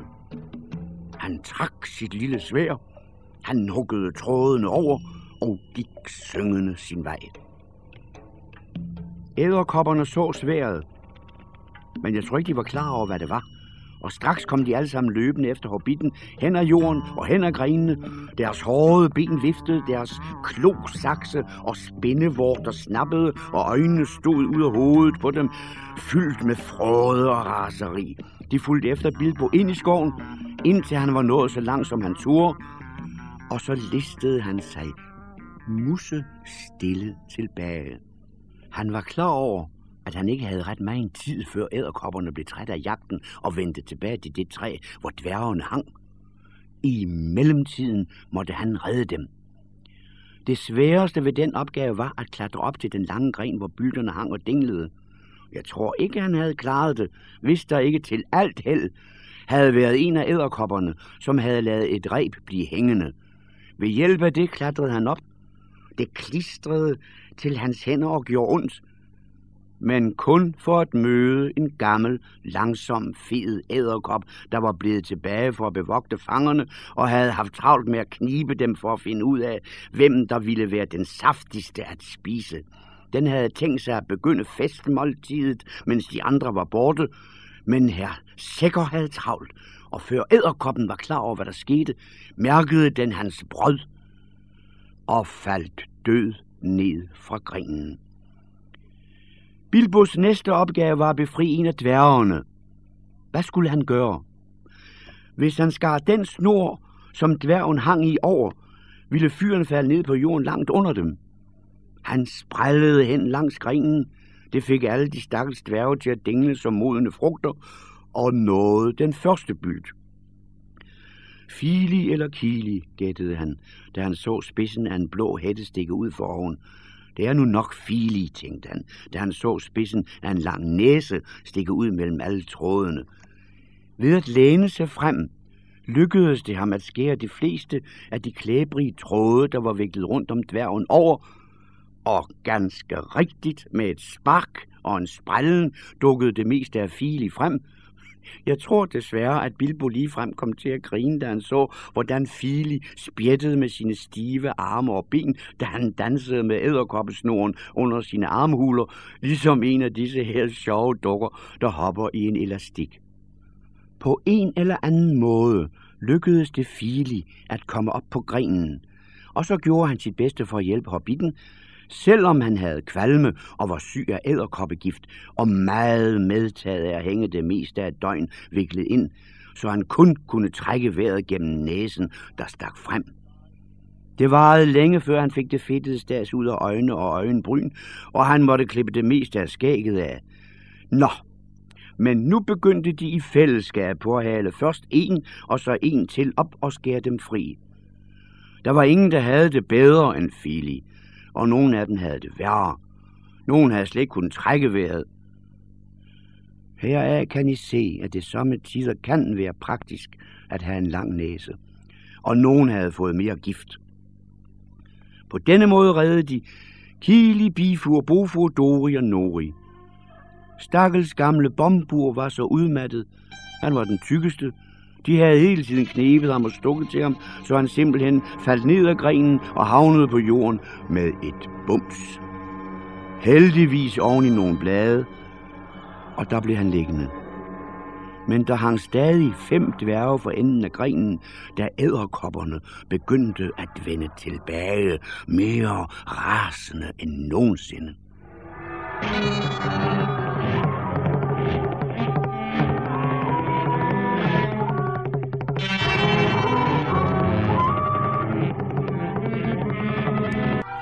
Bilbo gik omgående ud til den ende af grenen, der var nærmest ved stammen, og holdt dem, der prøvede at kravle op tilbage. Han havde taget ringen af, da han reddede Fili, og havde glemt at tage den på igen, og nu begyndte æderkopperne at sprutte og væse. Nu kan vi se dig, dit vemmelige lille uhyre. Vi æder dig og hænger dine knogler og din hud op i et træ. Uh, han har en brød, men vi skal nok få ham, og så hænger vi ham med hovedet nedad en dags tid eller to. Mens dette gik for sig, arbejdede de andre dværge med resten af fangerne og skar trådene over med deres knive. Snart ville alle være på fri fod, men det var ikke klart, hvad der så ville ske. Æderkopperne havde haft temmelig let ved at fange dem den foregående aften, men der havde de været uforberedte, og det havde været mørkt. Denne gang så det snarere ud til, at det ville komme til en frygtelig kamp. Pludselig lagde Bilbo mærke til, at nogle af æderkopperne havde samlet sig om gamle bombur på jorden, havde bundet ham igen og var ved at slæbe afsted med ham. Han udstødte et råb og langede ud efter de æderkopper, der var foran ham. De trak sig hurtigt tilbage. Han tumlede og faldt ned fra træet ned mellem æderkopperne på jorden. De havde aldrig set en brød som hans lille svær før, hvor det dog stak rundt omkring. Det skinnede af fryd, da han stak efter dem. Han dræbte et halvt dusin, før resten trak sig tilbage og overlod Bombur til Bilbo. Kom ned med jer! Kom ned med jer! råbte han til dværgene på grenen. I må ikke blive deroppe. I bliver fanget i et net. Han så nemlig æderkoppe sværme rundt i de omgivende træer og kravle hen ad grenene over hovedet på dværgene. Dværgene kom tumlende, springende eller faldende ned, alle elve i en bunke. De fleste var noget rystede og stod ikke sikker på deres ben, men der var de da så om sider også stakkels gamle Bombur, som blev støttet af sin fætter Bifur til den ene side og sin bror Bofur til den anden. Bilbo dansede rundt og svang stik, og vrede æderkopper i hundredvis glodede på den hele vejen omkring dem og over dem. Det så temmelig håbløst ud. Så begyndte kampen. Nogle af dværgene havde knive, nogle havde stokke, og de kunne alle sammen få fat i sten, og Bilbo havde sin elverdakkert. Atter og atter blev æderkopperne slået tilbage, og mange af dem blev dræbt. Men det kunne ikke blive ved. Bilbo var helt udmattet, og der var kun fire af dværgene, som var i stand til at stå på deres ben, og snart ville de alle sammen blive overmandet som trætte fluer. Æderkopperne var allerede begyndt at spinde deres net rundt om dem igen fra træ til træ. Til sidst kunne Bilbo ikke finde på andet, end at indvide dværgene i hemmeligheden om ringen. Han var meget ked af det, men det var der ikke noget at gøre ved. Om lidt forsvinder jeg, sagde han. Hvis jeg kan, vil jeg trække alle æderkopperne bort herfra. Og I må holde sammen og styre i den modsatte retning. Til venstre. Det vil nogenlunde være vejen hen mod det sted, hvor vi så elverilden sidste gang. Det var ikke let at få dem til at forstå det i deres omtåede tilstand, og midt i al denne råben og stokkeslag og stenkast. Men til sidst følte Bilbo, at det ikke nyttede at vente længere. Æderkopperne var ved at lukke nettet. Pludselig trak han ringen på, og til dværgenes store forbavselse forsvandt han. Snart hørte man slappe op og store tykke æderkop blandt træerne til højre. Det ophidsede æderkopperne voldsomt. De holdt op med at trænge frem, og nogle af dem løb i retning af stemmen. Store, tykke æderkop gjorde dem i den grad ude af sig selv, og de gik helt fra sans og samling.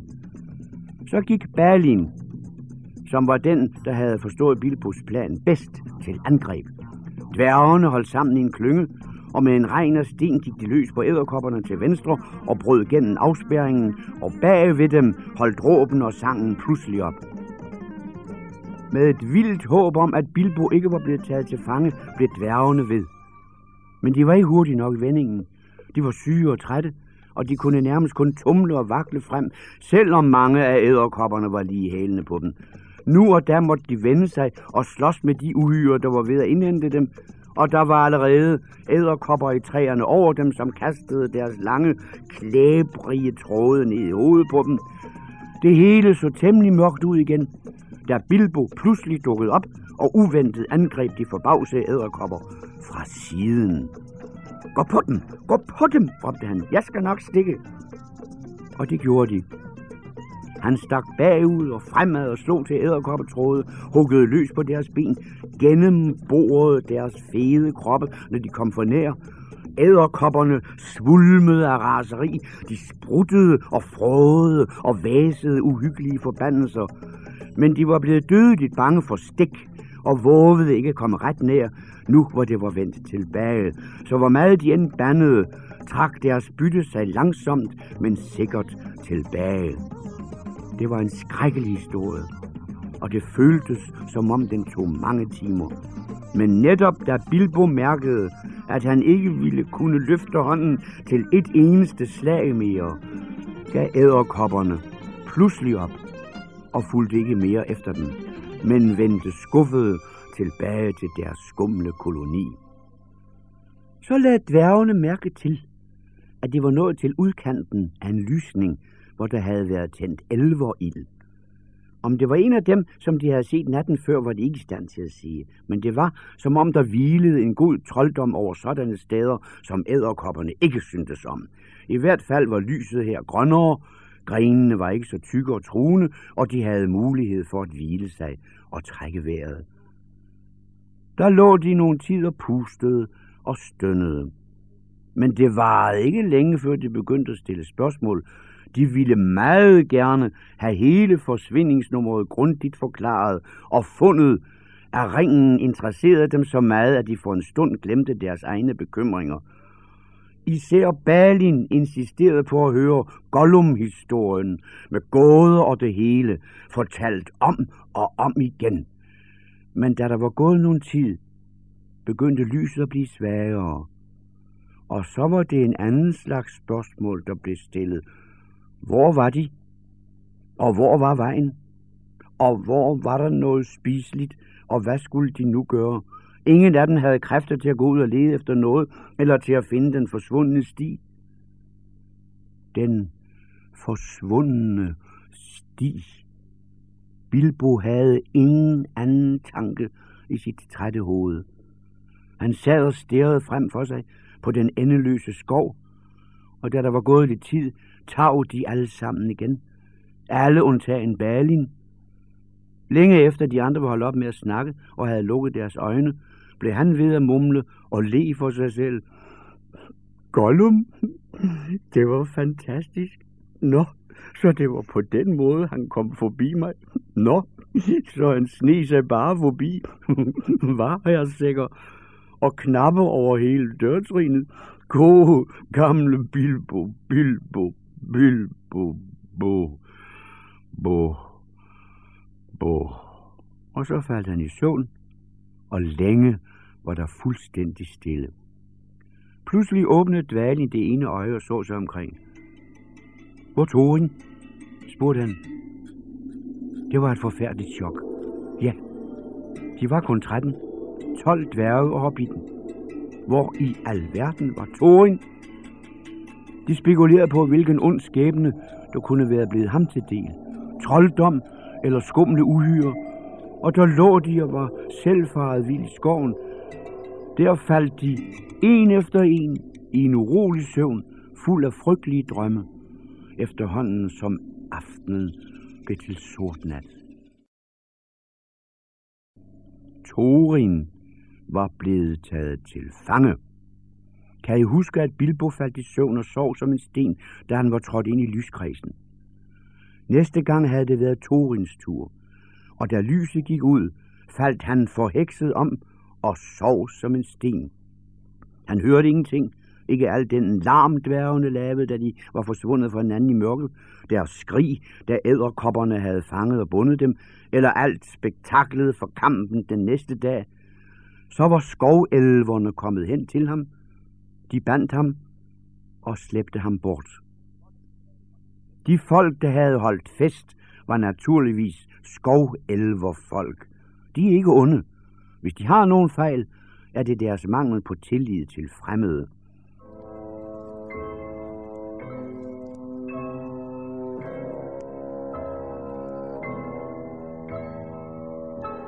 En stor hule, nogle mil inden for Dunkelskovs østlige udkant, boede dengang deres mægtigste konge.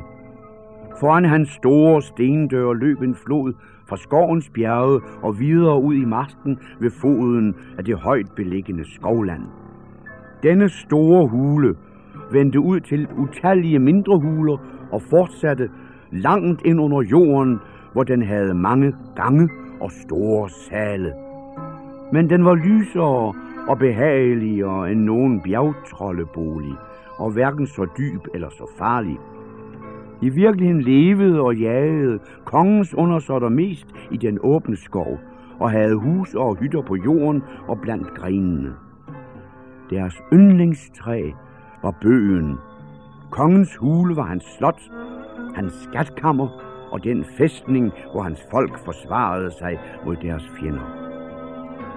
Den rummede også hans fængsel. Så slæbte de altså Thorin afsted til hulen, ikke alt for blidt, for de brød sig ikke om dværge og mente, han var en fjende. I gamle dage havde de ligget i krig med nogle dværge, som de anklagede for at have stjålet deres skat.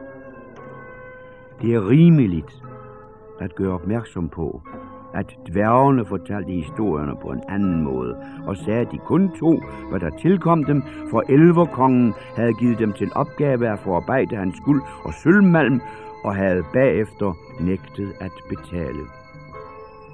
Hvis elverkongen havde nogen svaghed, var det kostbarheder. Især sølv og hvide ædelstene.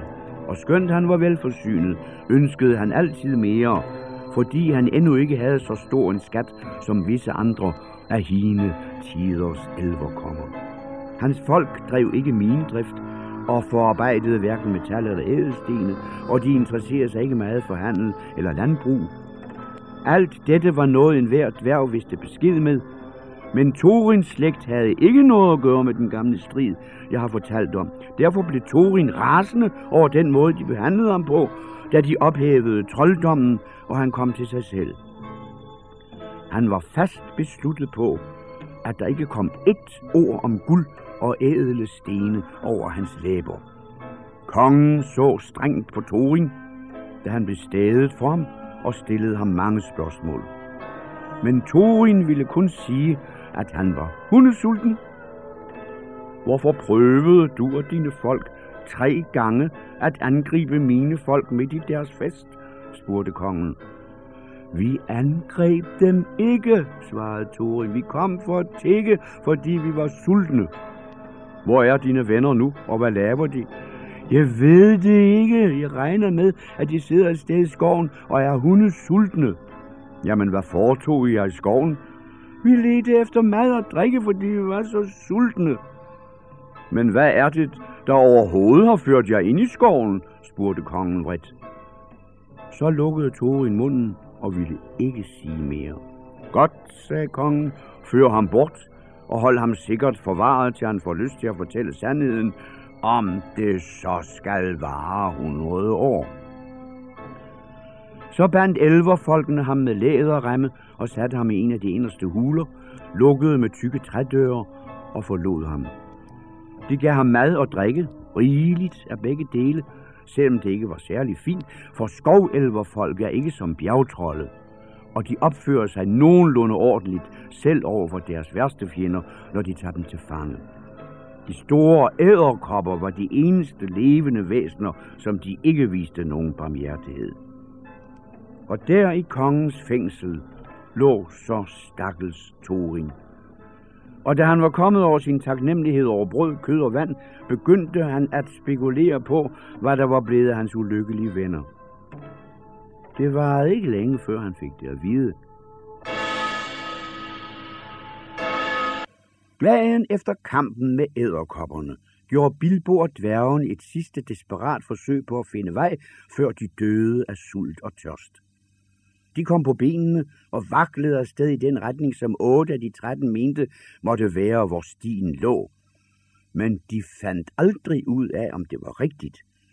Dagslyset, så meget dagslys, som der nu kunne komme der i skoven, svandt for nattens mørke igen, da lyset fra mange fakler pludselig dukkede op hele vejen rundt om dem som mange hundrede røde stjerner.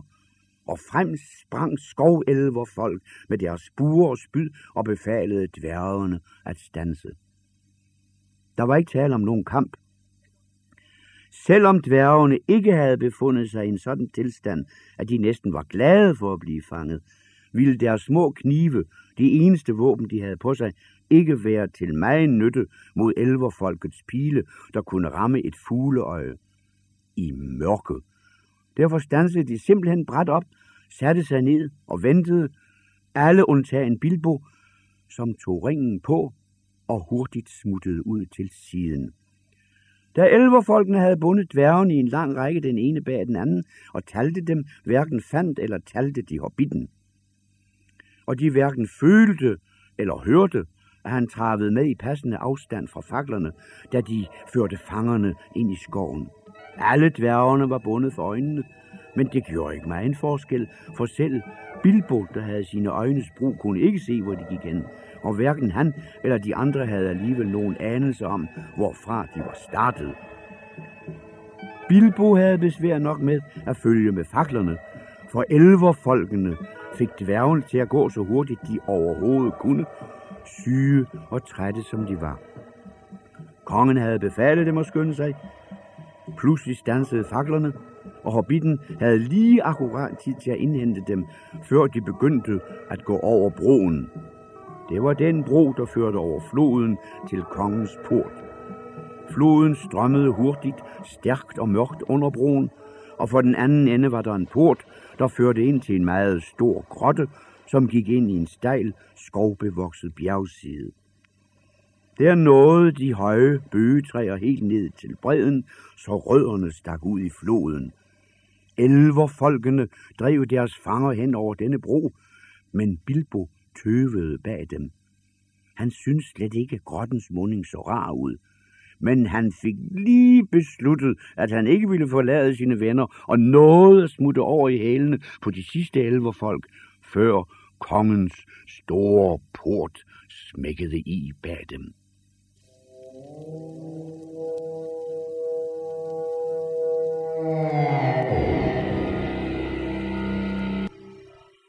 En stor sal med søjler, der var hugget ud af selve bjerget, sad elverkongen på en udskåret trone af træ.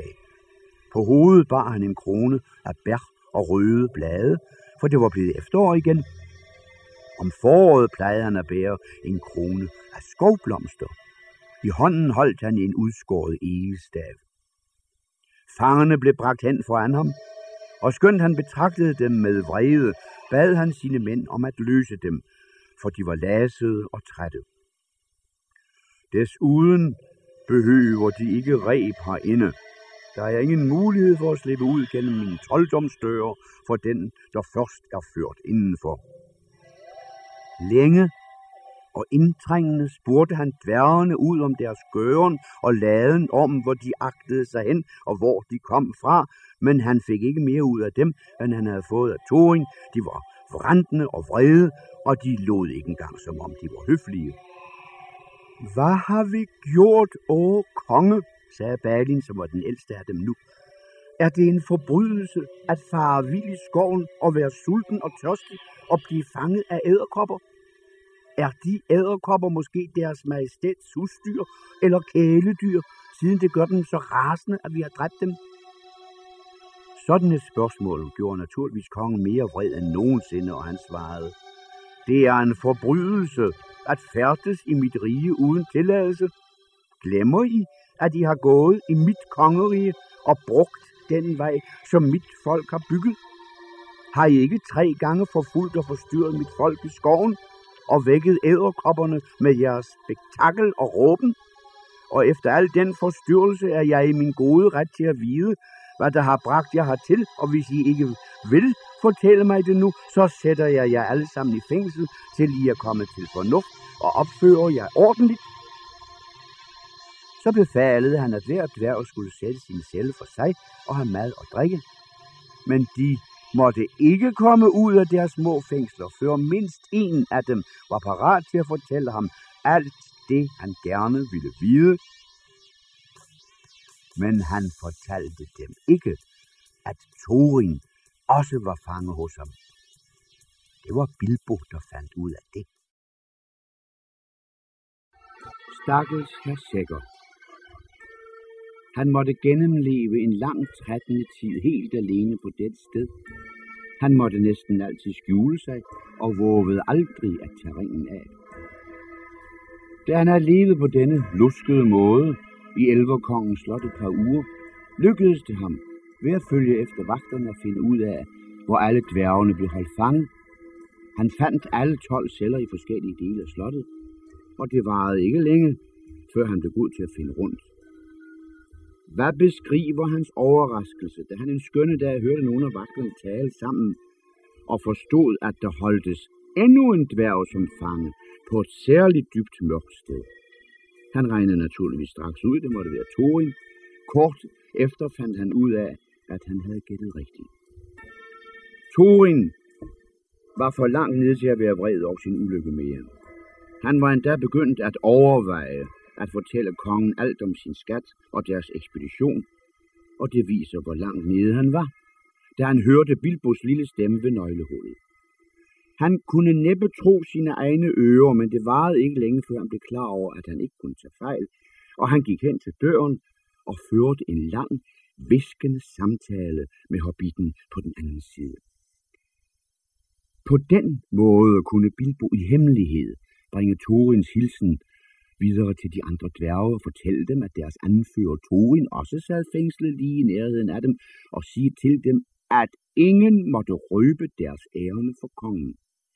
Torin havde fået modet igen, da han hørte, hvordan hobbiten havde frelst hans kammerater fra æderkopperne, og var igen besluttet på ikke at købe sig fri ved at love kongen noget af skatten, før alt håb om at undslippe på nogen anden måde var ude. Med andre ord, til det var mislykkedes fuldstændig for den fremragende her usynlig sækker, som han var begyndt at nære stor agtelse for at udtænke noget snedigt. Da de andre fik denne hilsen, var de helt indforstået. De mente alle sammen, at der ville komme til at ryge en køn portion af skatten, som de helt regnede for deres, til trods for deres situation og den stadig ubesejrede drage, hvis skovelverfolket krævede noget af den, og de stolede alle sammen på Bilbo, det var jo gået netop som Gandalf havde sagt. Men Bilbo selv ønskede bare, at troldmanden havde været i nærheden. En dag, da Bilbo snusede rundt, opdagede han noget meget interessant. Den store port var ikke den eneste indgang til grotterne. Der løb en flod gennem nogle af slottets lavest beliggende dele, og hvor dette underjordiske vandløb kom ud fra bjergsiden, var der en port i vandet, der nåede klippetaget helt ned til vandoverfladen, og derfra kunne et faldgitter sænkes helt ned i flodlejet. Hvis nogen var kommet ind den vej, ville han have befundet sig i en mørk tunnel, der førte langt ind i bjerget, men et sted, hvor den løb under grotterne, var taget hugget bort og dækket med en stor skydelem af egetræ. Åbningen vendte op til kongens vinkælder, hvor der stod tønde ved tønde for skovelverfolket, og især deres konge holdt meget af vin. Når tønderne var blevet tømt, kastede elverne dem ud gennem faldlemmen og åbnede vandporten, og så flød tønderne på vandet og hoppede afsted, indtil strømmen førte dem til den by langt ned ad floden, hvorfra vinen var kommet.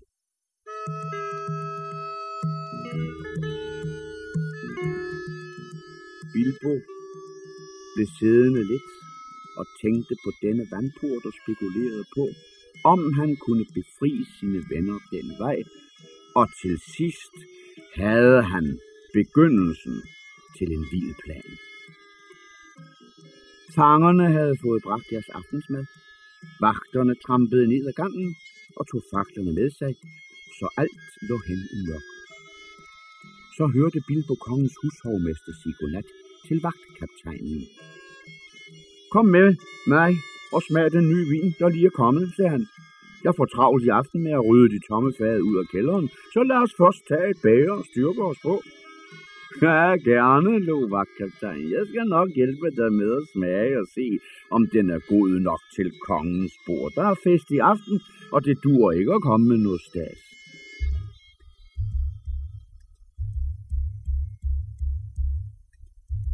Da lille Bilbo hørte dette, blev han ganske ophidset, for han forstod, at heldet var med ham, og at han havde mulighed for straks at iværksætte sin vanvittige plan.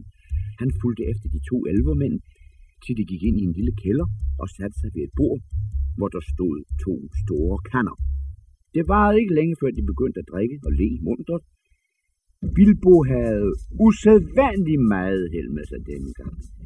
Der skal stærk vin til for at gøre en skovelvermand søvnig, men det varede ikke længe, før vagtkaptajnen sad og nikkede, så lagde han hovedet på bordet og faldt i søvn. Hushovmesteren blev ved at sidde og snakke med sig selv og grine, uden at lægge mærke til det. Men snart lagde han også hovedet på bordet og snorkede sammen med sin ven. Så sne hobbiten sig frem, og det varede ikke længe, før vagt kaptajn ikke havde nogen nøgler, og så skyndte Bilbo sig så hurtigt han kunne hen ad gangene mod cellerne. Det store nøglebund føltes meget tungt for hans arme. Hjertet sad i halsen på ham, selvom han havde sin ring på. For han kunne ikke hindre nøglerne i at klirre nu og da. Med et højt klir, klir, der fik ham til at ryste over det hele. Først lukkede han Balins dør op og låste den omhyggeligt igen, så snart dværgen var kommet ud. I kan nok tænke jer, at Balin var overrasket. Men hvor glad han end var over at komme ud af den triste lille stencelle, så ville han dog gerne have alt det videre om, hvad Bilbo havde tænkt sig at gøre. Det er der ikke tid til nu, sagde Hobbiten. Du må bare følge med mig. Vi må holde sammen og passe på ikke at blive skilt. Vi må enten slippe bort alle sammen, eller slet ikke, og dette her er vores sidste chance. Hvis det bliver opdaget, så må himlen vide, hvor kongen vil anbringe jer næste gang, og måske vil han give jer længere på hænder og fødder. Nu må du være flink og lad være med at gøre godt. Så gik han fra dør til dør, til han havde 12 med sig. Ingen af dem var alt for lette til ben i det mørke og efter den lange indspærring. Bilbos hjerte hamrede hver gang en af dem busede ind i en af de andre, eller brummede og viskede i mørket. Åh, de forbandede dværge, sagde han til sig selv. Men alt gik godt, og de mødte ingen vagter.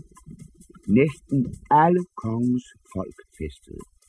Efter at have famlet sig frem noget til Torins fængsel. Det lå langt nede under jorden, men heldigvis ikke ret langt borte fra vindkælderen. På min ære, sagde Torin, da Bilbo viskede til ham, at han skulle komme ud til sine venner. Gandalf har som sædvanligt haft ret. Du er åbenbart en virkelig fin indbrudstyv, når det gælder. Bilbo indså, at det øjeblik, hvor han måtte forklare sin plan så godt som muligt, var kommet. Han var ikke helt sikker på, hvordan dværgene ville tage det, og hans frygt viste sig berettiget, for de syntes slet ikke om den, og begyndte at knurre højlydt, til trods for den fare, de befandt sig i. Nå, vi støder os. Vi bliver slået til plukfisk. Vi drukner også. Det er sikkert, mumlede de. Vi troede, du havde fået en eller anden fornuftig idé, da du har fået fat i nøglerne. Det her, det er helt sindssygt. Godt, sagde Bilbo, så kom med tilbage til jeres yndige celler. Så skal jeg låse jer alle sammen ind igen. Så kan I sidde der i ro og mag og udtænke en bedre plan. Men jeg tror ikke, at jeg kan få fat i nøglerne igen, selvom jeg også skulle få lyst til at prøve. Det endte naturligvis med, at de måtte gøre netop som Bilbo foreslog dem, fordi det tydeligt nok var umuligt at finde vej i de øverste sale eller kæmpe sig ud gennem de porte, der lukkedes med trolddom. Så sneg de sig efter hobbitten ned i de nederste kældre. De kom forbi en dør, gennem hvilken man stadig kunne se vagtkaptajnen og hushovmesteren sidde og snorke, smilende. Den næste dag ville der nok være et andet udtryk i vagtkaptajnens ansigt, selvom Bilbo, før de gik videre, venligt listede sig ind og anbragte nøglerne i hans bælte. Det vil spare ham for en masse brøl. sagde herr sikker til sig selv. Ham er der ikke noget ondt i. Han har været flink med fangerne, og så vil det forvirre dem alle sammen. De vil forestille sig, at vi er så gode til at trylle, at vi har kunnet gå gennem låste døre og er forsvundet. Nu må vi skynde os meget, hvis det skal løses. Berlin fik besked på at holde øje med vagten og husovmesteren og give tegn, hvis de rørte på sig. Resten gik ned i kælderen med skydelemmen. Der var ikke meget tid at spille. Bilbo vidste, at inden længe ville nogen af elverfolkene få besked på at gå ned og hjælpe hushovmesteren med at få de tomme tønder gennem porten ud i floden. Tønderne stod allerede i en række midt på gulvet og ventede på at blive skubbet afsted.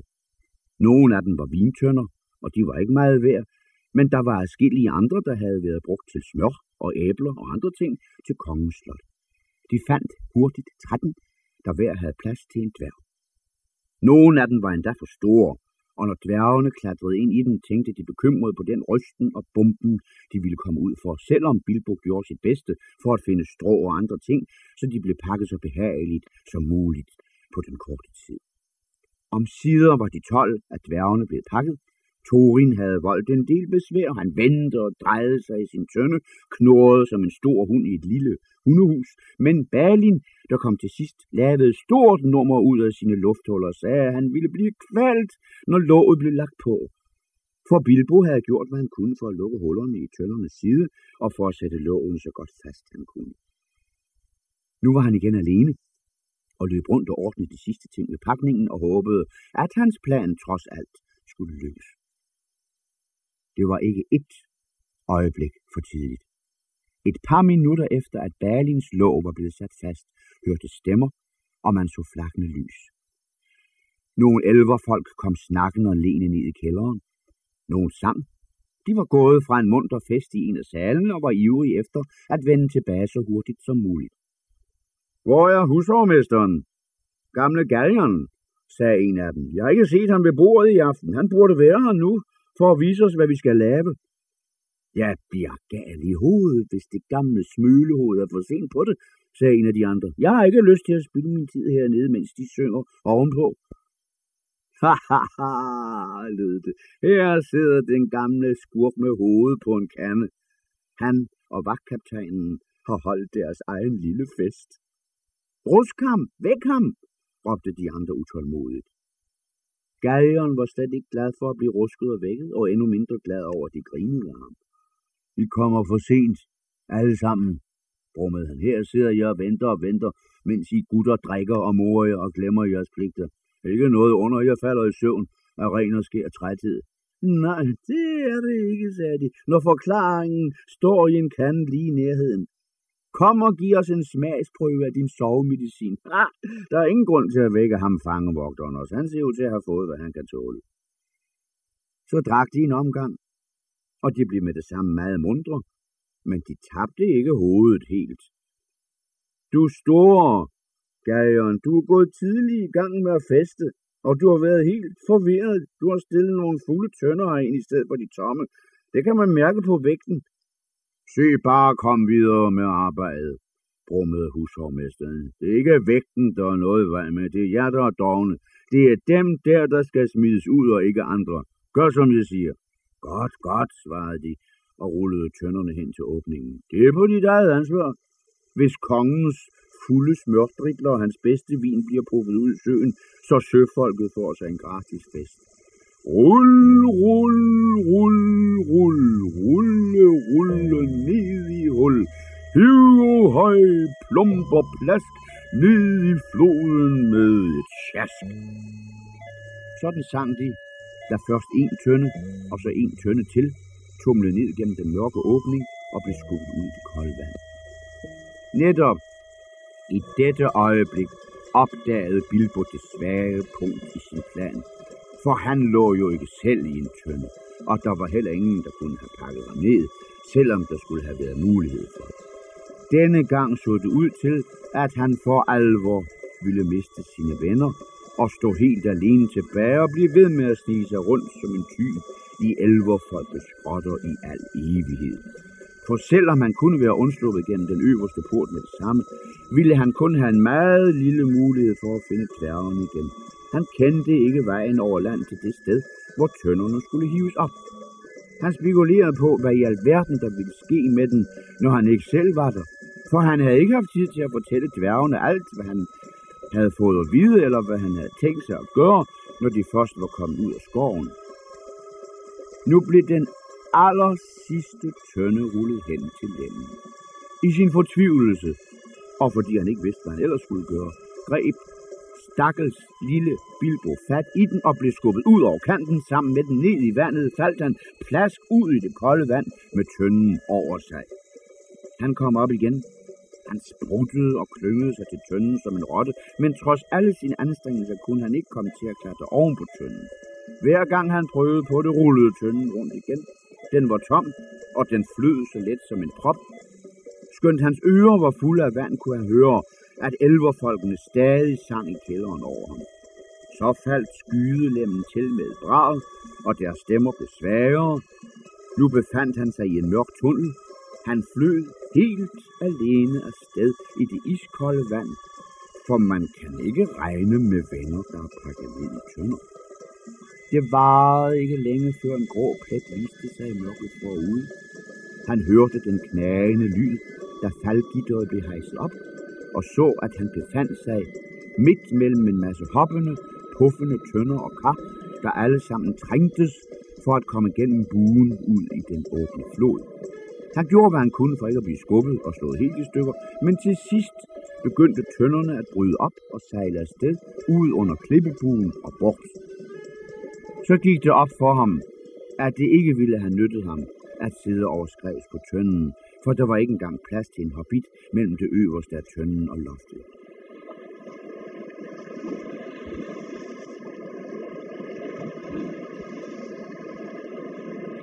Så sejlede de ud. Bilbo spekulerede på, hvad dværgene mund følte, og om der mund løb meget vand ind i deres tønder.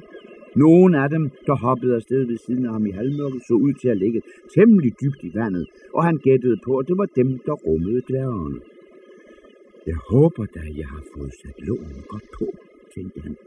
Men det varede ikke længe, før han bekymrede sig så meget om sin egenskabene, at han ikke kunne tænke på dværgen. Det lykkedes ham at holde hovedet oven vandet, men han rystede af kulder, han tænkte på, om han mund ville dø, inden lykken vendte sig, på hvor meget længere han ville kunne holde sig fast, og om han skulle løbe risikoen for at give slip og prøve at svømme hen til bredden. Det varede heldigvis ikke længe, før lykken vendte sig. Den violende strøm førte flere tønder på grund på et bestemt sted, og der sad de fast. Bilbo benyttede lejene til at klatre op på siden af sin tønde, mens den sad fast. Han kravlede op som en druknet rotte og lagde sig udstrakt oven på tønden for at holde balancen så godt han kunne. Inden længe kom tønderne fri igen. De vendte og drejede sig på vej ned ad floden og ud i hovedstrømmen, han fandt det akkurat lige så svært at holde fast, som han havde frygtet, men på en eller anden måde klarede han det, selvom det var forfærdeligt ubehageligt. Heldigvis vejede han ikke ret meget. Tønden var god og stor, og da den var temmelig utæt, havde den taget en lille smule vand ind. Alligevel var det nærmest som at ride uden bissel og stigbøjler på en tykmavet pony, som ikke tænkte på andet end at rulle sig i græsset.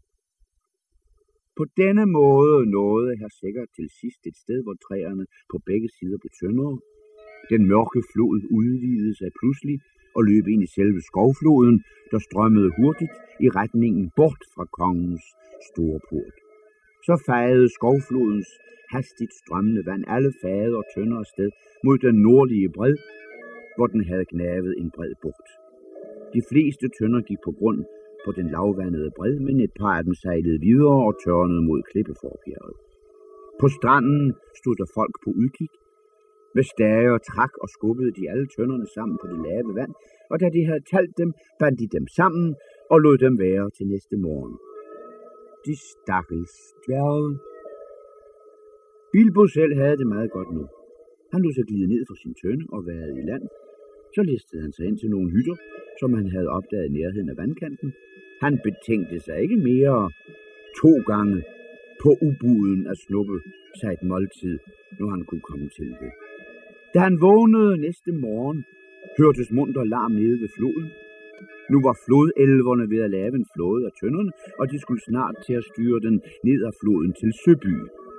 Skub til, råbte flådemanden, og i sidste øjeblik lykkedes det Bilbo at komme ombord på floden. Så kom de om sider afsted og sejlede ned ad floden. De var sluppet ud af elverkongens fængsel, og de var kommet gennem skoven. Men om de var levende eller døde, det ved vi ikke endnu. De nærmede sig Søby, menneskebyen, der var bygget på kæle. Så snart tøndeflåden kom i sigte, blev der rodet både ud fra byens pæle, og der lød stemmer, som prægede flådens styrmænd. Der blev kastet reb ombord, og snart blev flåden fortøjet lige i nærheden af broen, yderende mod stranden, mens elverfolkene fra flåden og mandskabet fra bådene gik til fest i Søby. De ville nok være blevet forbavset, hvis de havde kunnet se, hvad der skete nede ved stranden, da de var gået deres vej, og mørket var faldet på. Først blev en af tønderne skåret løs af Bilbo, skubbet op på bredden og åbnet. Der lød stønnen inde fra den, og ud kravlede en overordentlig misfornøjet dværg. Der var våde strå i hans filtrede skæg. Han var øm og stiv, og så forslået og stødt, at han dårligt kunne stå på benene. Han lignede en hund, der havde været lænket og glemt i et hundehus i en uge. Det var Torin, men det kunne man kun se af hans gyldne kæde. Det varede noget, før han orkede at være høflig over for hobbiten. Nå, er du levende, eller er du død, spurgte Bilbo temmelig gnævent. Sidder du stadig i fængsel, eller er du fri? Hvis du vil have noget at spise, og hvis du vil fortsætte med dette tåbelige eventyr, det er jo trods alt dit og ikke mit, så må du nok hellere gnide dine arme og gnide dine ben og prøve på at få de andre ud af tønderne, mens der er en mulighed for det. Naturligvis indså Thorin det fornuftige i dette, så efter et par stønd til rejste han sig og hjalp hobbiten til Det var besværligt og ubehageligt at rode rundt i det kolde vand for at finde de rigtige tønder. Ved at banke på tønderne og råbe, fandt de kun seks dværge, som var i stand til at svare. De blev trækket ud og hjulpet i land. De var så drivvåde og forståede og stive, at de dårligt nok begreb, at de var kommet fri, eller var videre til Dvalin og Balin var de mest elendige, og det nyttede ikke noget at bede dem om hjælp. Bifur og Bofur var ikke så forslået, men de var heller ikke så våde, men de lagde sig ned og ville ingenting foretage sig, men Fili og Kili, som var unge, at dværge være, kom mere eller mindre smilende frem med et par blå mærker, og de holdt snart op med at være stige. Jeg håber aldrig, jeg kommer til at mærke lugten af æbler igen, sagde Kile. Min tønde lugtede så meget af æbler. At lugte til æbler hele tiden, når man næsten ikke kan røre sig og er syg og sult, det er til at blive tosset af. Med hjælp fra Fili og Kili fandt Bilbo de sidste medlemmer af selskabet og fik dem befriet. Den stakkels tykke bombo sov eller var bevidstløs. Dori, Nori, Ori, Øjen og Kløjen var fulde af vand og halvdøde. De måtte bæres, en for en, og blev lagt hjælpeløse på stranden. Nå, så nåede vi så langt, sagde Torin.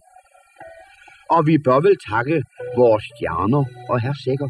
Det har han vist ret til at forvente, selvom jeg ville ønske, at han kunne have arrangeret en behageligere rejse. Men alligevel til deres tjeneste endnu en gang, herr Sikker. Vi kommer sikkert til at føle den tilbørlige taknemmelighed, når vi har fået noget at spise og er kommet os igen. Men hvad skal vi foretage os nu? Jeg foreslår Søby, sagde Bilbo. Hvad skulle vi ellers gøre? Der var naturligvis ikke andet at foreslå. Thorin, Fili, Kili og Hobbiten lod de andre blive liggende og gik langs stranden hen til den store bro. Der var vagter ved den, men de sad og drak og lå med kaminen i deres vagthytte og hørte hverken støjen, da dværgene blev pakket ud, eller de fire udsendinges skridt. De blev meget forbavsede, da Torin Egeskjold trådte ind ad døren. Hvem er du? Og hvad ønsker du? udbrød de. De sprang op og greb efter deres våben. Torin, Trejns søn, søn af kong Tro under bjerget, sagde dværgen med høj røst. Det så han også ud til at være, til trods for sine forrevne klæder og sin tilsølede hætte. Guldet skinnede om hans hals og på hans bryst. Hans øjne var mørke og dybe. Jeg er kommet tilbage. Jeg ønsker at træffe byens herre. Der blev en vældig ophidselse. De mest fjollede gav sig til at løbe ud af hytten, som om de ventede, at bjerget skulle blive gyldent her midt om natten, og at al søens vand skulle blive som guld med det samme. Vagtkaptajnen kom helt hen til dem. Og hvem er det, spurgte han og pegede på File, Kili og Bilbo. Det er sønner af min fars datter, svarede Torin. Fili og Kili er Durins slægt, og her Sækker, som har rejst med os fra vest. Hvis I kommer med fred, så læg jeres våben fra jer, sagde kaptajnen. Vi har ingen, svarede Torin, og det var sandt nok. Deres knive var blevet taget fra den af skovhjælverne, også det berømte svær Orkrist. Bilbo havde som sædvanligt sit kort svær skjult på sig, men det sagde han ikke noget om. Vi, der om sider vender tilbage til vores eget land, som det har været forudsagt for gammel tid, har ikke brug for våben, og vi ville heller ikke kunne kæmpe mod så mange. Før os til din herre. Han er til fest, sagde kaptajnen. Så er der så meget mere grund til at føre os til ham, raste ud af Fili, som var ved at miste tålmodigheden over al denne højtidighed. Vi er udmattede og sultne efter vores lange rejse, og vi har syge kammerater. Skynd dig nu, og lad os blive fri for at høre på mere snak, ellers ender det med, at jeres herre har noget at sige ja. Så følg med mig, sagde kaptajnen. Og så førte han dem, omgivet af seks mænd, over broen, gennem porten og ind på byens torv. Det var en stor cirkel af stille vand, omgivet af de høje pæle, som de største huse var bygget på. Fra en stor sal skinnede mange lys, og man hørte lyden af mange stemmer derfra. De gik ind ad døren og så på de lange borde med mange folk omkring. Jeg er Thorin, Trejns søn, søn af kong Tror under bjerget. Jeg vender tilbage, råbte Thorin med høj stemme fra døren. Alle rejste sig. Byens herre sprang ned fra sit højsæde, men ingen rejste sig med større forbløffelse end elvernes flådemandskab, som sad i den nederste ende af salen. De trængtes foran fyrstens bord og råbte, det er vor konges far, som er undsluppet. Det er omvandrende vagabonddværge, der ikke har kunnet give nogen fornuftig forklaring på, hvem de var. De kom listende gennem skoven og generede vores folk. Ja, det er sandt, spurgte fyrsten. Han synes egentlig, det lød mere rimeligt, end at kongen under bjerget, hvis en sådan person nogensinde havde eksisteret, skulle vende tilbage. Det er sandt, at vi med urettet blev overfaldet af elverkongen og sat i fængsel uden grund, mens vi var på rejse til vores eget land, svarede Turen. Men hverken lås eller slå kan hindre den hjemkomst, der fra gammel tid har været talt om. Og denne by ligger heller ikke i skovelverfolkets rige. Jeg taler til herren over søfolkets by og ikke til mandskabet på elverkongens flåde.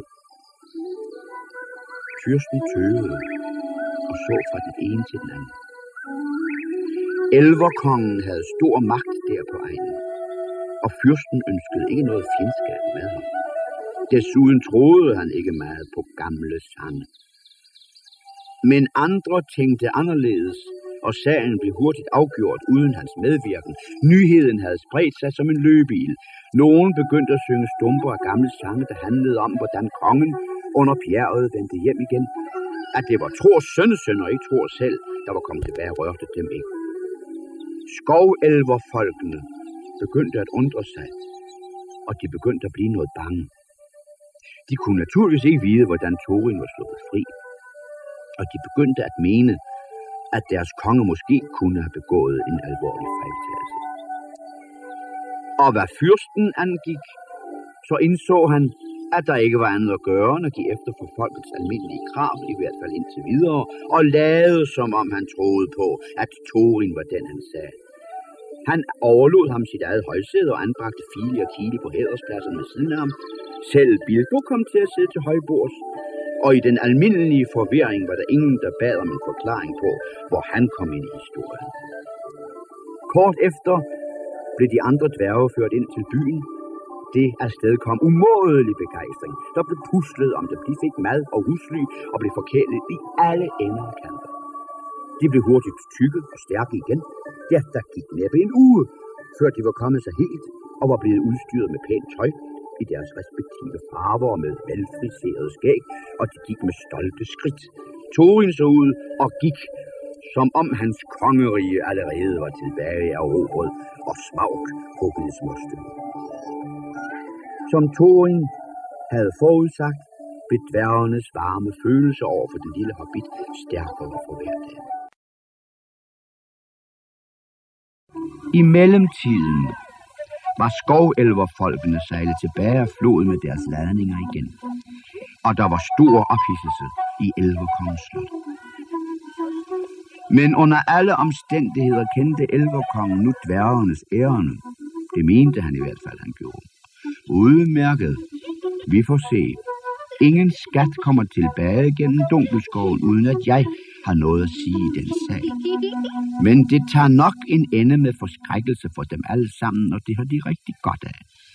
Han troede i hvert fald ikke på, at dværgene kunne slås og dræbe drager som smag, og han havde en stærk mistanke om, at de ville forsøge indbrud eller noget i den retning, hvilket viser, at han var en klog elvermand og klogere end menneskene i byen. Selvom han ikke fik helt ret, det får vi at se til sidst. Han sendte spioner ud langs søens bredder og så langt nordpå mod bjerget, som han kunne få dem til at gå, og så gav han sig til at vente. Da der var gået omtrent 14 dage, begyndte Thorin at tænke på opbrud. Det var nødvendigt at bede om hjælp, mens begejstringen i byen stadig varede ved. Derfor talte han med byens herre og hans rådgiver og sagde, at han og hans følge snart måtte drage videre mod bjerget. Det var første gang, fyrsten blev forbavset og lidt forskrækket. Og han spekulerede på, om Thorin trods alt virkelig skulle vise sig at være en efterkommer af de gamle konger. Han havde aldrig for alvor troet på, at dværgene ville nærme sig smag. Han havde troet, de var bedragere, som før eller senere ville blive afsløret og smidt ud. Men fyrsten var slet ikke ked af at lade dem rejse. Lad dem bare drage hen og genere Smaug lidt, og lad os så se, hvordan han byder dem velkommen, tænkte han. Ja, naturligvis, Torin, træns søn, søn og tror, sagde han, du må kræve din ejendom tilbage. Den time, der er talt og sunget om for gamle tider inde. Du skal få den hjælp, vi kan give dig, og vi stoler på din taknemmelighed, når du har vundet dit kongerige tilbage. Således gik det til, at tre store både fyldt med roer, dværge, sækker og store forsyninger forlod Søby. Heste og ponyer var af omveje blevet sendt til et sted, hvor de skulle gå fra bord. Fyrsten og hans rådgiver tog afsked med dem på rådhusets store trappe og førte dem ned til søen. Folk stod på kajerne og hang i vinduerne og sang. De hvide årer sænkedes ned i vandet og plaskede, og så sejlede de nordpå over søen ud på den sidste etape af deres rejse. Den eneste, der var virkelig ulykkelig, var Bilbo. I to dage rådede de tværs over Langsø, til de kom ud i den rindende flod, og der kunne de alle se det ensomme bjerg knejse dyster og højt forud. Hen imod slutningen af den tredje dag sejlede de ind mod den venstre vestlige bred og gik fra bord. Her mødtes de med hestene, som kom med yderligere forsyninger og nødvendigt udstyr, og med de ponyer, som var blevet sendt til deres eget brug. De pakkede så meget som muligt på ponyerne. Resten blev lagt som lager i telt. Men ingen af mændene fra byen ville blive hos dem, ikke engang for en enkelt nat, så nær ved bjergets skygge. Dværgene og Bilbo tilbragte en kold og ensom nat, og humøret dalede. Den næste dag drog de videre. Balin og Bilbo red bagest med hver en tungt læsset pony som trækhest. De andre red et stykke forud, de red langsomt og måtte passe på, for der var ingen sti. Landskabet omkring dem blev trist og nøgent. De var nået til dragens magt, og det var sidst på året. Der lå nu bjerget mørkt og tavst foran dem. De slog lejr første gang på vestsiden af den store sydlige udløber, der endte i et højdedrag, der hed Ravnehøj. Inden de drog ud for at finde den dør på bjergets vestudløber, som de alle satte deres håb til, sendte Thorin en patrulje ud for at udforske landet mod syd, hvor hovedporten lå. Til denne opgave valgte han Bali, Fili og Kili, og Bilbo gik med dem. De vandrede til Ravne højs fod langs de tavse grå klipper, og når de stirrede over den smalle flod, kunne de i den brede dal mellem bjergets udløber se de grå ruiner af gamle huse, tårne og mål. Det er alt, hvad der er tilbage af dalen, sagde Balin. Bjergets sider var grønne af skov, og alle de velbeskyttede dale var rige og smukke, dengang klokkerne ringede der i byen.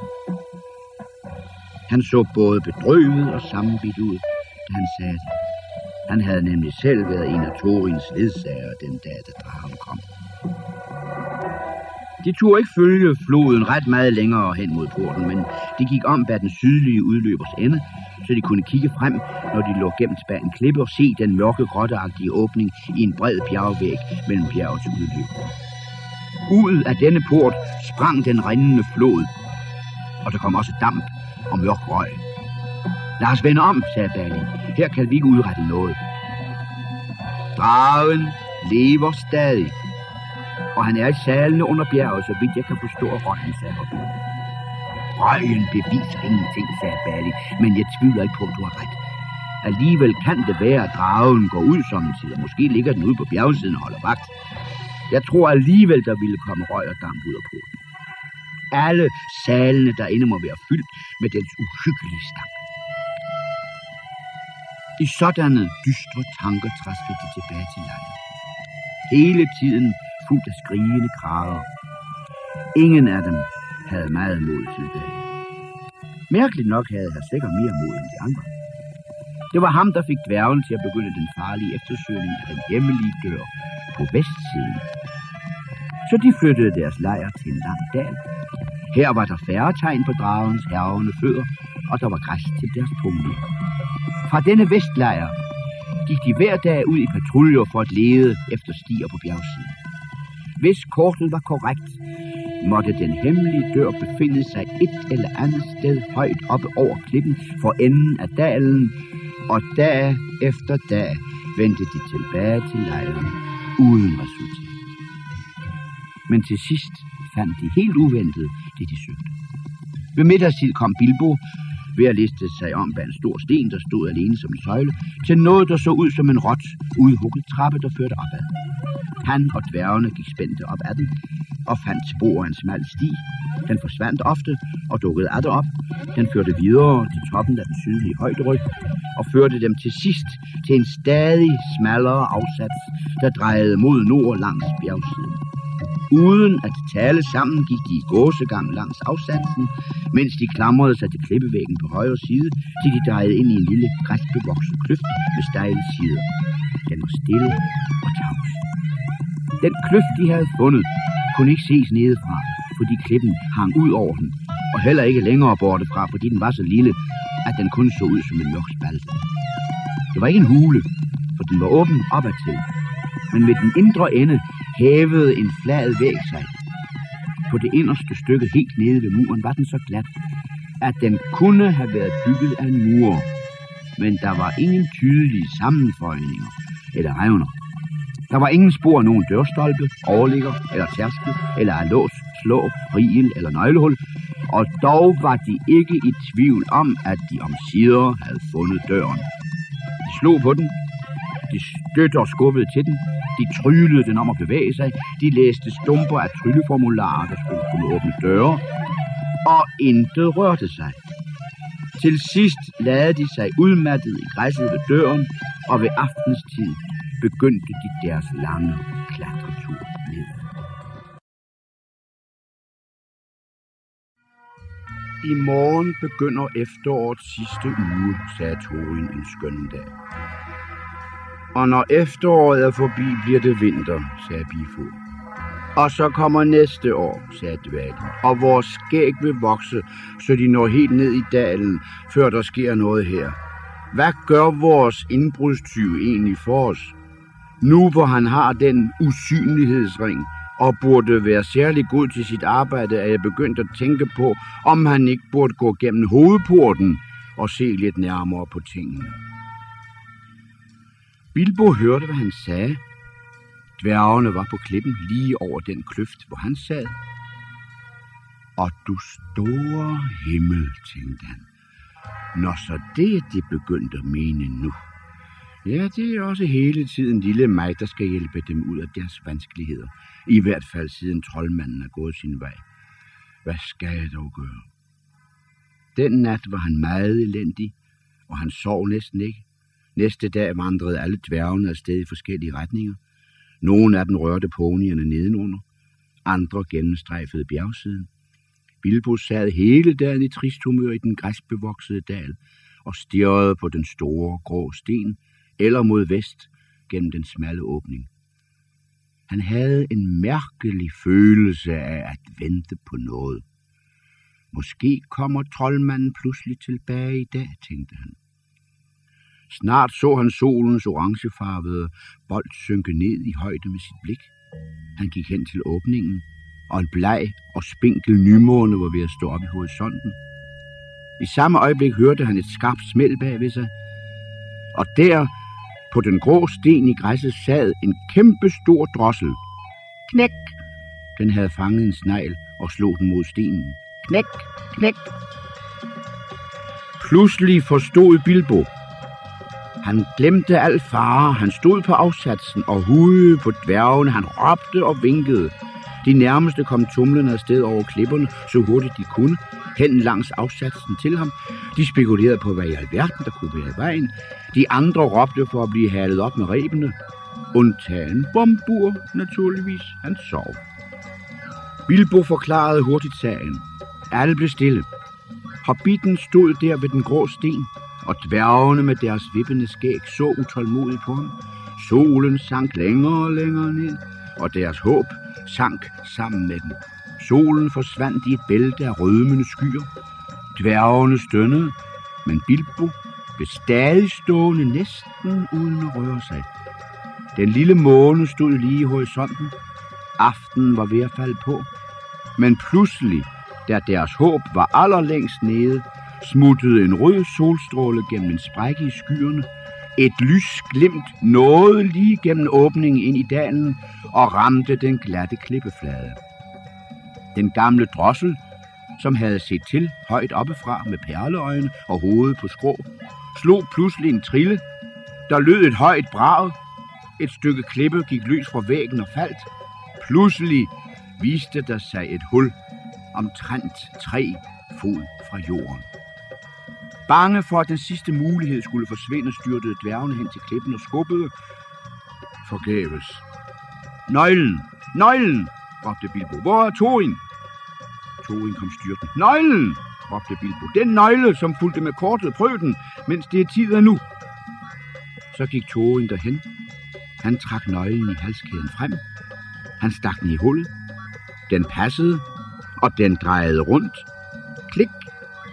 Glimtet forsvandt, solen sank, månen var borte, og aftenlyset bredte sig over himlen. Nu skubbede de alle sammen på en gang, og langsomt gav et stykke af klippevæggen efter. Lange, lige revner dukkede frem og blev bredere. En fem fod høj og tre fod bred dør tegnede sig og svingede langsomt indad uden en lyd. Det så ud, som om mørket kom flydende ud af den, som røgen fra hullet i bjergsiden, og et dybt mørke, hvor ingenting kunne ses, lagde sig over deres øjne. En gabende munding førte ind og nedad. Længe blev dværgene stående i mørket foran døren og diskuterede, indtil Thorin om sider tog ordet. Nu er det på tide, at vor højagtede herr Sækker, som har vist sig at være en fremragende kammerat på vor lange færd, og en hobbit, der er langt modigere og mere rådsnar, end man skulle formode ud fra hans størrelse, og som ligeledes, hvis jeg må sige det på den måde, er langt mere heldig, end man normalt har lov til at være. Nu er det på tide, at han går i gang med at yde den tjeneste, der var den umiddelbare grund til, at han blev optaget i vores selskab. Nu er det på tide, at han gør sig fortjent til belønning. Men Bilbo var utålmodig. Hvis du mener, at du synes, at det er mit arbejde at gå først ind ad den hemmelige dør, sagde han knævent. Hvorfor kan du så ikke sige det med det samme og få det overstået? Det kunne jo være, at jeg nægtede at gøre det.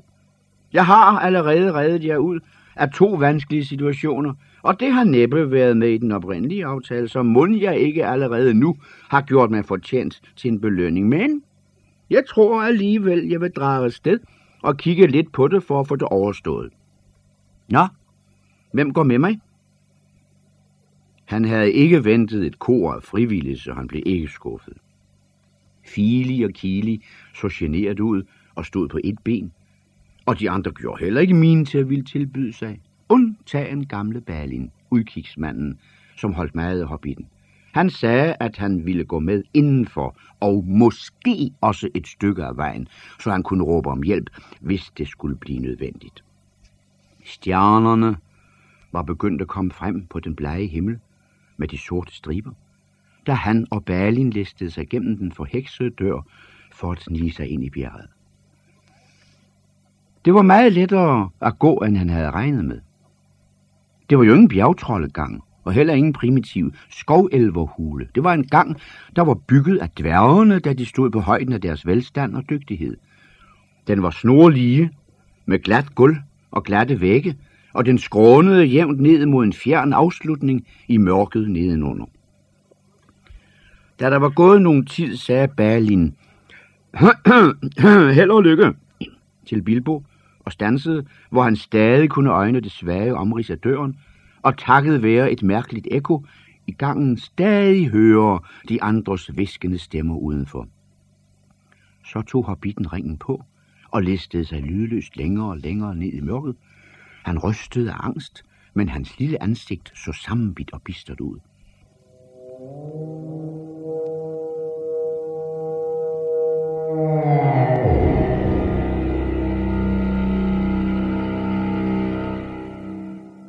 Nu er du midt i det, Bilbo Sækker, sagde han ved sig selv. Du gik hjemmefra, og du trådte i spinaten den aften ved selskabet. Og nu må du selv se at få fødderne trukket op af spinaten igen og betale for din dumhed. Åh, oh, kære, hvor har jeg dog været fjols. Jeg har ikke spor brug for nogen drageskat.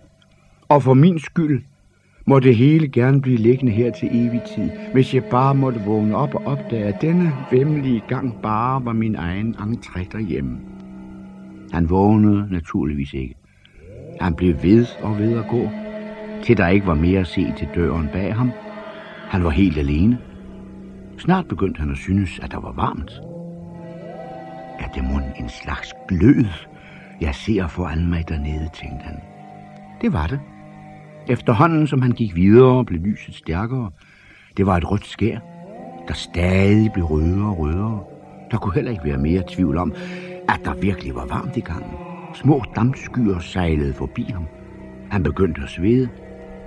Der var også en lyd, som begyndte at banke i hans ører en slags boblen, som lyden af en meget stor kedel. Den blandede sig med noget, der lød som en kæmpemæssig handkat, som spandt. Nu blev det ganske tydeligt til den gurlende snorken fra et kæmpemæssigt dyr, der lå og sov dernede i det røde, glødende lys foran ham. Så var det Bilbo stansede. At han gik videre derfra, var det modigste, han nogensinde kom til at foretage sig. Han kæmpede en virkelig kamp alene i tunnelen, før han overhovedet indså den frygtelige fare, der lå i at vente. I hvert fald gik han videre efter en kort pause. Prøv at forestille jer, hvordan det var for ham at komme til tunnelens afslutning. Det var en åbning af omtrent samme størrelse og form som døren ovenfor. Gennem den kigger hobbitens lille hoved, og foran ham ligger de gamle dværges nederste kælder eller fængsel lige ved bjergets rod.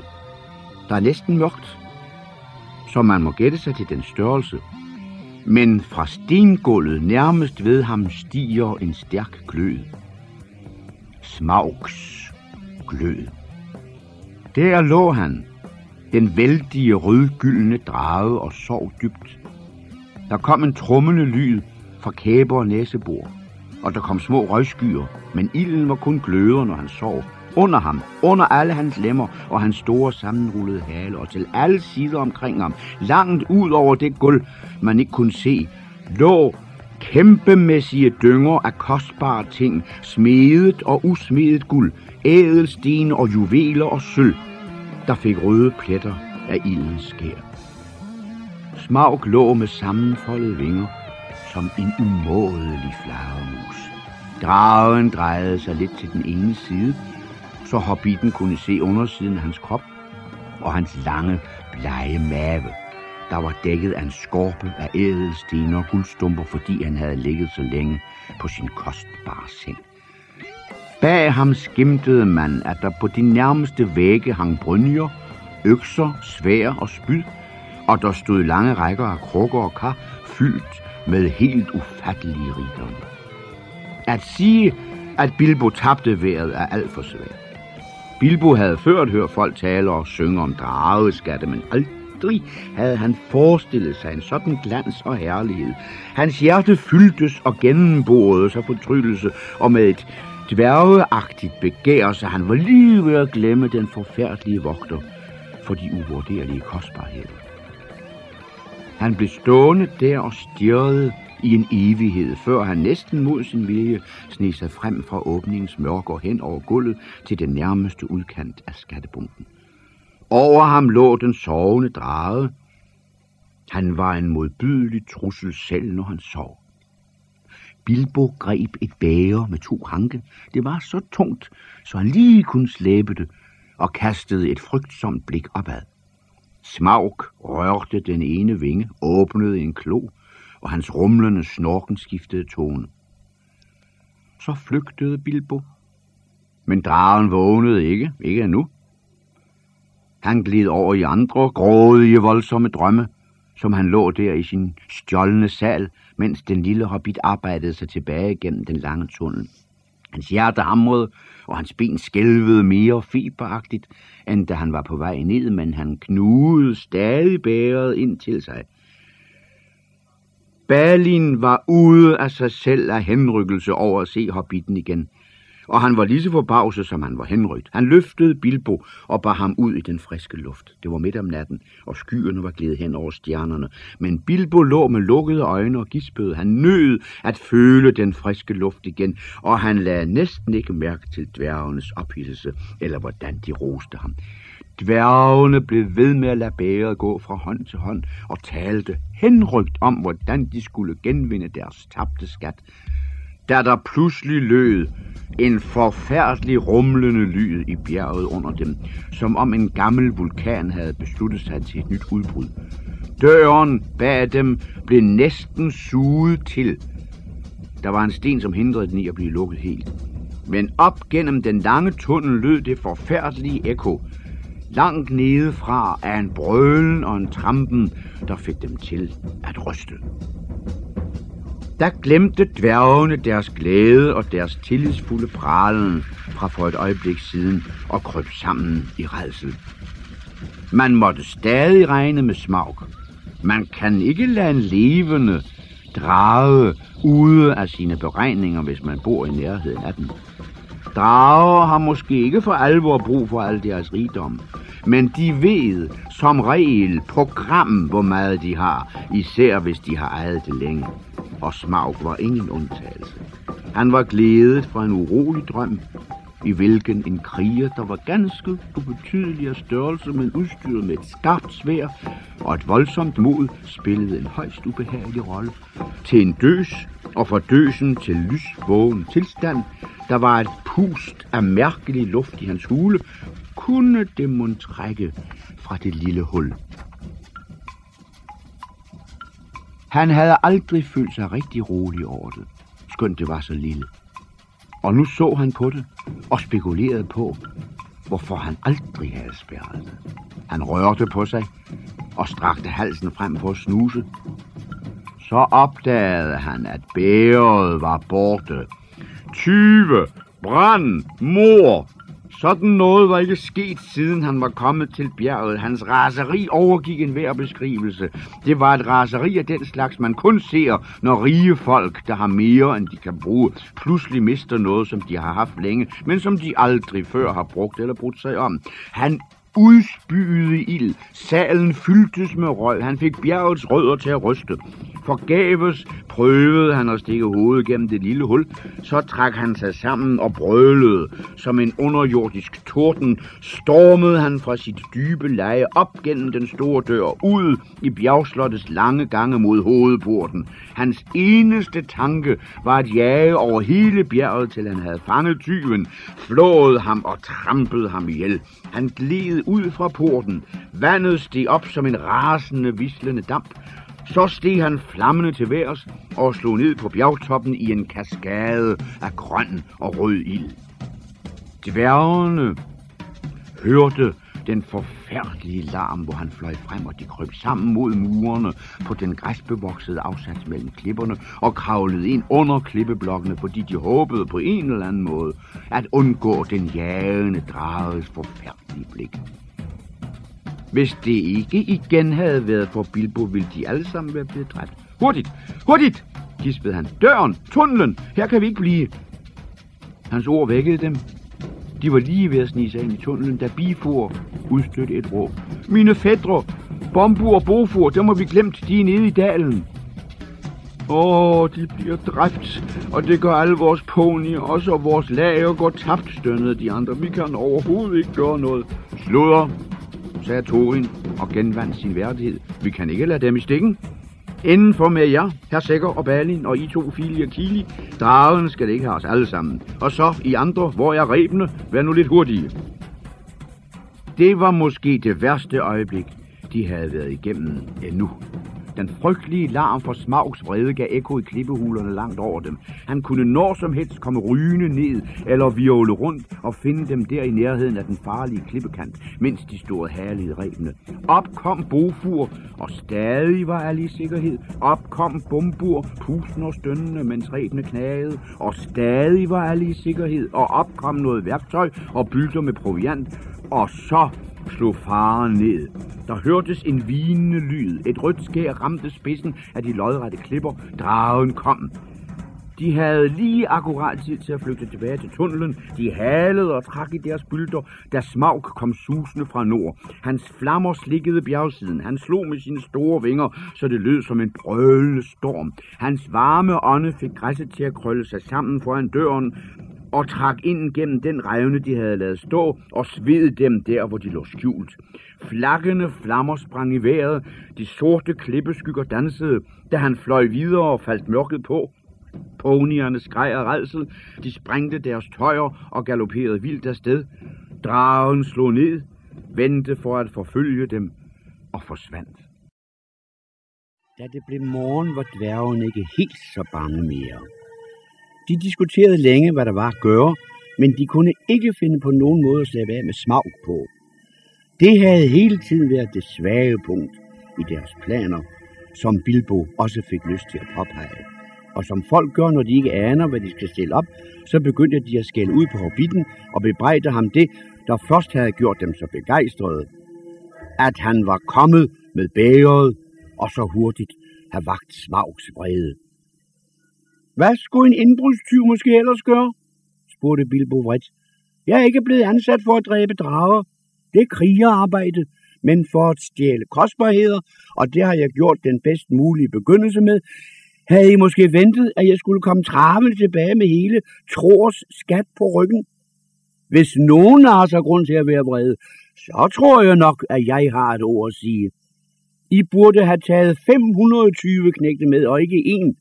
Skattens størrelse tjener vel nok til jeres bedstefars ære, men I kan ikke bilde mig ind, at I nogensinde har gjort det helt klart for mig, hvor enorm hans rigdom var.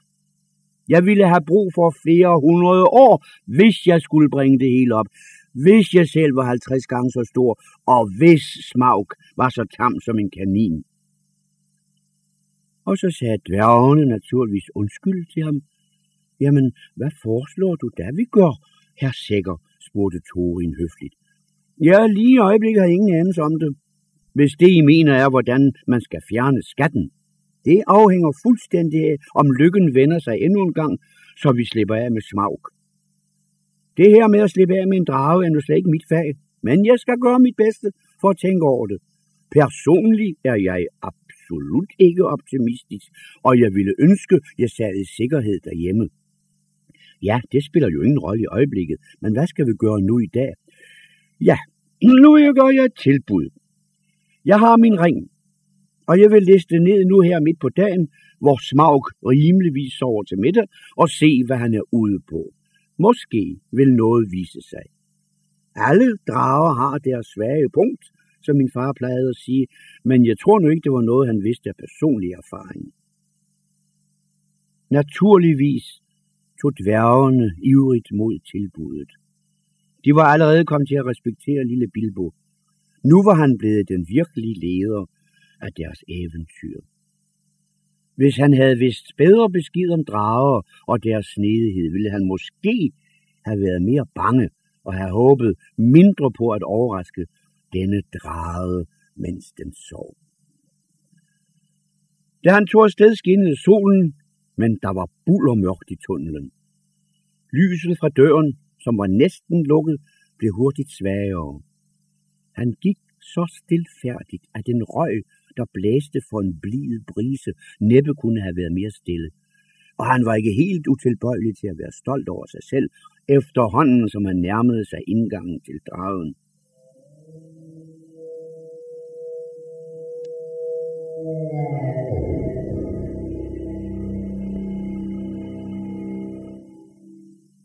Var kun en ganske svag blød at se.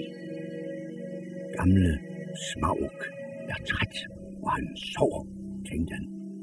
Han kan ikke se mig, og han kan ikke høre mig. Op med humøret, Bilbo. Han havde glemt, eller måske havde han aldrig hørt om dragers lugtesans. Det er også en mærkværdig kendskærning, at de kan holde det ene øje halvt åbent, mens de sover, hvis de er mistænksomme. Smaug så virkelig ud til at sove dybt. Næsten død og mørk så han ud, og der var næppe mere snorken end et pust af usynlig damp, da Bilbo igen kiggede frem fra indgangen. Han var lige ved at gå ud på gulvet, da han pludselig lagde mærke til en tynd, stærk, rød stråle, der kom ud under det sænkede låg på Smaugs venstre øje. Han låede kun, som om han sov. Han holdt øje med indgangen til tunnelen. Hurtigt trådte Bilbo baglæns. Han velsignede sin ring. Så talte Smaug. Nå, tyv, jeg kan lugte dig, og jeg kan vejre dig. Jeg hører dig trække vejret. Kom herhen. Nå sko og forsyn dig igen. Der er nok at tage. Men Bilbo var heller ikke så blottet for dragekundskab, og hvis Smaug havde håbet, at han så let havde kunnet lokke ham nærmere, blev han skuffet. Nej tak. Åh, oh, smag, den vældige, svarede han. Jeg er ikke kommet efter gaver. Jeg ville bare gerne se på dig og se, om du virkelig skulle være så stor, som historierne fortæller. Jeg troede ikke på dem. Gør du det nu? spurgte dragen lidt smiret, selvom man ikke troede et ord af det. Sangen og savn kan rigtig nok slet ikke måle sig med virkeligheden. Åh, oh, smag, den fornemmeste og største af alle katastrofer, svarede Bilbo. Du er meget velopdragen af en tyv og en løgnhals at være, sagde dragen. Du er åbenbart fortrolig med mit navn, men jeg kan ikke huske, at jeg har lugtet dig før. Må jeg have lov til at spørge, hvem du er, og hvor du kommer fra? Ja, naturligvis. Jeg kommer fra under højene, og under højene og hen over højene er min vej gået, og gennem luften, og jeg er den, der vandrer uset. Det tror jeg gerne, sagde Smaug. Men det er vel næppe det navn, du plejer at blive kaldt. Jeg er sporfinderen, netklipperen, den stikkende flue. Jeg er blevet valgt for lykketallets skyld. Fine titler, fnøs dragen, men lykketal stemmer ikke altid. Jeg er ham, der begraver mine venner levende, drukner dem og dog trækker dem levende op af vandet. Jeg kommer fra dybet af en sæk, men har ingen sæk over mig. Det lyder ikke helt så hæderligt, hånede dragen. Jeg er Bjørnes ven, Ørnes gæst, jeg er ringvinderen og heldbæren, og jeg er tønderytter, fortsatte Bilbo, som var begyndt at more sig over sine egne gåder. Det lyder bedre, sagde Smaug, men lad nu ikke fantasien løbe af med dig. Det er selvfølgelig den rigtige måde at tale med drager på, hvis man ikke ønsker at røbe sit rigtige navn. Og det er klogt. Og heller ikke ønsker at gøre dem rasende med et blankt afslag. Og det er også meget klogt. Ingen drage kan stå for det spændende i gådetale og lade være med at bruge tid på at finde ud af den. Der var en masse her, som Smaug slet ikke forstod. Men det regnede jeg med, at I gør. For I ved jo alt om de eventyr, som Bilbo talte om. Men han mente, at han forstod nok og lå i sit ondskabsfulde indre. Øh, var det ikke det, jeg tænkte i går aftes, lå han ved sig selv. Der er en eller anden plan, der er lagt af disse lønlige tøndehandlende søfolk. Ellers er jeg et fireben. Det er mange, mange år siden, jeg har været dernede. Men det skal vi snart få gjort noget ved. Godt, godt. O, tønde rytter, sagde han højt. Måske din pony hedder tønde, og måske ikke, skønt den var fed nok. Det kan godt være, du kan gå uset, men du er ikke gået hele vejen. Lad mig fortælle dig, at jeg spiste seks ponyer i går aftes, og jeg skal nok fange og spise dem alle sammen, før der er gået lang tid. Til gengæld for et dejligt måltid vil jeg give dig et råd for din egen skyld. Du skal ikke have mere end højst nødvendigt med dværge at gøre. Dværge? sagde Bilbo og lå, som om han blev overrasket. Afbryd mig ikke, sagde Smaug. Jeg kender nok lugten og smagen af dværg. Der findes intet bedre. Du skal ikke komme og fortælle mig, at jeg skulle kunne spise en dværgreden pony, uden at være klar over det. Det ender galt med dig, hvis du drager videre med den slags venner, tyv, tønderytter. Du må gerne gå tilbage og hilse dem fremme og sige det til dem. Men han sagde ikke til Bilbo, der var en lugt, som man slet ikke kunne finde ud af, og bitlugten. Den lå helt uden for hans erfaring og gjorde ham meget forvirret. Jeg går ud fra, at du fik en god pris for det bager i går aftes, fortsatte han. Fortæl mig det nu. Gjorde du ikke? Fik du slet ikke noget? I, hvor det ligner dem, og jeg regner med, at de gemmer sig udenfor, og at det er din opgave at gøre alt det farlige arbejde og få fat i, hvad du kan til dem, når jeg ikke kigger. Og du får en pæn andel af det. Det skal du ikke tro på. Hvis du kommer fra det med livet, er du heldig. Nu begyndte Bilbo at føle sig virkelig ubehagelig til mode. Han skælvede, når Smaugs flakkende blik søgte ham i halvmørket og gled hen over ham, og et uforklarligt ønske om at fare frem og afsløre sig og fortælle Smaug sandheden greb ham. Han befandt sig med andre ord i en uhyggelig fare for at komme ind under dragens trolddom. Men han tog mod til sig og talte igen. Du ved ikke alt. O Smaug, den mægtige, sagde han. Det er ikke alene guld, der har bragt os hertil. Ah, du indrømmer altså, at det er os, lo Smaug. Hvorfor ikke sige os 14 og få det overstået her lykketal? Det glæder mig at høre, at du har andre ærender her på en, end mit guld. I så tilfælde har du måske ikke spildt din tid helt. Jeg ved ikke, om det er faldet dig ind, at selvom du kunne stjæle guldet stykke for stykke, det ville vel tage en 100 år, så ville du ikke nå ret langt. På bjerget ville I ikke have meget glæde af det, og I ville heller ikke have meget glæde af det i skoven. Vel? Ak ja. Har du aldrig tænkt på, hvad du selv ville få ud af det? Det bliver vel omkring en 14. del eller sådan noget. Var det må ikke betingelserne? Og hvad med transportomkostninger? Og hvad med leveringen? Og hvad med bevæbnede vagter og afgifter? Og smag lå højt, han havde et under snedigt hjerte, og han vidste, at han ikke havde gættet meget ved siden af, selvom han mistænkte folkene fra Søby for at stå bag ved planerne, og mente, at det var meningen, at det meste af plyndringsgodset skulle blive i byen ved søen, som i hans unge dage havde heddet Eskarot. I vil nok ikke tro det, men stakkels Bilbo blev virkelig forbløffet. Indtil nu havde alle hans tanker og al hans energi koncentreret sig om at nå frem til bjerget og finde indgangen. Han havde aldrig bekymret sig om, hvordan skatten skulle komme ud derfra, eller i hvert fald ikke om, hvordan den del af den, der måtte tilkomme ham, skulle bringes hele vejen tilbage til sækkedyb, nederhøj.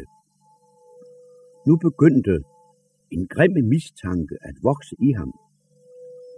Skulle dværgene også have overset dette vigtige punkt? Eller havde de grinet i skægget af ham hele tiden? Den virkning har dragetale på den uerfarne.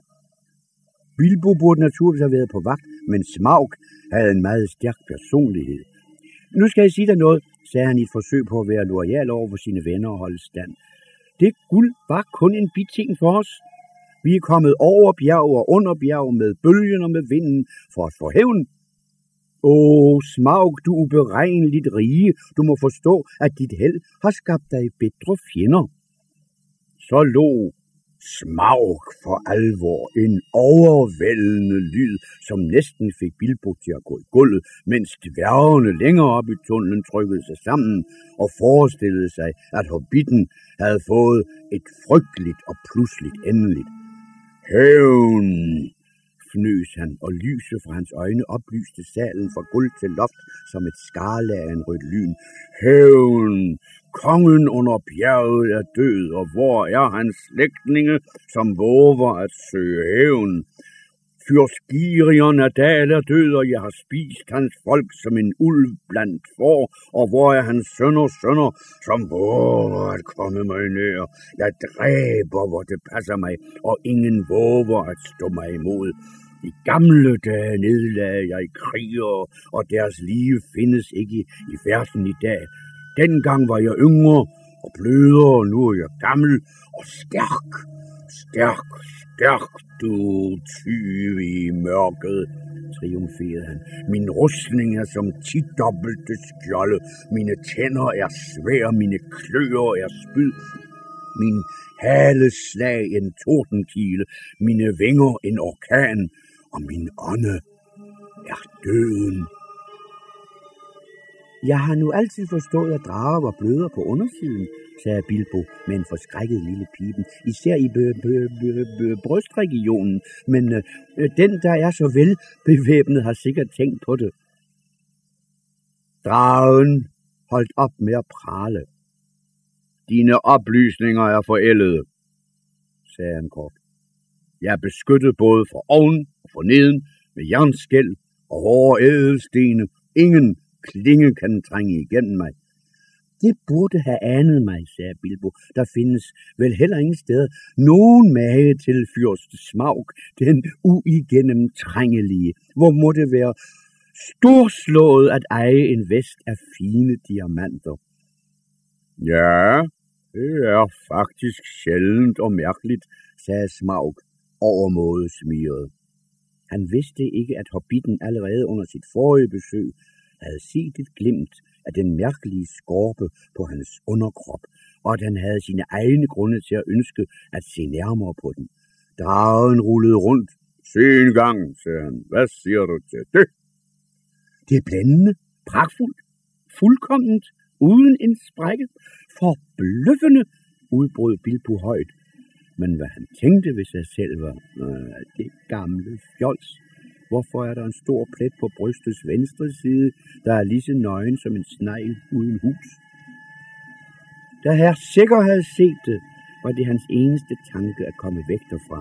Nå, men jeg må sandt ikke sænke deres herlighed længere, sagde han, eller forstyrre dem i en tiltrængt hvile. Det kræver vel ikke så lidt at fange ponier, når de har fået godt forspring, og det samme gælder 20, tilføjede han som afskedssalut, i det han pilede tilbage og flygtede op i tunnelen. Det var ikke nogen heldig bemærkning. for dragen spyede frygtelige flammer efter ham, og skønt han løb alt, hvad han kunne op ad skråningen, var han ikke nået nær langt nok til at føle sig i sikkerhed, før Smaug skød sit uhyggelige hoved mod åbningen bag ham. Heldigvis kunne hele hovedet og kæberne ikke nå ind, men næseborene sendte ild og damp efter Bilbo. Han var lige ved at besvime og tumlede blindt afsted i stor skræk og smerte. Han havde været så godt tilfreds med sin kvikke samtale med Smaug, men fejltagelsen til sidst fik ham på bedre tanker. Man må aldrig gøre grin med en levende drage, Bilbo, de faghoved, sagde han til sig selv, og det blev senere et af hans yndlingsudtryk og et ordsprog. Du har ikke på langt nær klaret dig gennem dette eventyr, tilføjede han. Og det var så sandt, som det var sagt. Eftermiddagen var ved at blive til aften, da han kom ud igen. Snublede og faldt besvimet om på dørtrinet. Dværgene fik ham til bevidsthed og behandlede hans brændsår så godt de kunne, men det varede længe, før håret på hans baghoved og hans hale voksede rigtigt ud igen. Det var blevet svedet og kruset helt ind til huden.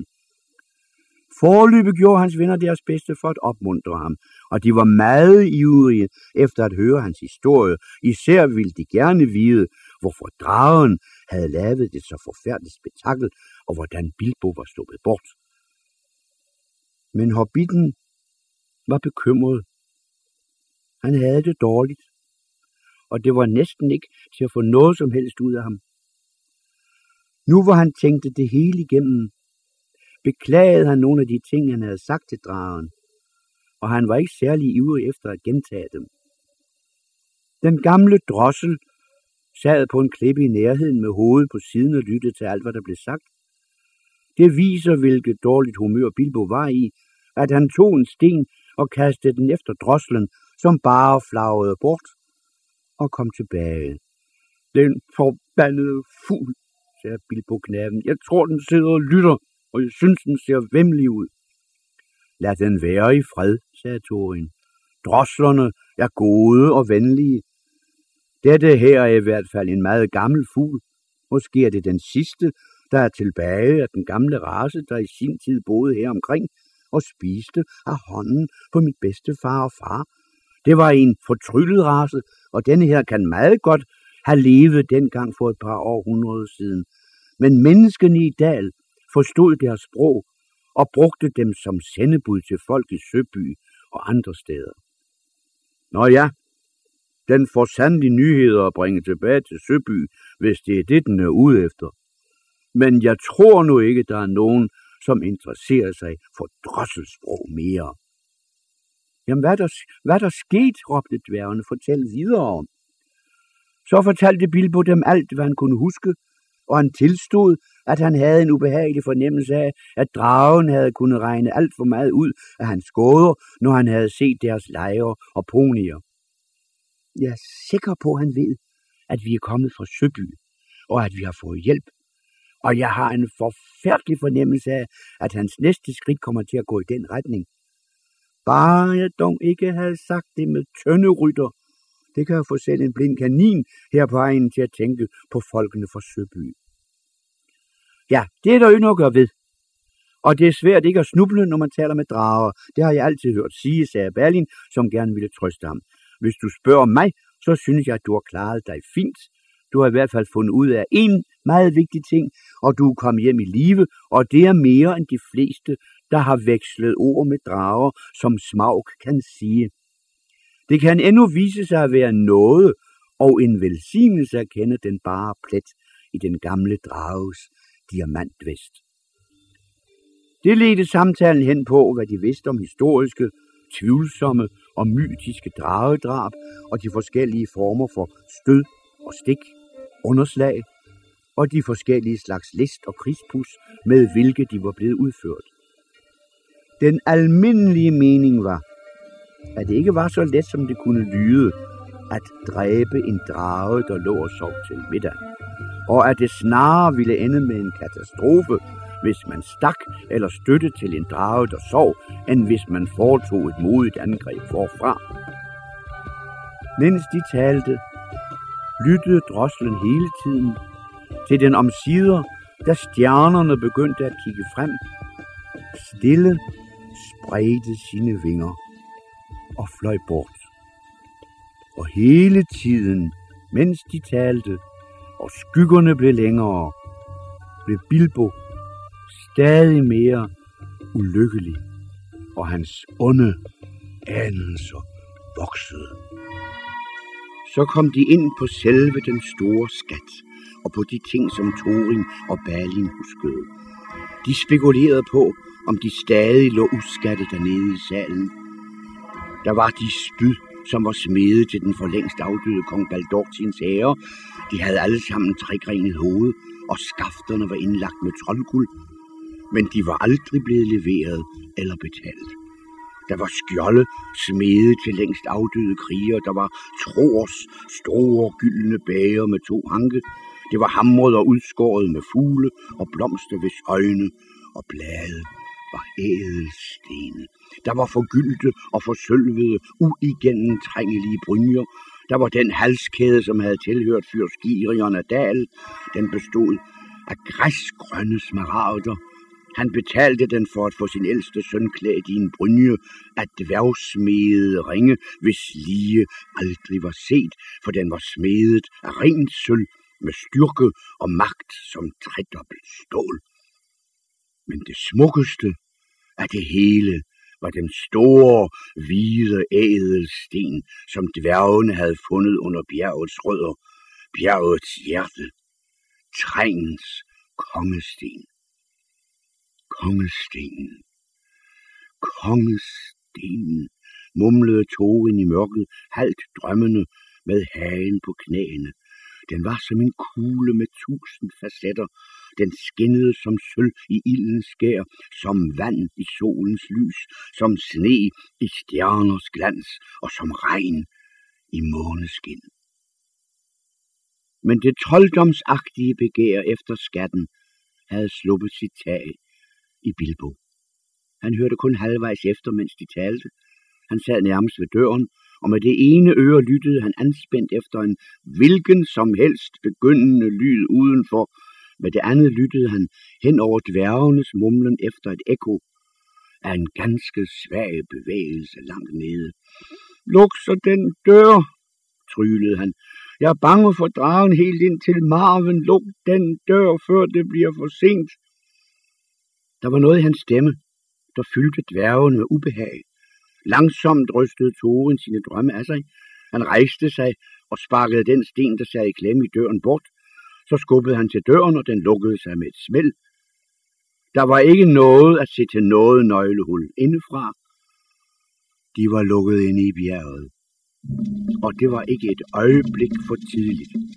De havde kun gået et lille stykke ned ad tunnelen, før slaget ramte bjergsiden som murbrækkere af egetræ, der blev svunget af kæmper. Bjerget drønede, klippen slog revner, og der faldt sten for loftet ned i hovedet på dem. De flygtede længere ned igennem tunnelen, de var glade over stadig at være i live, og bag sig udenfor hørte de brølen og rumlen af Smaugs raseri.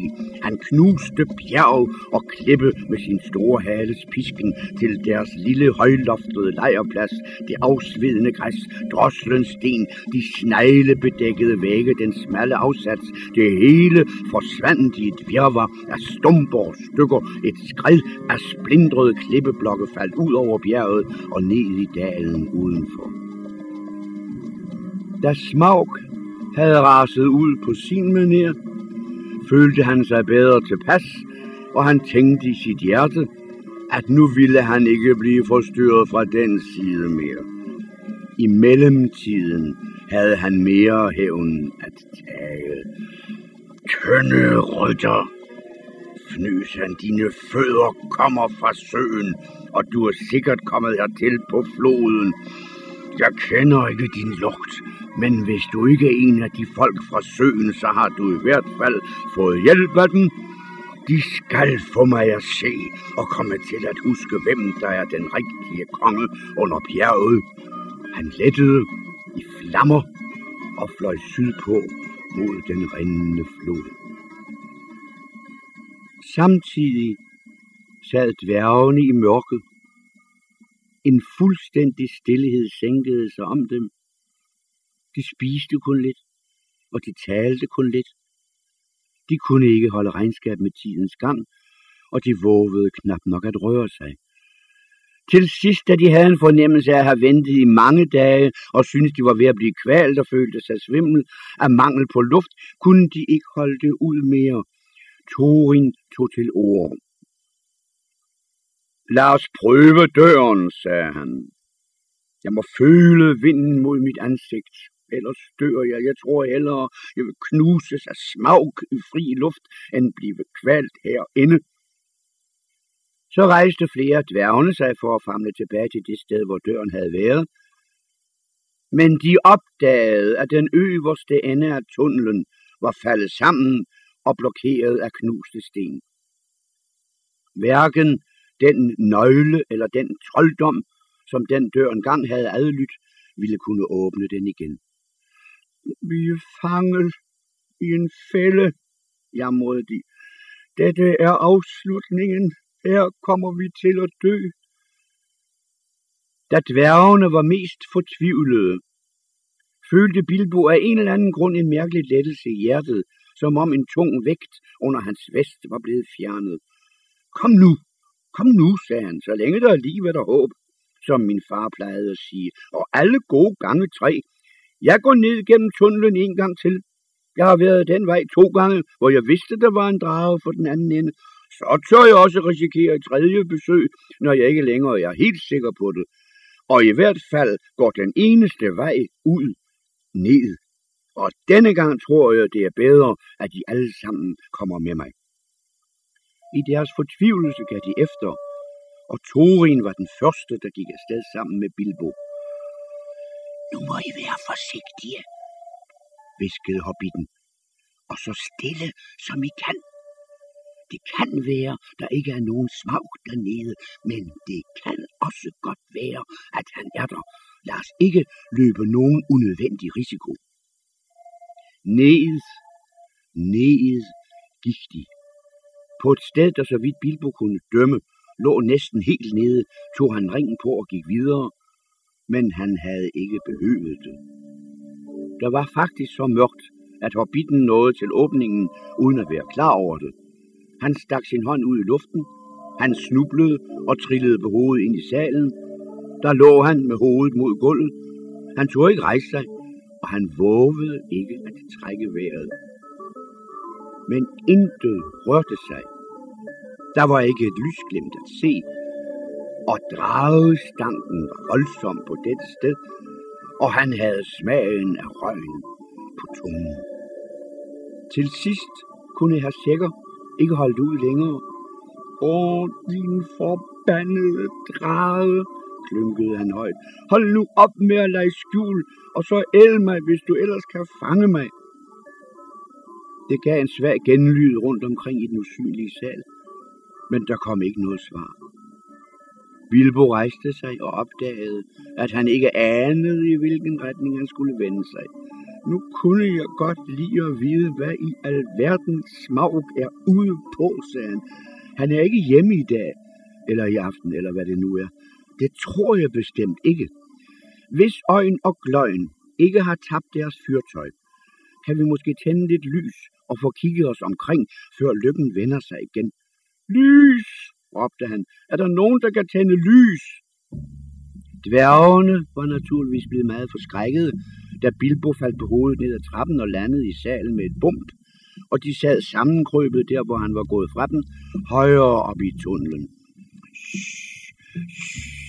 tyssede de, da de hørte hans stemme.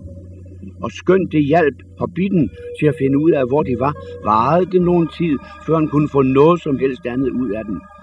Men da Bilbo til sidst begyndte at stampe i gulvet og råbe lys, så højt han kunne, gav Thorin efter, og øjen og gløjen blev sendt tilbage til deres bylder op i tunnelen. Da der var gået nogen tid, viste et glimt, at de var på vej tilbage. Øjen med en lille tændt fyrretræsfakkel i hånden, og kløjen med et bundt fakler under armen. Bilbo travede hurtigt hen til døren og tog faklen, men han kunne ikke overtale dværgene til at tænde de andre, eller til at slutte sig til ham. Som Thorin omhyggeligt forklarede, var herr Sækker stadig officielt deres indbrudsekspert og den, der skulle udforske tingene. Hvis han turde løbe risikoen ved at tænde lys, så måtte han om det. Selv ville de vente på hans rapport i tunnelen, så satte de sig i nærheden af døren og kiggede. De så hobbitens lille mørke skikkelse begynde at gå tværs over gulvet med den lille fakkel højt løftet. Nu og da, mens han stadig var nær nok, opfattede de et glimt og en klirren, når han snublede over noget af guldet. Lyset blev svagere efterhånden, som han gik længere bort fra dem i den umådelige sal, og så begyndte det at stige og danse op i luften. Bilbo var i færd med at klatre op af den store bunke kostbarheder. Snart stod han på toppen. Han blev ved at gå. De så ham gøre holdt og bøje sig et øjeblik, men de vidste ikke, hvad grunden var. Det var kongestenen, bjergets hjerte. Bilbo gættede det efter Torins beskrivelse. Der kunne ikke findes to sådanne ædelstene, end ikke i en så pragtfuld skatbunke, ja, ikke engang i hele verden. Mens han klatrede, havde det hvide skær skinnet foran ham og trukket hans fødder op mod sig. Langsomt blev det til en blegt, skinnende kugle. Nu hvor han nærmede sig, tog dens ydre farve af de mange flakkende gnister fra hans fakkel, der spejlede sig på overfladen. Om sider så han ned på den, og han holdt vejret.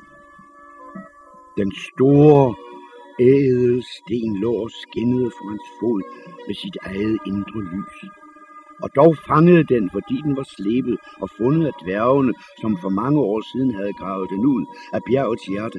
Alt lys, der faldt på den og forvandlede det til 10.000 hvide, strålende gnister med stænk af alle regnbuens farver. Pludselig strakte Bilbo armen hen mod den, tiltrukket af dens trolddom. Hans lille hånd kunne ikke lukke sig om den, for det var en stor og tung sten, men han løftede den, lukkede øjnene og lagde den ned i sin dybeste lomme. Nu er jeg en rigtig indbrudstyv, tænkte han. Men før eller senere må jeg vel fortælle dværgene om den. De sagde jo, at jeg selv kunne vælge min egen andel. Og jeg tror, jeg vælger denne her, så kan de tage resten. Alligevel havde han en ubehagelig fornemmelse af, at det ikke havde været meningen, at valget skulle omfatte denne pragtfulde ædelsten, og at der ville komme ballade ud af det. Han gik ned på den anden side af den store bunke, han havde besteget. Glimtet fra hans fakkel forsvandt, og de spejtende dværge kunne ikke længere se lyset fra hans fakkel, men det varede ikke længe, før de igen fik øje på den langt borte. Bilbo var på vej over salens gulv. Han kiggede ængstligt ud i en stor gang, og en utydelig begyndelse til en bred trappe, der førte op ad mørket. Og der var stadig intet at se eller høre til smag. Han var netop ved at vende og gå tilbage, da noget mørk slog ned over ham og fejede mod hans ansigt. Han skreg og for sammen, tumlede baglæns og faldt. Hans fakkel faldt med ilden nedad og gik ud. Torin, Balin, Øjn, Pløjn, Fili, Kili, råbte han i sine lungers fulde kraft. Det lød som en lille tynd lyd i det store rum. Lyset er gået ud. Er der ikke en eller anden, der vil komme og hjælpe mig og finde mig? I dette øjeblik svigtede hans mod fuldstændigt. Dværgene hørte utydeligt hans svage råb, men det eneste ord, de kunne opfatte, var hjælp. Hvad i alverden eller under verden kan der være sket, sagde Torin. Det kan bestemt ikke være dragen, så ville han ikke blive ved at pibe. Kom nu, en af jer med et par lys eller to. Vi bliver nødt til at gå hen og hjælpe vores tyve. Ja, det må vist også være vores tur til at hjælpe, sagde Berlin, og jeg er parat til at gå, om mund ikke det er sikkert i øjeblikket. Gløjen tændte en hel masse fakler, og så listede de sig alle afsted en for en. De gik langs muren så hurtigt de kunne. Det varede ikke længe før de mødte Bilbo selv, der var på vej hen imod dem. Han havde hurtigt taget sig sammen, da han så deres lys blinke. det, var, det, var, det var bare en flagermus og en tabt fakkel, ikke andet, sagde han som svar på deres spørgsmål. Selvom de var meget lettede, havde de meget lyst til at skælde ham ud, fordi han havde forskrækket dem uden grund. Men jeg ved ikke, hvad de ville have sagt, hvis han havde fortalt dem om kongestenen i det øjeblik.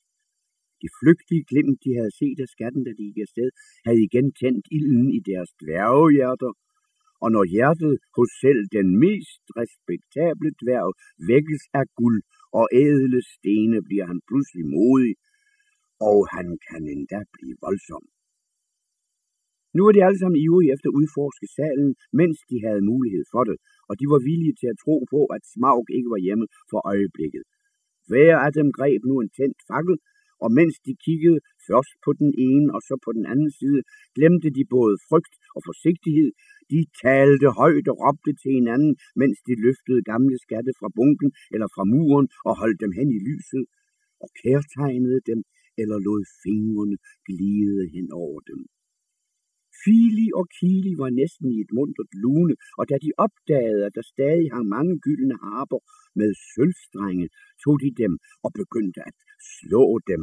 Og fordi det var trylleharper, og fordi dragen, der ikke var særlig musikinteresseret, ikke havde rørt dem, havde de holdt stemningen. Den mørke sal blev fyldt med en melodi, der længe havde været tavs. Men de fleste dværge var mere praktiske. De samlede ædelstene og fyldte deres lommer og lod det, de ikke kunne bære, glide mellem deres fingre med et suk. Torin var ikke den mindst ivrige, men han søgte hele tiden på alle leder og kanter efter noget, han ikke kunne finde.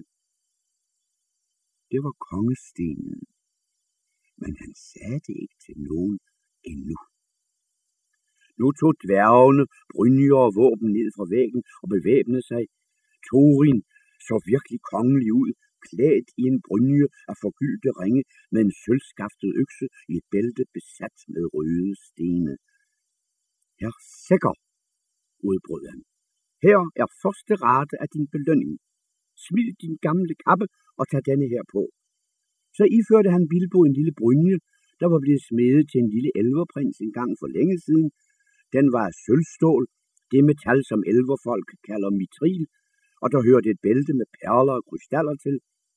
En let hjelm af mønstret læder, der var forstærket nedenunder med stålbånd og besat langs kanten med hvide ædelstene, blev anbragt på hobbitens hoved. Jeg føler mig flot, tænkte han, men jeg ser nok tosset ud. I, hvor vildt de grin øjen. Bare der dog var et spejl i nærheden. Her sikker modstod i hvert fald skattens fortryllelse bedre end dværgene. Torin, råbte han højt. Hvad skal vi nu gøre? Vi er bevæbnede. Men har en rustning nogensinde været til nogen nytte mod Smaug den forfærdelige? Skatten her er endnu ikke vundet tilbage. Vi kan ikke give os til at lede efter guld nu. Vi må lede efter en måde at komme ud herfra på. Vi har fristet skæbnen alt for længe. Det er sandt, hvad du siger, svarede Thorin, der var kommet til fornuft igen. Lad os gå. Jeg skal føre jer.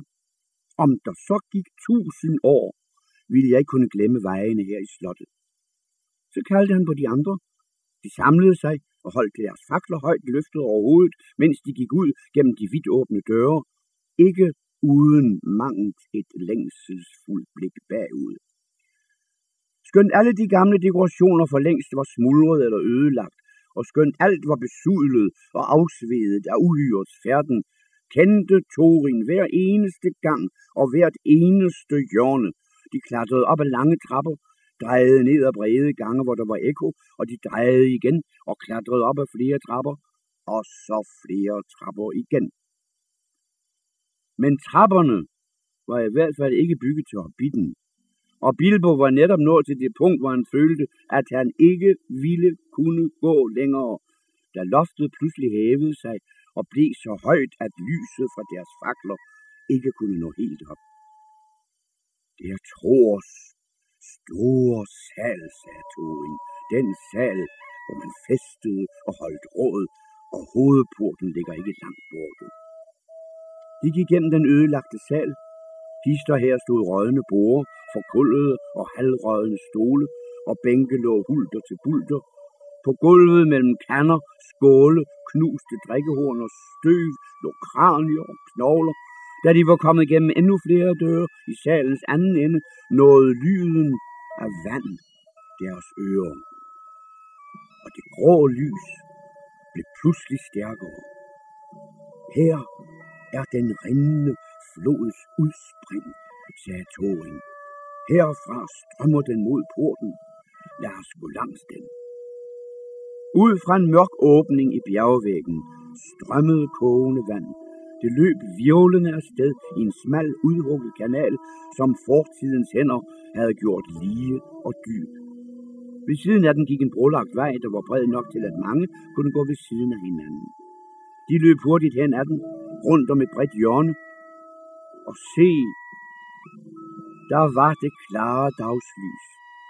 Foran dem hævede sig en høj bue, der stadig var rester af gammelt træskærearbejde, men det var slidt og splindret og sortsveden. En diset sol sendte sit blege lys ind mellem bjergets udløbere. De gyldne stråler faldt på tærsklens brolægning.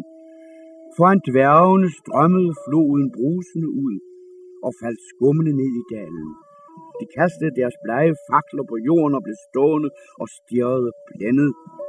De var nået til porten og så ud på byen Dal. Ja, ja, sagde Bilbo. Jeg havde da aldrig tænkt mig, at jeg skulle komme til at se ud af denne port. Og jeg havde ikke ventet, at jeg ville være så glad for at se solen igen og føle vinden mod mit ansigt.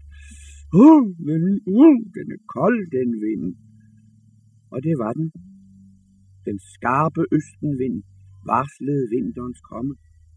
Den virvlede henover og rundt om bjergets arme, ned i dalen og sukkede blandt klipperne. Efter det lange ophold i de dragehærede grotters stejhede dyb, rystede de. Var der en af indbyggerne i Søby, der sagde, der har vi lysene igen. Sidste nat så vagterne dem flamme op og forsvinde fra midnat til daggry. Der er noget på færre deroppe på bjerget. Det er måske kongen under bjerget, der smeder sit guld, sagde en anden. Det er længe siden, han drog nordpå. Det er snart på høje tid, at de sange viser sig at være sande. Hvilken konge? spurgte en af de andre med barsk stemme. Det er efter al sandsynlighed dragens ødelæggende ild. Han er den eneste konge under bjerget, som vi nogensinde har kendt. Du har det nu altid med at komme med sådan nogle dystre spådomme, sagde de andre. Alt muligt fra oversvømmelser til forgiftede fisk. Prøv at tænke på noget morsomt. Så flammede et voldsomt lys pludselig op i dalen mellem bjergene, og den nordlige ende af søen blev gylden. Kongen under bjerget, råbte de. En sølvklar kildes fyrste. Hans rigdom er som kilden. Hver flod er fyldt med guld. Hver sø får ilden skær. Floden strømmer med guld fra bjerget, råbte de, og alle vegne var der vinduer, som blev åbnet, og fødder, som løb. Nu blev der igen stor opstandelse og begejstring. Men manden med den barske stemme lød sporenstrejs til fyrsten. Dagen kommer, eller I må kalde mig Mads, råbte han. Hug broerne ned. Til våben, til våben. Pludselig lød trompeternes advarselssignaler. De gav ekko langs klippekysten. Hurra-råben stansede, og glæden var forvandlet til redsel. Således gik det til, at dragen ikke fandt dem helt uforberedt.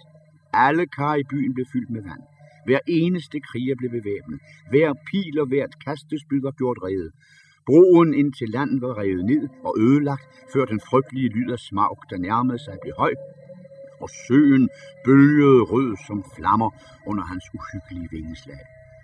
Under hyl og skrig og råb fra menneskene dykkede han ned over dem. Han fejede hen mod broen og blev narret. Broen var borte, og hans fjender befandt sig på en ø i dybt vand, der var for dybt og mørkt og koldt efter hans smag. Brølende fejede han tilbage over byen.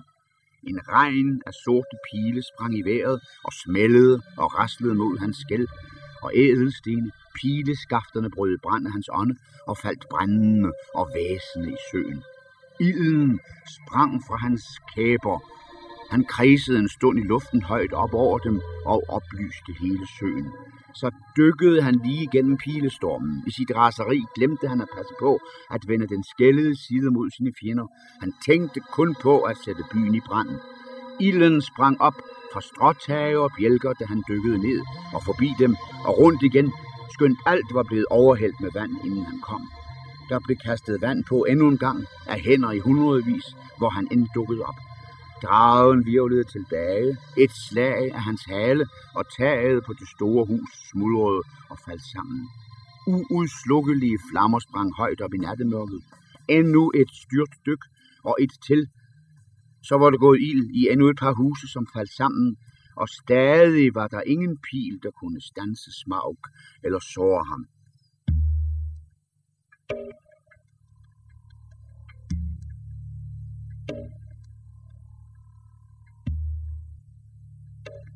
Der var allerede mennesker, som var ved at springe ned i vandet til begge sider.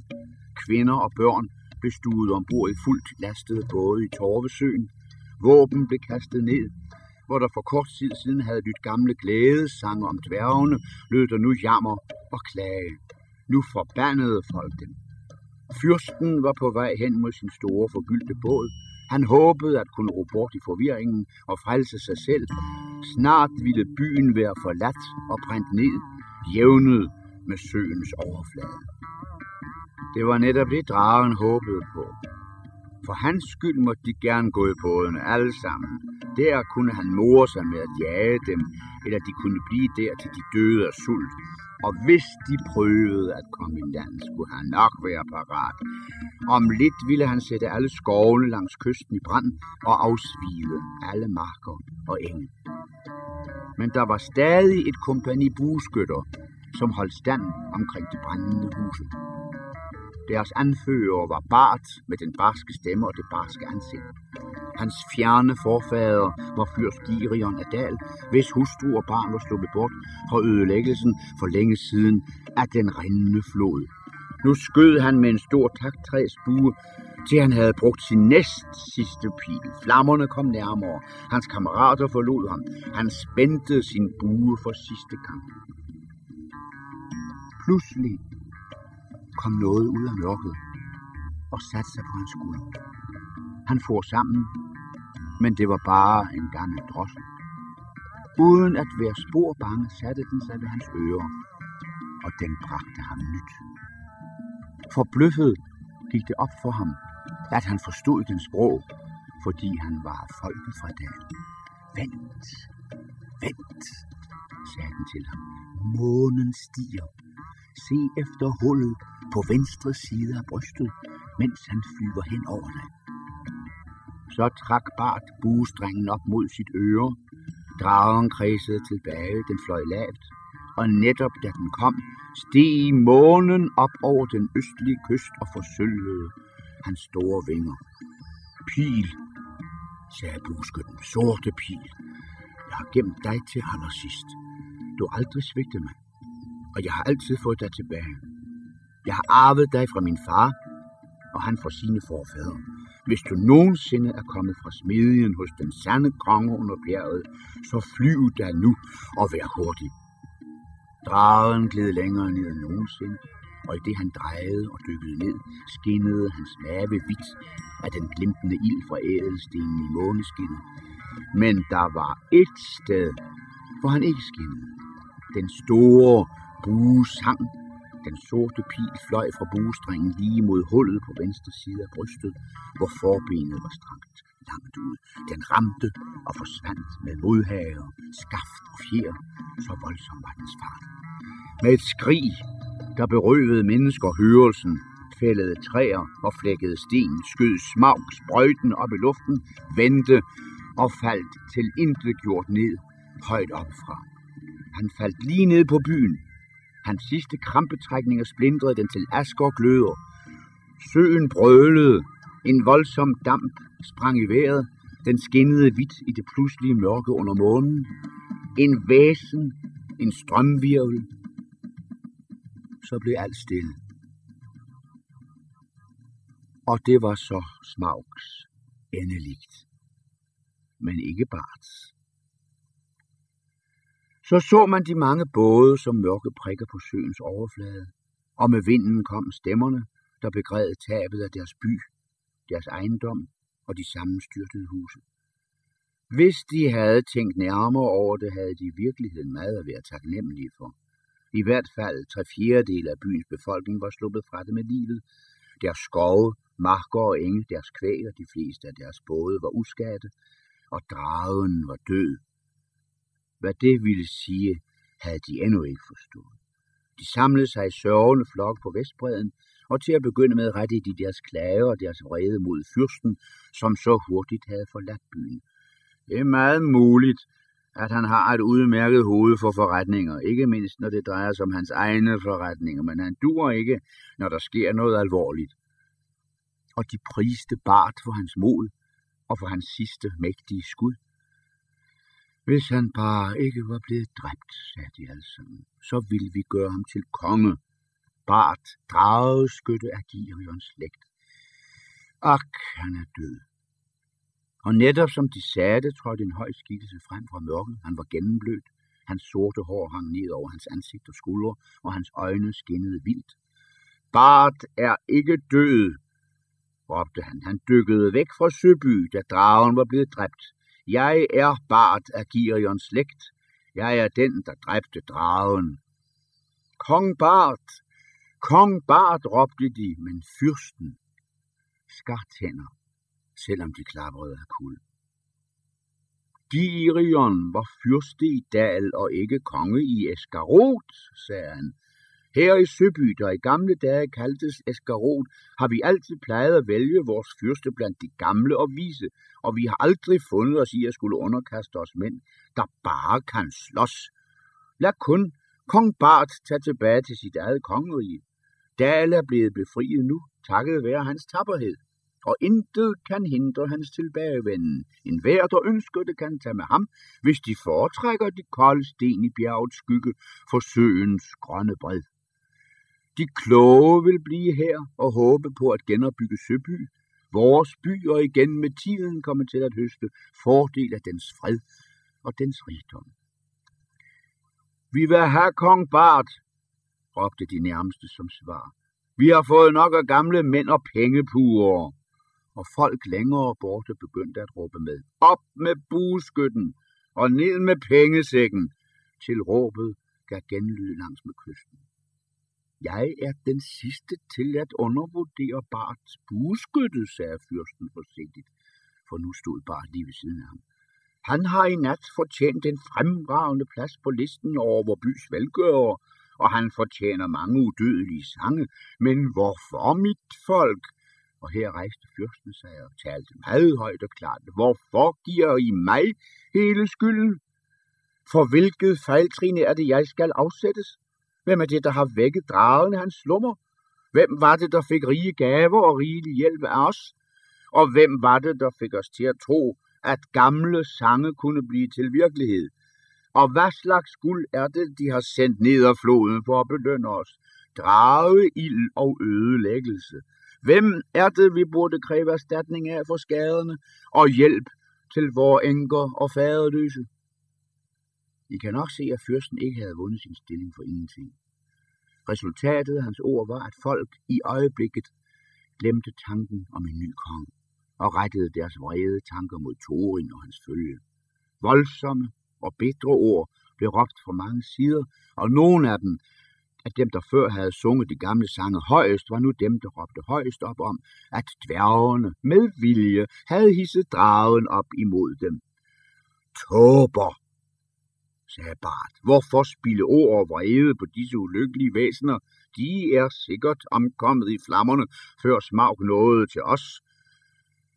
Men mens han talte, blev han slået af den tanke, at den savnomspundne skat i bjerget nu lå uden vogter eller ejer, og han blev pludselig tavs. Han tænkte på fyrstens ord, på et genrejst dal med gyldne klokker, hvis han bare kunne finde de rigtige mennesker. Til sidst talte han igen. Dette er ikke det rette tidspunkt at tale vrede ord på, herre, eller til at lægge planer om store forandringer. Der er arbejde at gøre. Jeg står stadig i jeres tjeneste, men om nogen tid vil jeg måske gentænke på jeres ord og drage nord på med en vær, der vil følge mig. Så gik han sin vej for at hjælpe til med at ordne lejrene og for at tage sig af syge og sårede, men da han var gået, skumlede fyrsten bag hans ryg og blev siddende på jorden. Han tænkte meget, men sagde kun lidt. Alle steder, hvor Bart kom, var snakken gået som en løbebil om den enorme skat, der nu ikke havde nogen vogter.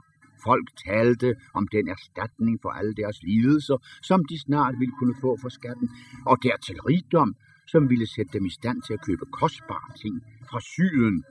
Og det opmuntrede dem meget i deres sørgelige situation. Det var godt det samme, for natten var kold og trist. Det var kun få, der kunne få tag over hovedet. Fyrsten havde fået det, og der var ikke ret meget mad. Selv fyrsten fik kun lidt.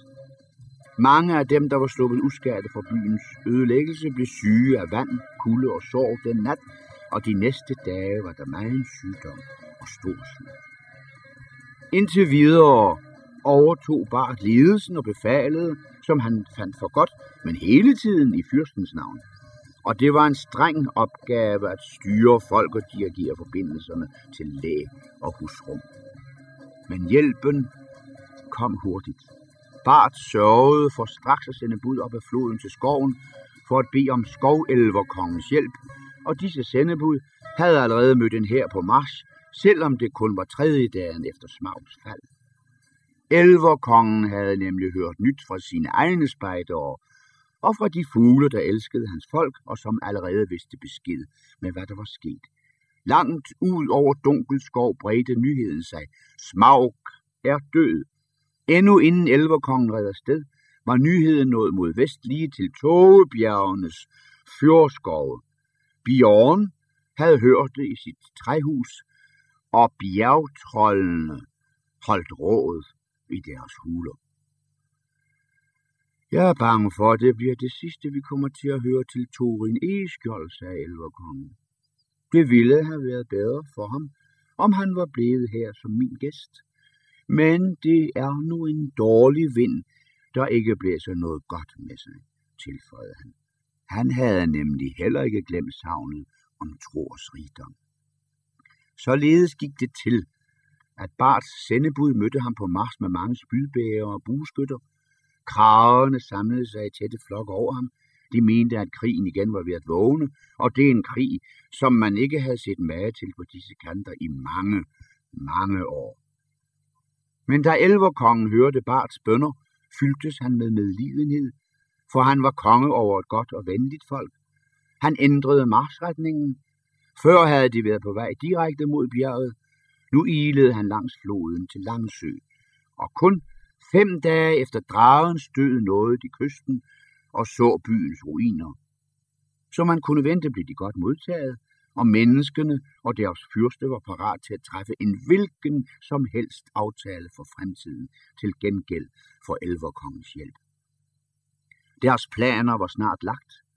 Fyrsten skulle blive tilbage med kvinder, børn, gamle og svage, og sammen med ham skulle der være nogle håndværkere og dygtige elverfolk. De havde travlt med at fælde træer og samle det tømmer, der blev sendt ned fra skoven, så gik de i gang med at rejse en del hytter langs kysten mod den vinter, der nærmede sig.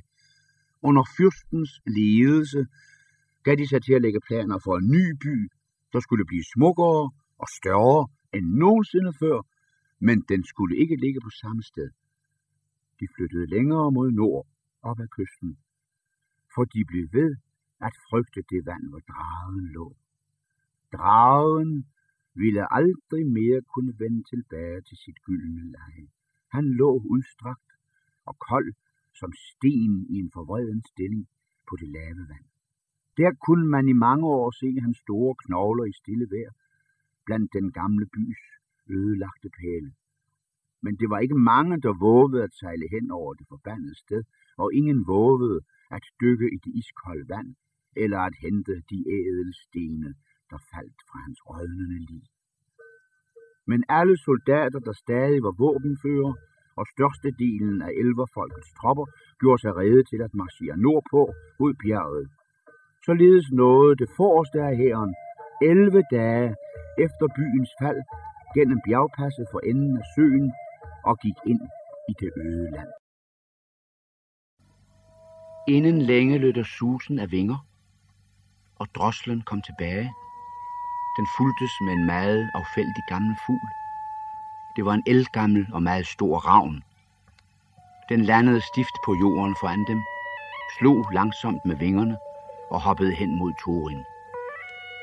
Hild dig, Torin Trejns søn og Balin Fundis søn, skreg den. Og Bilbo kunne forstå, hvad den sagde, for den brugte almindeligt sprog og ikke fuglesprog. Mit navn er Roak, søn af Kark. Kark selv er død, men ham kendte I godt engang.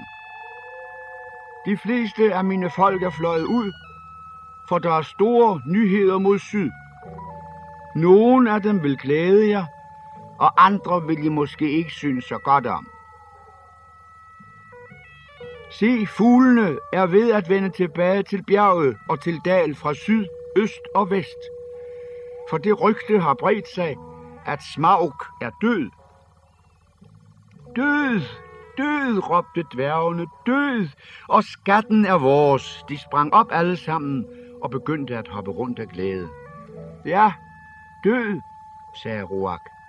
Droslen måtte hans fjer aldrig falde af, så ham dø, og vi må stole på hans ord. Han så dragen falde i kamp med menneskene fra Søby ved månens opgang for tre nætter siden. Det er den glædelige nyhed, Torin Egeskjold. I kan drage tilbage til jeres sale i sikkerhed. Hele skatten er jeres for øjeblikket. Men der er mange andre end fuglene, der er ved at samle sig her. Nyheden om Smaugs død har allerede spredt sig vidt omkring, og savnet om Troers rigdom har ikke mistet noget ved at blive fortalt i de mange år. Mange er ivrige efter at komme til at dele byttet. En hær af elverfolk er allerede på vej, og ådselfuglene følger med dem, fordi de håber på kamp og drab. I Søby ved søen er der folk, der mumler, at dværgene er skyld i deres sorg, fordi de er hjemløse, og mange af dem er døde, og smag har ødelagt deres by. De regner også med, at jeres skat, hvad enten I er levende eller døde, skal yde dem erstatning. Jeres egen visdom må bestemme jeres handlemåde. Hvis I vil lytte til mit råd, så stoler I ikke på søfolkets fyrste, men hellere på ham, der skød dragen med sin bue. Bart hedder han. Han er folket fra Dal og er Girions slægt. Han er en hård, men ærlig mand.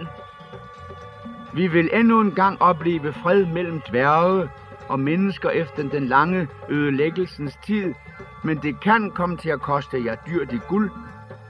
Jeg har talt. Så udbrød Thorin vredt, tak, Roak, søn af Kark. Du og dit folk skal ikke blive glemt. Så længe vi lever, skal intet af vort guld blive slæbt herfra af tyve eller voldsmænd. Hvis du vil gøre dig endnu mere fortjent til vor tak, så bring os bud om, hvem der nærmer sig. Jeg vil også bede jer, hvis nogen af jer stadig er unge og har stærke vinger, om at sende bud til vores slægt i bjergene mod nord, både vest og øst for det sted, og fortælle dem om vores situation. Men drag især til min fætter Dejen i Jernbjergene, for han har mange velbevæbnede mænd, og han er den, der bor nærmest. Bed ham om at skynde sig. Jeg skal ikke kunne sige, om det er en god eller en dårlig plan, skreg Roak, men jeg vil gøre, hvad jeg formår. Så fløj han langsomt sin vej. Nu må vi tilbage til bjerget, råbte Torin. Vi har ingen tid at spille. Og ikke ret meget mad at spise, modbrød Bilbo, der altid var praktisk, når det gjaldt den slags ting. De undersøgte hulerne endnu en gang, og konstaterede, som de havde regnet med, at kun hovedporten var åben. Alle de andre porte var for længst brudt sammen og blokeret af smag, Derfor begyndte de nu at arbejde hårdt på at befeste hovedindgangen. Mens de arbejdede, bragte ravnen dem hele tiden nyheder. På denne måde fik de at vide, at elverkongen var drejet af mod søen, og at de stadig havde et pusterum. Nu var de mere optimistiske, for med forsigtighed ville de have mad til nogle uger, og porten var allerede blokeret af en mur af firkantede sten hen over indgangen. Der var huller i muren, som de kunne se eller skyde igennem. De klatrede ind og ud ved hjælp af stiger og hejsede forsyninger op med reb. For at floden kunne komme ud, havde de bygget en smal lav bue under den nye væg, men i nærheden af indgangen havde de forandret det smalle leje til en bred dam. Hvis man ikke svømmede, var det nu kun muligt at nærme sig porten langs en smal klippeafsats til højre, set fra bjergvæggen.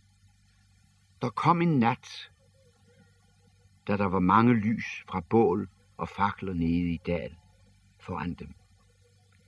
De er kommet, råbte Berlin, og deres lejr er meget stor. Den nat sov dværgene ikke meget. Morgenen var endnu bleg, da de så et kompani nærme sig. Bag deres mur så de dem nå til enden af dalen og klatre langsomt op. Inden længe kunne de se, at der både var bevæbnede mænd fra søen og elverbueskytter blandt dem. Til sidst klatrede de forreste op af de sammenstyrte klipper, og stor var deres overraskelse, da de så dammen foran sig og porten, der var spærret med en mur af nyhuggede sten. Mens de stod der og pegede og snakkede med hinanden, råbte Torin dem an. Hvem er I? råbte han med høj røst. Der kommer bevæbnet til mine porte til Torins søn af Træn, kongen, under bjerget, og hvad ønsker I? Men de svarede ikke. Nogen vendte hurtigt om, og andre fulgte efter, da de havde stirret en tid på porten og dens befæstninger. Den dag blev søfolkets og elverfolkets lejr flyttet over på den østlige side af floden, lige mellem bjergets udløbere. Klippen genlød af stemmer og sang, som den ikke havde gjort det i lange tider. Tidligt næste morgen så man et kompani spydbærer gå over floden og marchere op i dalen. De bar elverkongens grønne fane og søfolkets blå fane, og de rykkede frem, til de stod lige fra muren ved porten. Igen anråbte Thorin dem med høj røst. Hvem er I, der kommer til mine porte, til Thorin, Trejns søn, kongen under bjerget?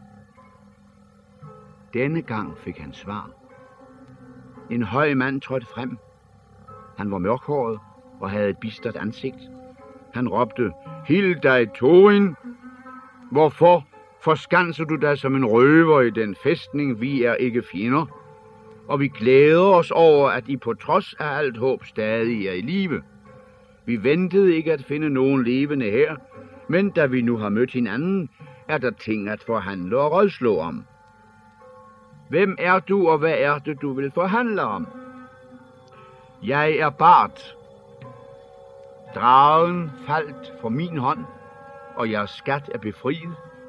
Er det ikke en sag, som angår dig? Desuden nedstammer jeg i lige linje fra Girion af Dal, og i din skat indgår en stor del af rigdommen fra hans sale og byer, som gamle Smaug har stjålet. Er det ikke en sag, vi må tale sammen om? For øvrigt ødelagde Smaug i sin sidste kamp eskarotboernes huse, og jeg står endnu i tjeneste hos deres fyrste. Jeg vil tale på hans vegne og spørge, om I ikke har tænkt på sorgen og elendigheden blandt hans folk. De hjalp jer, da I havde brug for det, og til gengæld har I kun bragt dem ødelæggelse, selvom det ikke har været jeres hensigt. Det værste kommer du med til sidst, og det lægger du mest vægt på, svarede Torin. Intet menneske har krav på mit folks skat, selvom Smaug, som har stjålet den fra os, har berøvet ham liv eller hjem. Skatten tilhørte ikke Smaug, så for hans onde gerninger skal der ikke bødes med en del af skatten. Prisen for de varer og den hjælp, vi modtog af søfolket, vil vi betale rigeligt, når den tid kommer. Men intet vil vi give fra os, ikke så meget som et brøds værdi, vil vi lade os true til at udlevere. Så længe en bevæbnet her står foran vores port, betragter vi jer som fjender og tyve. Jeg kunne tænke mig at vide, hvor stor en del af arven I ville have udbetalt til vores slægt, hvis I havde fundet skatten ubevogtet og os dræbte. Et rimeligt spørgsmål, svarede Bart. Men I er ikke døde, og vi er ikke røvere. Desuden kan de velhavende vel tænkes at vise barmhjertighed over for de trængende, der var deres venner dengang de selv var i nød. Og mine krav er stadig ubesvaret. Som jeg har sagt, vil jeg ikke forhandle med bevæbnede ven i min port, og der slet ikke med elverkongens folk, som jeg erindrer med liden venlighed. Forsvind nu, inden vores pile giver sig til at flyve. Og vil I tale med mig igen, må I først sende den elver her hjem til skoven, hvor den er hjemme, og så gå tilbage og lægge jeres våben, før I nærmer jer tærsklen. Elverkongen er min ven, og han er ilet søfolket til hjælp i deres nød, selvom de kun har venskabets krav på ham, svarede Bart. Vi vil give dig tid til at fortryde dine ord. Se og kom til fornuft, før vi kommer igen. Så gik han sin vej og vendte tilbage til lejren. Før der var gået mange timer, vendte fanebærerne tilbage, og trompetererne trådte frem og blæste en fanfare. I Eskarots og i skovens navn anråber vi Torin, Trejns søn Egeskjold, der kalder sig kongen under bjerget, og vi byder ham valget mellem at overveje de fremsatte krav, eller at blive erklæret for vor fjende. Under alle omstændigheder skal han aflevere en 12. del af skatten til Bart, som dragedræber og Girions arving. At den del vil Bart selv bidrage med hjælp til Eskarot. Men hvis Thorin ønsker venskab og hæder fra landet rundt omkring, som hans forfædre havde det i gammel tid, så må han også skænke noget af sit eget til hjælp for menneskene ved søen. Så greb Thorin en bue af horn og skød en pil mod den talende. Den ramte hans skjold og satte sig i dørene fast. Siden, dette er jeres svar, råbte sendebudene tilbage. Erklærer jeg bjerget for belejret. I kommer ikke til at forlade det, før I beder om våbenhvile og forhandling. Vi vil ikke føre våben mod jer, men vi overlader jer til jeres guld. Så kan I æde det, hvis I vil. Med disse ord gik sendebudene hurtigt deres vej. Nu blev dagene lange og ensformige. Mange af dværgene tilbragte deres tid med at stable og ordne skatten. Thorin var begyndt at tale om træens kongesten og bad dem ivrigt om at lede efter den i alle kroge. For min fars kongesten er i sig selv mere værd end en flod af guld, sagde han, og for mig er den helt uvurderlig. Blandt alle kostbarhederne vælger jeg selv den sten, og jeg vil hævne mig på en vær, som finder den og beholder den. Bilbo hørte disse ord og blev bange. Han spekulerede på, hvad der ville ske, hvis stenen blev fundet, pakket ind i en byld gamle pjalter, som han brugte som hovedpude. Alligevel sagde han ikke noget om den, for efterhånden, som dagen blev tristere, var en plan ved at tage form i hans lille hoved. Sådan gik der nogen tid, da ravnen bragte bud om, at dejen og over 500 dværge der hurtigt var på vej fra jernbjergene, nu kun var et par dagsmarscher fra dalen. Men de vil ikke kunne nå bjerget ubemærket, sagde Roak. Og jeg er bange for, at der vil komme til at stå et slag i dalen. Jeg synes ikke, at denne plan er god. Selvom de er barske folk, er det ikke sandsynligt, at de vil kunne vinde over den her, der belejrer jer. Og selvom de skulle gøre det, hvad får I så ud af det? Vinter og sne er i hælene på dem, Hvordan skal I kunne få noget at spise uden venskab og velvilje fra landet omkring jer? Men Torin lod sig ikke påvirke. Vinter og sne vil ramme både mennesker og elverfolk, sagde han. Med mine folk bag sig og vinteren over sig, kommer de måske i et blødere lune og vil forhandle. Den aften fattede Bilbo sin beslutning. Himlen var sort og måneløs. Så snart det var helt mørkt, gik han til en krog i sit kammer lige inden for porten, hentede et reb fra sin bylt og også kongestenen indpakket i en klud. Så klatrede han op på toppen af muren. Den eneste, der stod der, var Bombur, for det var hans tur til at holde vagt, og dværgene satte kun én vagtpost ad gangen. Det er meget koldt, sagde Bombo. Jeg ville ønske, at vi havde et bål heroppe, ligesom de har det i lejren. Der er varmt nok indenfor, sagde Bilbo. Ja, det kan godt være, men jeg skal stå her til midnat, knurrede den tykke dværg. Åh, det hele er nu så trist. Ikke fordi jeg drister mig til at være uenig med Toren, måtte hans skæg blive ved med at vokse, men han har nu altid været en stivnakket dværg. Hans nakke kan ikke være så stiv som min ben, sagde Bilbo. Jeg er træt af trapper og stengange. Jeg ville give meget for at mærke græs under mine tæer. Og jeg vil give meget for at mærke en gang stærkere drikkelse i min hals og så en blød seng efter et ordentligt aftensmåltid.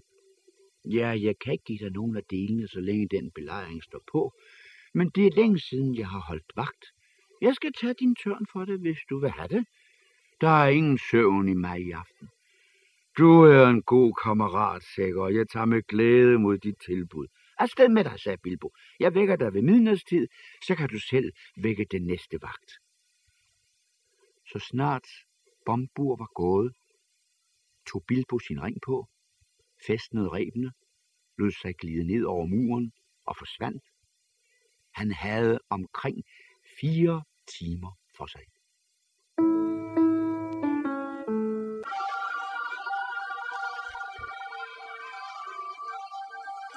Sådan gik det til, at Bilbo et par timer efter han var sluppet bort fra porten, sad ved en varm ild uden for et telt sammen med både elverkongen og Bart. En hobbit i elverrustning, delvis hyldet i et gammelt tæppe, var noget nyt for dem. Forstår I, sagde Bilbo på sin mest forretningsmæssige måde. Det er så håbløst.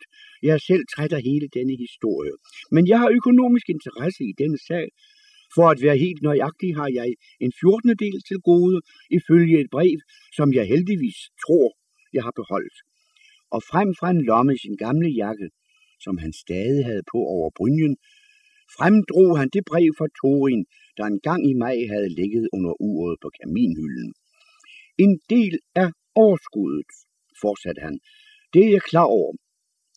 Personligt er jeg parat til at overveje alle jeres krav om hyggeligt, og trække et rimeligt beløb fra hele summen, før jeg stiller mine egne krav. Men I kender ikke Torin Egeskjold så godt, som jeg gør nu. Jeg forsikrer jer for, han er parat til at blive siddende på guldbunken og sulte, så længe I sidder her. Jamen, så lad ham bare gøre det, sagde Bart. Sådan en idiot fortjener at dø af sult. Ja, akkurat, sagde Bilbo. Jeg forstår dit synspunkt, men på den anden side nærmer vinteren sig med stærke skridt, og det kommer til at knibe med forsyningerne. Vel også, for elverfolk går jo ud fra, og der bliver også andre vanskeligheder. I har måske ikke hørt om dejen og dværgene fra jernbjergene. Jeg må fortælle jer, at dejen nu befinder sig mindre end to dagsmarscher herfra, og han har mindst 500 vrede dværge med sig, og mange af dem har erfaring fra de frygtelige krige mellem dværge og bjergtrolde, som I formodentlig har hørt om. Hvorfor fortæller du os det? Forråder du dine venner? Eller tror du os? spurgte Bart alvorligt. Kære Bart, pev Bilbo, nu må du ikke være så hurtig i vendingen. Jeg har aldrig været ude for nogen, der var så mistænksomme. Jeg prøver bare at undgå vrøvl for alle de indblandede. Nu vil jeg gøre jer tilbud. Lad os høre det, sagde de. I må se det, sagde han. Jeg har det her. Han tog kongenstingen frem og trak kluden væk. Selv elverkongen, hvis øjne var forventet med vidunderlige og smukke ting, rejste sig forbløffet. Jeg selv Bart stirrede beundrende på den, uden at sige noget. Det var som en kugle var blevet fyldt med måneskin og hængt op foran dem i et net af frostklare stjerner. Det er Trejens kongesten, sagde Bilbo, bjergets hjerte, og det er også Torins hjerte. Han sætter den højere end en flod af guld. Den giver jeg jer. Det vil hjælpe jer i jeres forhandlinger. Bilbo rakte ikke uden en gysen, ikke uden et længselsfuldt blik, den vidunderligste sten til Bart, og han holdt den som om han var blændet. Men øh, er den din? Kan du give den bort? fik han til sidst spurgt med besvær. Ja, sagde hobbiten utilpas. Det er den vel ikke, men, øh, men jeg er parat til at lade den gå lige op med alle mine krav, forstår I. Jeg er måske nok indbrudstyv, det siger de andre i hvert fald. Personligt har jeg nu aldrig følt mig som indbrudstyv, men jeg tror nok, at jeg mere eller mindre er en hederlig tyv. Men nu må jeg tilbage, og så kan dværgene gøre, hvad de vil med mig. Jeg håber, den vil vise sig nyttig. Elverkongen betragtede Bilbo med fornyet undren. Bilbo Sækker, sagde han. Du fortjener i højere grad at bære en elverprinserustning end mange, som den er klædt bedre. Men jeg gad vide, om Torin Egeskjold vil se sådan på det. Jeg vil råde dig til at blive sammen med os. Her vil du blive æret og være trefold velkommen. I mange tak, sagde Bilbo, men jeg bør vist ikke forlade mine venner på denne måde, efter alt, hvad vi har været igennem sammen.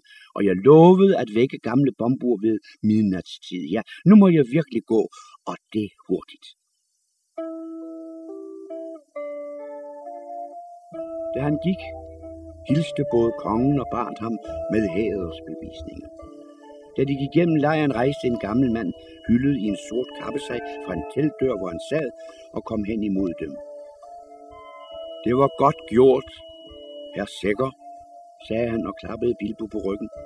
Der er altid mere i dig, end nogen venter. Det var Ganalf. For første gang i mange dage var Bilbo virkelig henrykt. Men der var ikke tid til alle de spørgsmål, som han gerne ville stille med det samme. Hver ting til sin tid, sagde Gandalf. Hvis jeg ikke tager meget fejl, er tingene ved at nærme sig deres afslutning. Den tid, der ligger lige foran dig, bliver ubehagelig, men hold humøret oppe. Det er meget sandsynligt, du kommer fra det med livet. Der er begivenheder under opsejling, som ikke engang ravnene har hørt om. Godnat. Forvirret, men oplivet skyndte Bilbo sig bort.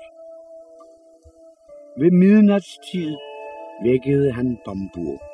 Så kryb han sammen i sit hjørne, uden at høre efter den gamle dværgs taksigelser, som han følte, at han næppe havde fortjent.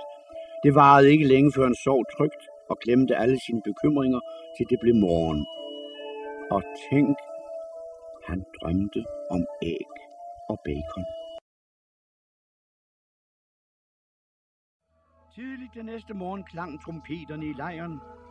Snart sås en enkelt løber, som skyndte sig hen ad den smalle sti. Han blev stående et stykke fra dem og råbte dem an. Han spurgte, om Torin nu ville lytte til en ny udsending, eftersom nye oplysninger var nået frem, og sagernes stilling havde forandret sig. Det må være dejen, sagde Torin, da han hørte det. Jeg tænkte nok, at det ville ændre deres indstilling. Bid nogle få stykker om at komme våbenløse hertil, så skal jeg høre på dem, råbte han til sendebuddet. Ved middagstid så man igen skovens og søens faner blive båret frem. Et kompani på 20 nærmede sig. Ved begyndelsen til den smalle vej lagde de våben og spyd til side og gik hen mod porten. Dværgene så med forbavselse, at både Bart og Elverkongen var med dem, og foran dem gik en gammel mand hyldet i en kappe. Han bar en solid trækasse med jernbeslag. Hild dig, Torin, sagde Bart. Står du fast ved, hvad du før har sagt? Min mening forandrer sig ikke, fordi solen går op og ned et par gange, svarede Thorin. Jeg er I kommet for at stille mig dumme spørgsmål. Elverhæren har stadig ikke trukket sig tilbage, som jeg bad om, indtil der kommer I forgæves for at forhandle med mig. Og der er ikke noget, du kunne tænke dig at få i bytte for dit guld. Ikke noget, som du eller dine venner har at tilbyde mig.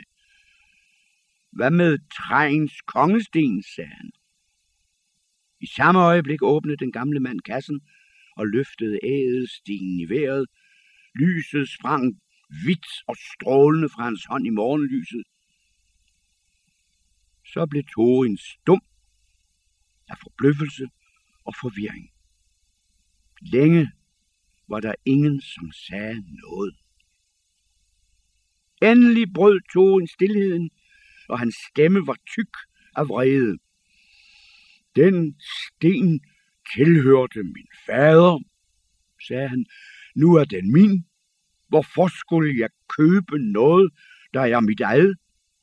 Men forbavselsen overvældede ham, og han tilføjede, men hvordan er du kommet i besiddelse af noget, der tilhører min arv, hvis man ellers kan stille sådan et spørgsmål til 20?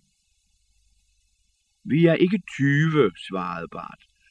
Vi vil give dig det, der er dit, for det, der er vores. Hvordan har I fået fat i den? råbte Thorin med stigende raseri.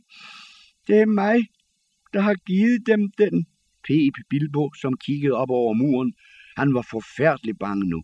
Du, du, råbte Thorin, vendte sig mod ham og greb ham med begge hænder. Din elendige hobbit, din lille bitte indbrudstyv, råbte han, fordi han ikke kunne finde på andet, og han rystede stakkels Bilbo som en kanin. Ved Durins skæg, Bare jeg havde Gandalf her, den forbandede Gandalf, som valgte dig, måtte hans skæg visne, og hvad dig selv angår, så vil jeg kyle dig mod bjergvæggen, råbte han og løftede Bilbo i sine arme. Stans! Dit ønske er opfyldt, sagde en stemme. Den gamle mand med kassen kastede sin kappe og hætte til side. Her er Gandalf, og det er åbenbart ikke et øjeblik for tidligt, selvom du ikke bryder dig om min indbrudstyv. Så lad alligevel være med at gøre ham noget ondt. Sæt ham fra dig, og hør først på, hvad han har at sige. I har vist rottet jer sammen, alle sammen, sagde Thorin, og lod Bilbo falde ned på muren. Jeg vil aldrig mere have noget at gøre med nogen troldmand eller hans venner. Bare du så at sige, rotte yngel. Ho, ho, sagde Bilbo. Det lyder virkelig ikke pænt. Kan du ikke huske, du sagde, at jeg selv kunne komme til at vælge min egen 14. del? Ja, det kan være, at jeg har taget det for bogstaveligt. Jeg har hørt sige, at dværge samtidig er høfligere i ord end i handling. Der var i hvert tilfælde en tid, hvor du tydeligt nok mente, at jeg havde været til nogen nytte. Rotte yngel. Nu har jeg hørt det med. Skal det være al den tjeneste for dig og din slægt, som du har lovet mig, Torin? Kan vi ikke sige, at jeg selv har taget min del, som det passede mig, og lad det blive ved det? Jo, det kan vi godt, sagde Torin gnavent, og jeg vil lade dig slippe med det. Måtte vi aldrig træffe hinanden mere? Så vendte han sig og råbte ud over muren. Jeg er blevet forrådt. I gættede rigtigt, når I mente, at jeg ikke ville kunne lade være med at indløse kongestenen, mit slægtsklenode. For den vil jeg give en fjortende del af skatten i sølv og guld, ædelstene ikke medregnet, men det skal regnes som denne forræders andel. Med den belønning må han nøjes, og så kan I dele det, som I vil. Jeg tvivler ikke på, at han kun får meget lidt ud af det. Tag ham hvis I ønsker, han skal leve. Mit venskab følger ham ikke. Gå så ned til dine venner, sagde han til Bilbo, ellers kaster jeg dig ned. Hvad med det, sølv og guld? spurgte Bilbo. Det skal nok følge efter, hvordan vi nu skal ordne det, sagde han. Se så komme ned med dig. Indtil da beholder vi stenen, råbte Bart. Du gør ikke nogen god figur som konge under bjerget, sagde Gandalf, men tingene kan ændre sig endnu. Ja, det kan de, sagde Thorin. Han spekulerede allerede over, om han ikke med dejens hjælp skulle kunne erobre kongestenen tilbage og selv beholde belønningen. Så svingede Bilbo sig ned fra muren og gik bort uden at have fået noget som helst for al sit besvær, ud over den rustning, som Thorin tidligere havde givet ham. Der var flere af dværgene, som i deres hjerter følte skam og medlidenhed ved at se ham gå. Farvel, råbte han til dem. Vi mødes måske igen som venner. Skrub af, råbte Thorin. Den brynje, du har på, er smedet af mit folk, og den er for god til dig.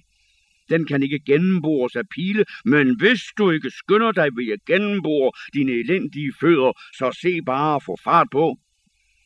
Tag det roligt, sagde Bart. Vi giver dig tid til i morgen. Ved middagstid vender vi tilbage for at se, om du har bragt os den del fra skatkammeret, der skal gives for stenen.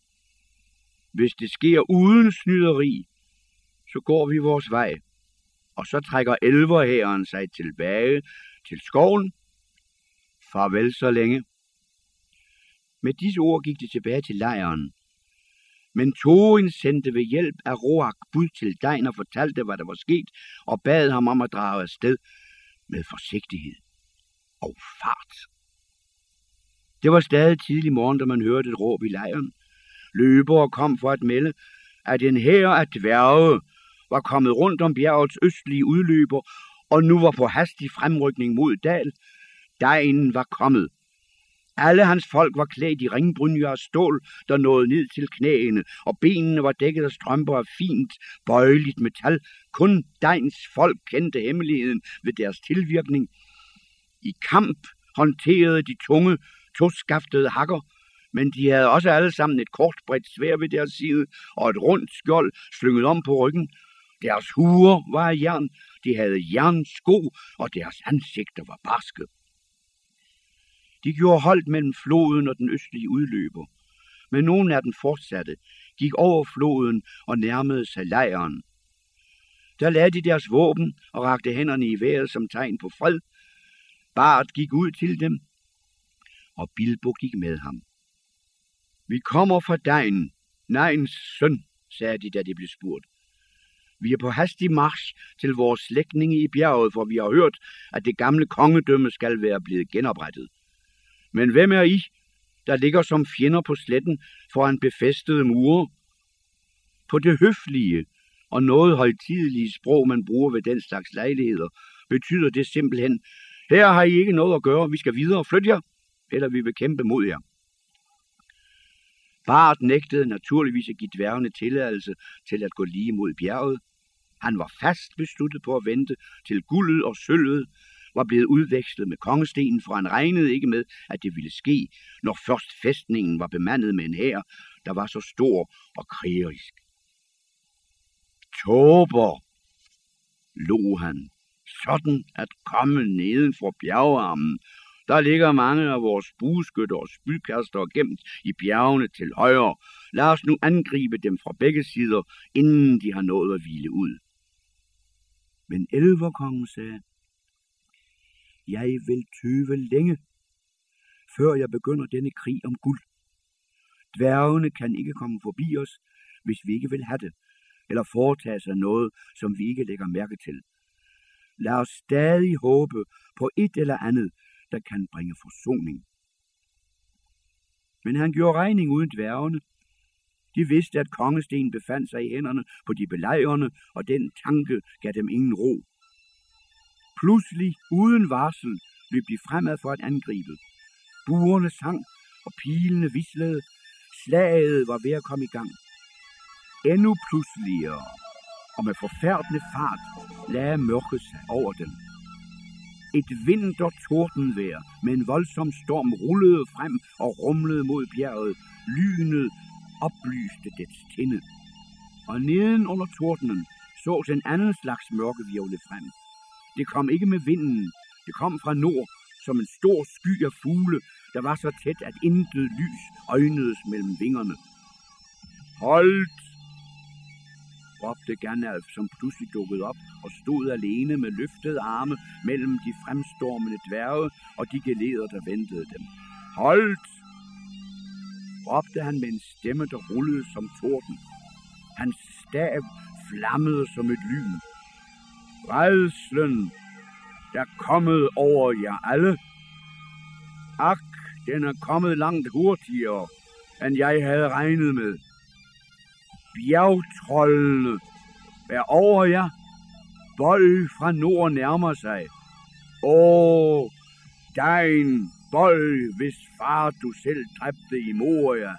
Se, flagermusene flyver over hans her som en sky af græshopper. De rider på ulve, og der er vareulve i deres følge. De blev alle overvældet af forbløffelse og forvirring.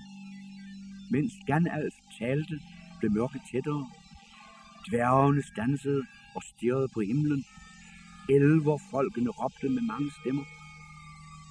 Kom, råbte Gandalf. Endnu er der tid til at lægge råd op. Lad dein, nejen søn, komme hurtigt til os. Således begyndte et slag, som ingen havde ventet. Det kaldtes femhæreslaget, og det var et ganske forfærdeligt slag. På den ene side stod bjergtrollene og de vilde ulve, og på den anden side stod elverfolk, mænd og dværge. Lige siden den store bjergtrold i togebjergene var faldet, var bjergtrollens had vokset til raseri. I alle bjergene blev der smedet, og bjergtrolde blev bevæbnet. Så hørte de om Smaugs død, og nat efter nat ilede de gennem bjergene og kom således til sidst pludselig ned fra nord, næsten i hælene på dagen. Bjergtrollene var alles fjender, og da de kom, blev alle andre stridigheder glemt. Ganalf, Bart og Dein gik sammen. Det var et forfærdeligt slag. Det var den frygteligste af alle Bilbos oplevelser, og den han fandt mest afskyelig dengang.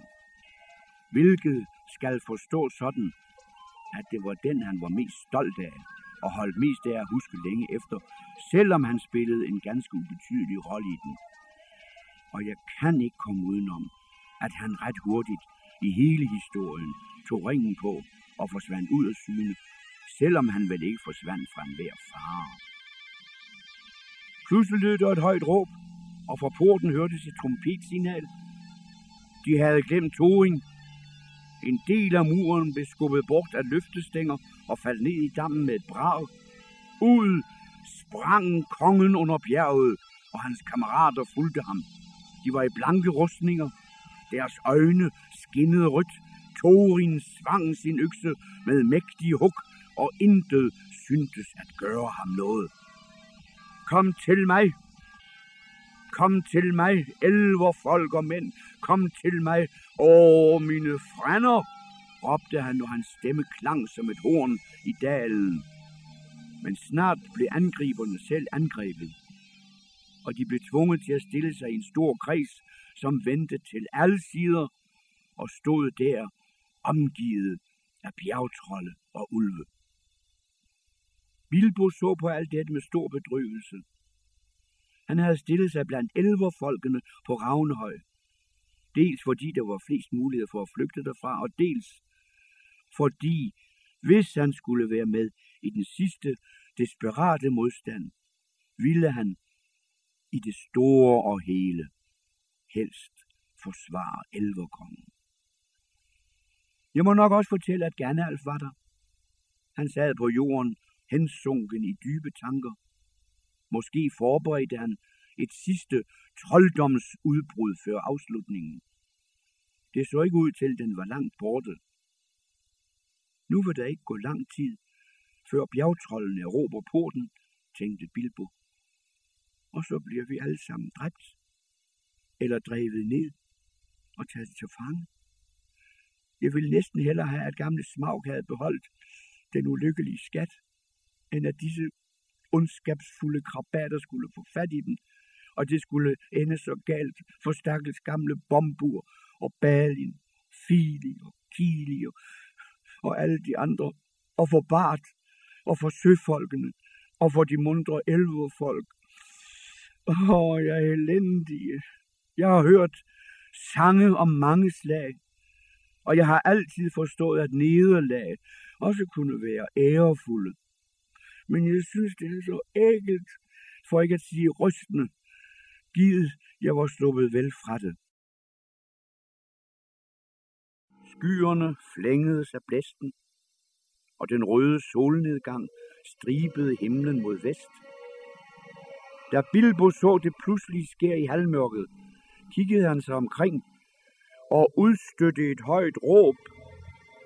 Han havde set et syn, der fik hans hjerte til at hoppe. Mørke skikkelser, små men majestatiske mod dens fjerne skær. Ørnene! Ørnene! råbte han. Ørnene kommer! Bilbos øjne tog sjældent fejl. Ørnene var virkelig på vej med vinden række efter række i en hær, der var så stor, at den måtte være samlet fra alle Nordens ørnereder. Ørnene! Ørnene! råbte Bilbo, mens han dansede og viftede med armene. Men i samme øjeblik slyngedes en sten ned oppefra. Den ramte hans hjelm hårdt. Han faldt med et brag og tabte bevidstheden. Pludselig lagde han mærke til en mand, der kom klatrende op imod ham. Halløj, råbte han med skælvende stemme. Halløj, hvad er nyt? Hvad er det for en stemme, der taler blandt klipperne, sagde manden. Han stansede og så sig omkring ikke langt fra det sted, hvor Bilbo sad. Vi bliver nødt til at indrømme, at Bilbo, inden han fik stien i hovedet, havde taget ringen på for at være usynlig under kampen. Nu kom Bilbo i tanke om ringen. Og for søren, sagde han, der er nu visse bagdele ved denne her usynlighed. Det er mig, Bilbo Sækker, Torins følgesvend, råbte han og tog hurtigt ringen af. Åh, det var godt, jeg fandt dig, sagde manden og kom nærmere. Du er savnet, og vi har let længe efter dig. Du ville være kommet på listen over de døde, og den er lang, hvis troldmanden Gandalf ikke havde sagt, at man sidst havde hørt din stemme her. Jeg er blevet sendt ud for at lede en sidste gang. Er du meget hårdt såret?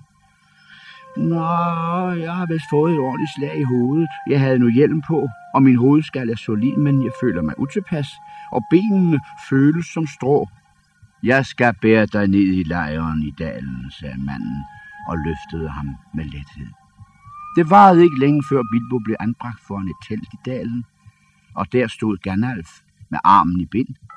Selv troldmanden var ikke sluppet uden et sår, og få i hæren var uskadet. Da Gandalf så Bilbo, blev han henrygt. Sikker, udbrød han, nu har jeg aldrig. Du er i live trods alt. Hvor er jeg dog glad.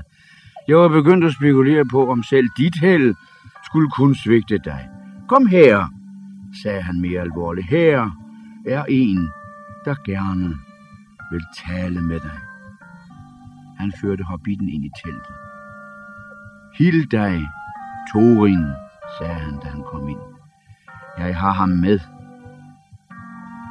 Og der lå Torin i skjold. Han havde fået mange sår, og på gulvet lå hans flængede brynje og hans økse, der havde fået mange hak. Han så op på Bilbo, da han kom ind. Farvel, gode tyv, sagde han. Jeg drager nu bort til de sale, hvor jeg ved mine fædres side vil vente på, at verden skal forny sig. Da jeg nu efterlader alt mit guld og sølv, og drager til et sted, hvor det ikke er meget værd, vil jeg skilles fra dig i venskab. Og jeg vil tage det, jeg sagde og gjorde ved porten i mig igen. Bedrøvet lagde Bilbo sig på det ene knæ. Farvel, konge under bjerget, sagde han. Det er et bittert eventyr, der må ende på den måde. Og ikke et bjerg af guld vil kunne opveje tabet, men jeg er glad for, at jeg har været med til dine farefulde eventyr. Det har været mere end nogen sikker fortjener. Nej, sagde Torin, der er mere godt i dig, end du selv ved af. Du, barn, af det venlige Vesten, mod og visdom i tilpasblanding. Hvis flere af os værdsatte mad, glæde og sang højere end sammenskrabet guld, ville denne verden være gladere. Men om den er trist eller glad, så må jeg dog forlade den nu. Farvel. Så vendte Bilbo sig bort, og han gik hen og satte sig for sig selv, indhyllet i et tæppe. Og hvad enten I tror det eller ej, så græd han. Alt det, der var sket efter, at Bilbo var besvimet, hørte han om senere. Ørnene havde længe haft mistanke om, at bjergtrollene var ved at opruste. Bevægelserne i bjergene kunne ikke holdes helt skjult for deres vaksomme blik. De var i sidste øjeblik kommet flyvende, og det var dem, som kastede bjergtrollene ned fra bjergskråninger, slyngede dem ned i afgrunde, eller drev dem skrigende og forvirrede ned blandt deres fjender. Men selv sammen med ørnene var vores venner stadig i mindretal. Men i yderste øjeblik var selve Bjørn dukket op, alene og i bjørneskikkelse. Hans brølen lød som trommer og gevær, og han kastede ulve og bjergtrolde bort fra sin sti, som var de strå og fjer. Der blev bjergtrollene grebet af skræk, og de flygtede i alle retninger. Sangene fortæller, at tre fjerdedele af bjergtrollekrigerne fra nord omkom den dag, og der herskede fred i bjergene i mange, mange år. De begravede Thorin langt nede under bjerget, og Bart lagde kongesten på hans bryst. Måtte den ligge der, til bjerget falder, sagde han. Måtte den bringe lykke til alle de af hans folk, der herefter står sig ned her. Dein, Neins søn, blev konge under bjerget, og med tiden samledes mange andre dværge om hans trone i de gamle sale. Fili og Kili var faldet, men de andre blev sammen med Dein, for han fordelte skatten på en god måde. En fjortende del af alt guldet smedet og usmedet skal gives til Bart, for dejen sagde, vi vil respektere den dødes løfter, og nu har han jo selv kongestenen i forvaring. Selv en fjortende del var en umådelig skat, større end mange dødelige kongers. Og den skat lod Bart sende en del guld til Søbyens fyrste, og han belønnede dem, der var fuld med ham, og sine venner rigeligt. Elverkongen fik Girions smaragder, og dejen sagde til Bilbo, denne skat er lige så meget din, som den er min. Men den gamle aftale kan desværre ikke stå ved magt. Der er så mange, der har krav at stille, fordi de har været med til at vinde og forsvare den. Det gør ikke noget, sagde Bilbo. Det er egentlig en lettelse for mig. Hvordan i alverden skulle jeg kunne have fået hele den skat hjem, uden at blive udsat for krig og mor på hele hjemvejen? Den befinder sig sikkert bedre i dine hænder. Det endte med, at han nøjedes med to små kister, den ene fyldt med sølv, og den anden med guld, så meget som en stærk pony kunne bære. Mere kan jeg ikke klare, sagde han. Til sidst kom så det tidspunkt, hvor han skulle tage afsked med sine venner. Farvel, Berlin, sagde han. Farvel, Dvalin. Og farvel, Dori, Nori, Ori, Øjen, Gløgn, Bifur, Bofur og Bombur måtte jeres skæg aldrig blive tynde. Han vendte sig mod bjerget og tilføjede, farvel, Torin Egeskjold og Fili og Kili, måtte jeres minde aldrig falme. Så bukkede dværgene dybt uden for deres port, men ordene satte sig fast i halsen på dem. Farvel, held og lykke, Hvorhen du end går, sagde Balin til sidst. Hvis du nogensinde besøger os igen, når vores sal igen er gjort smukke, så skal det blive en virkelig strålende fest. Hvis jeres vej nogensinde fører forbi mit hjem, sagde Bilbo, må I endelig ringe på. Teen serveres klokken 4. Så vendte han sig og gik. Dragen var død, og bjergtrollene overvundet, og Gandalf og Bilbo red hjemad bag elverkongen, og ved siden af travede Bjørn. Han var igen i menneskeskikkelse, og han lå og sang med høj røst på turen. Således fortsatte de, til de nåede Dunkelskovs grænse nord for det sted, hvor skovfloden løb. Farvel, o elverkonge, sagde Gandalf. Glad må den grønne skov være, så længe verden er ung, og givet alle dine folk må være glade. Farvel, o Gandalf, sagde kongen. Måtte du altid dukke op der, hvor der er mest brug for dig, og hvor man mindst venter det. Jo oftere du viser dig i mine sale, jo gladere vil jeg blive. Øh, jeg, jeg, jeg, øh, jeg, jeg, jeg beder dig, øh, sagde Bilbo stammen, han stod på et ben. Jeg, jeg, jeg beder dig om at, om, at, om, at, om at tage imod denne gave, og han fremdrog et halsbånd af sølv og perler, som dejen havde givet ham ved deres afsked. Og på hvilken måde har jeg fortjent denne gave, og bidt sagde Elverkong.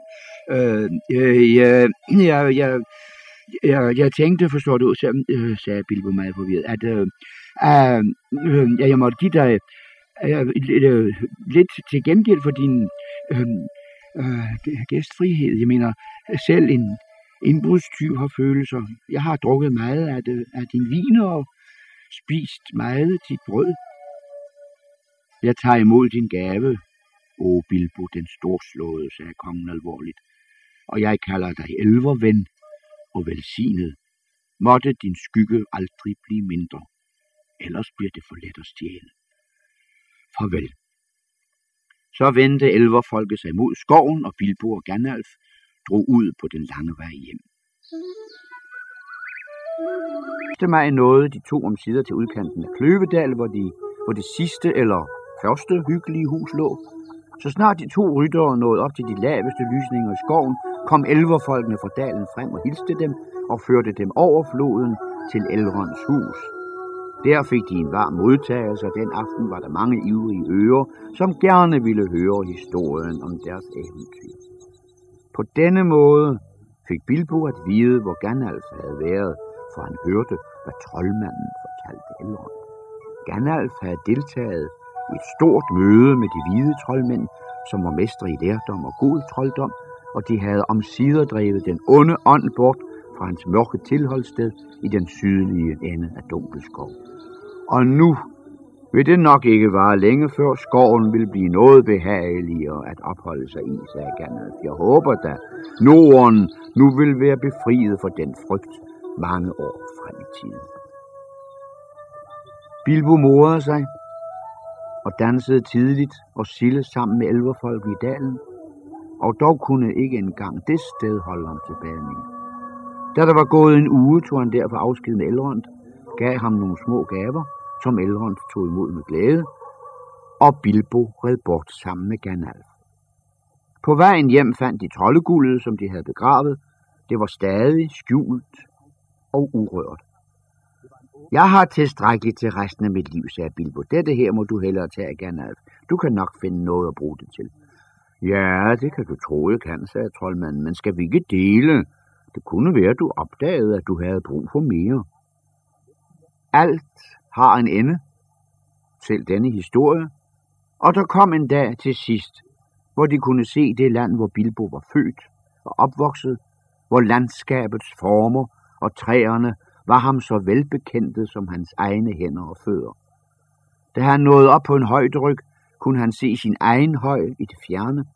Han stansede pludselig og sagde, Se, vejen går og går og går, hen over bjerg, hvor træet står, ad huler, mørke som en grav, ad flod, der aldrig når til hav. Hen over sneen går vort spor, og hvor de smukke blomster gror, hen over græs og stenet sti i bjerg, mens månen går forbi.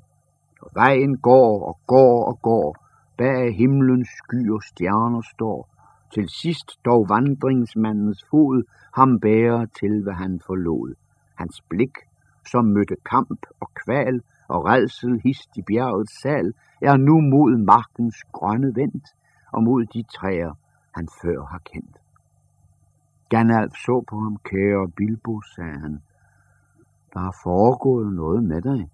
Du er ikke den samme hobbit mere.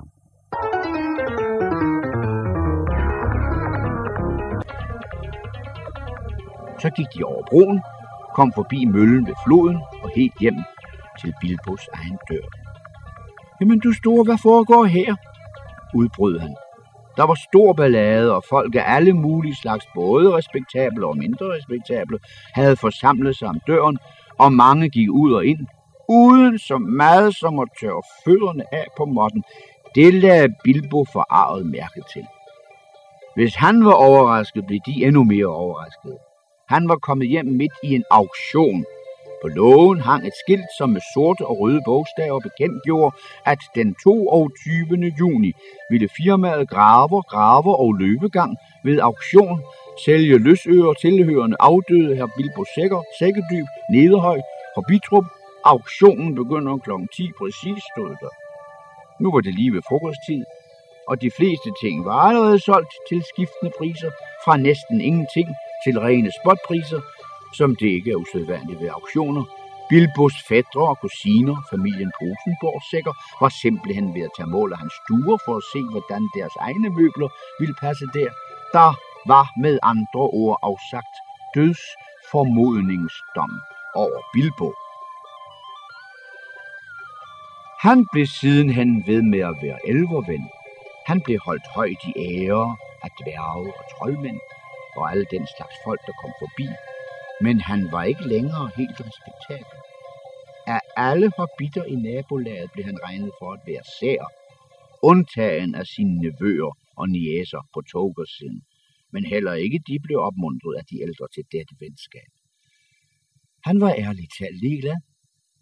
Han var godt tilfreds, og lyden af kedlen på ilden forekom ham lige siden at være mere velklingende, end den havde været i de fredsommelige tider før det uventede dværgeselskab.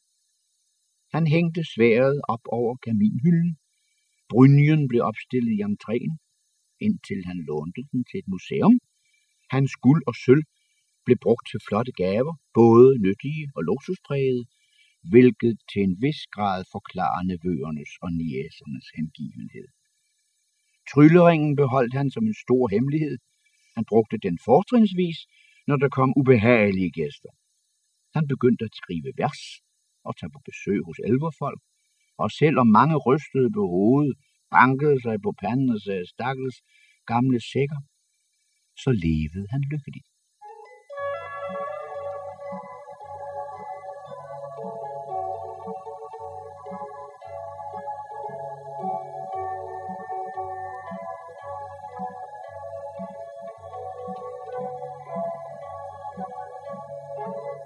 En efterårsaften nogle år senere sad Bilbo i sit arbejdsværelse og skrev på sine erindringer.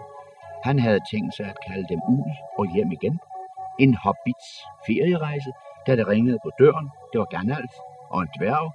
Og dværgen var ingen anden end Balin. Kom indenfor, kom indenfor, sagde Bilbo, og snart sad de i lænestolen omkring ilden.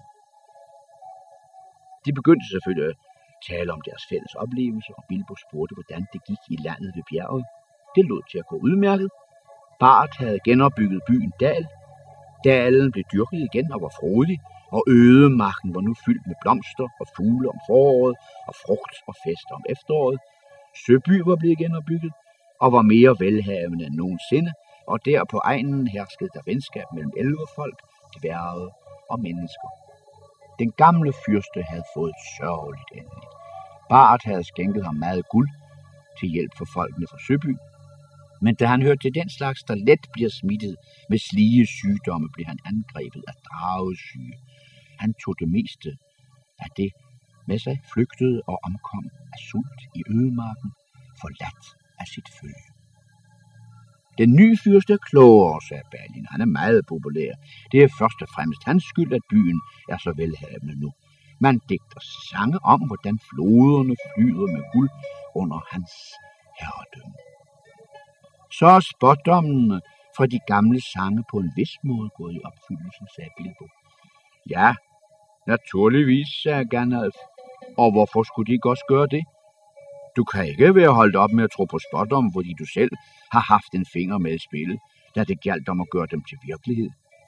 Du tror da vel ikke for alvor, at alle dine eventyr er stablet på benene er rent og skært held, bare for din skyld. Du er en storartet hobbit, her sikker, og jeg holder meget af dig. Men du er trods alt kun en enkelt lille skikkelse i en stor verden. Ja, himlen vær lovet for det, sagde Bilbo Lene og rakte ham tobakskrog.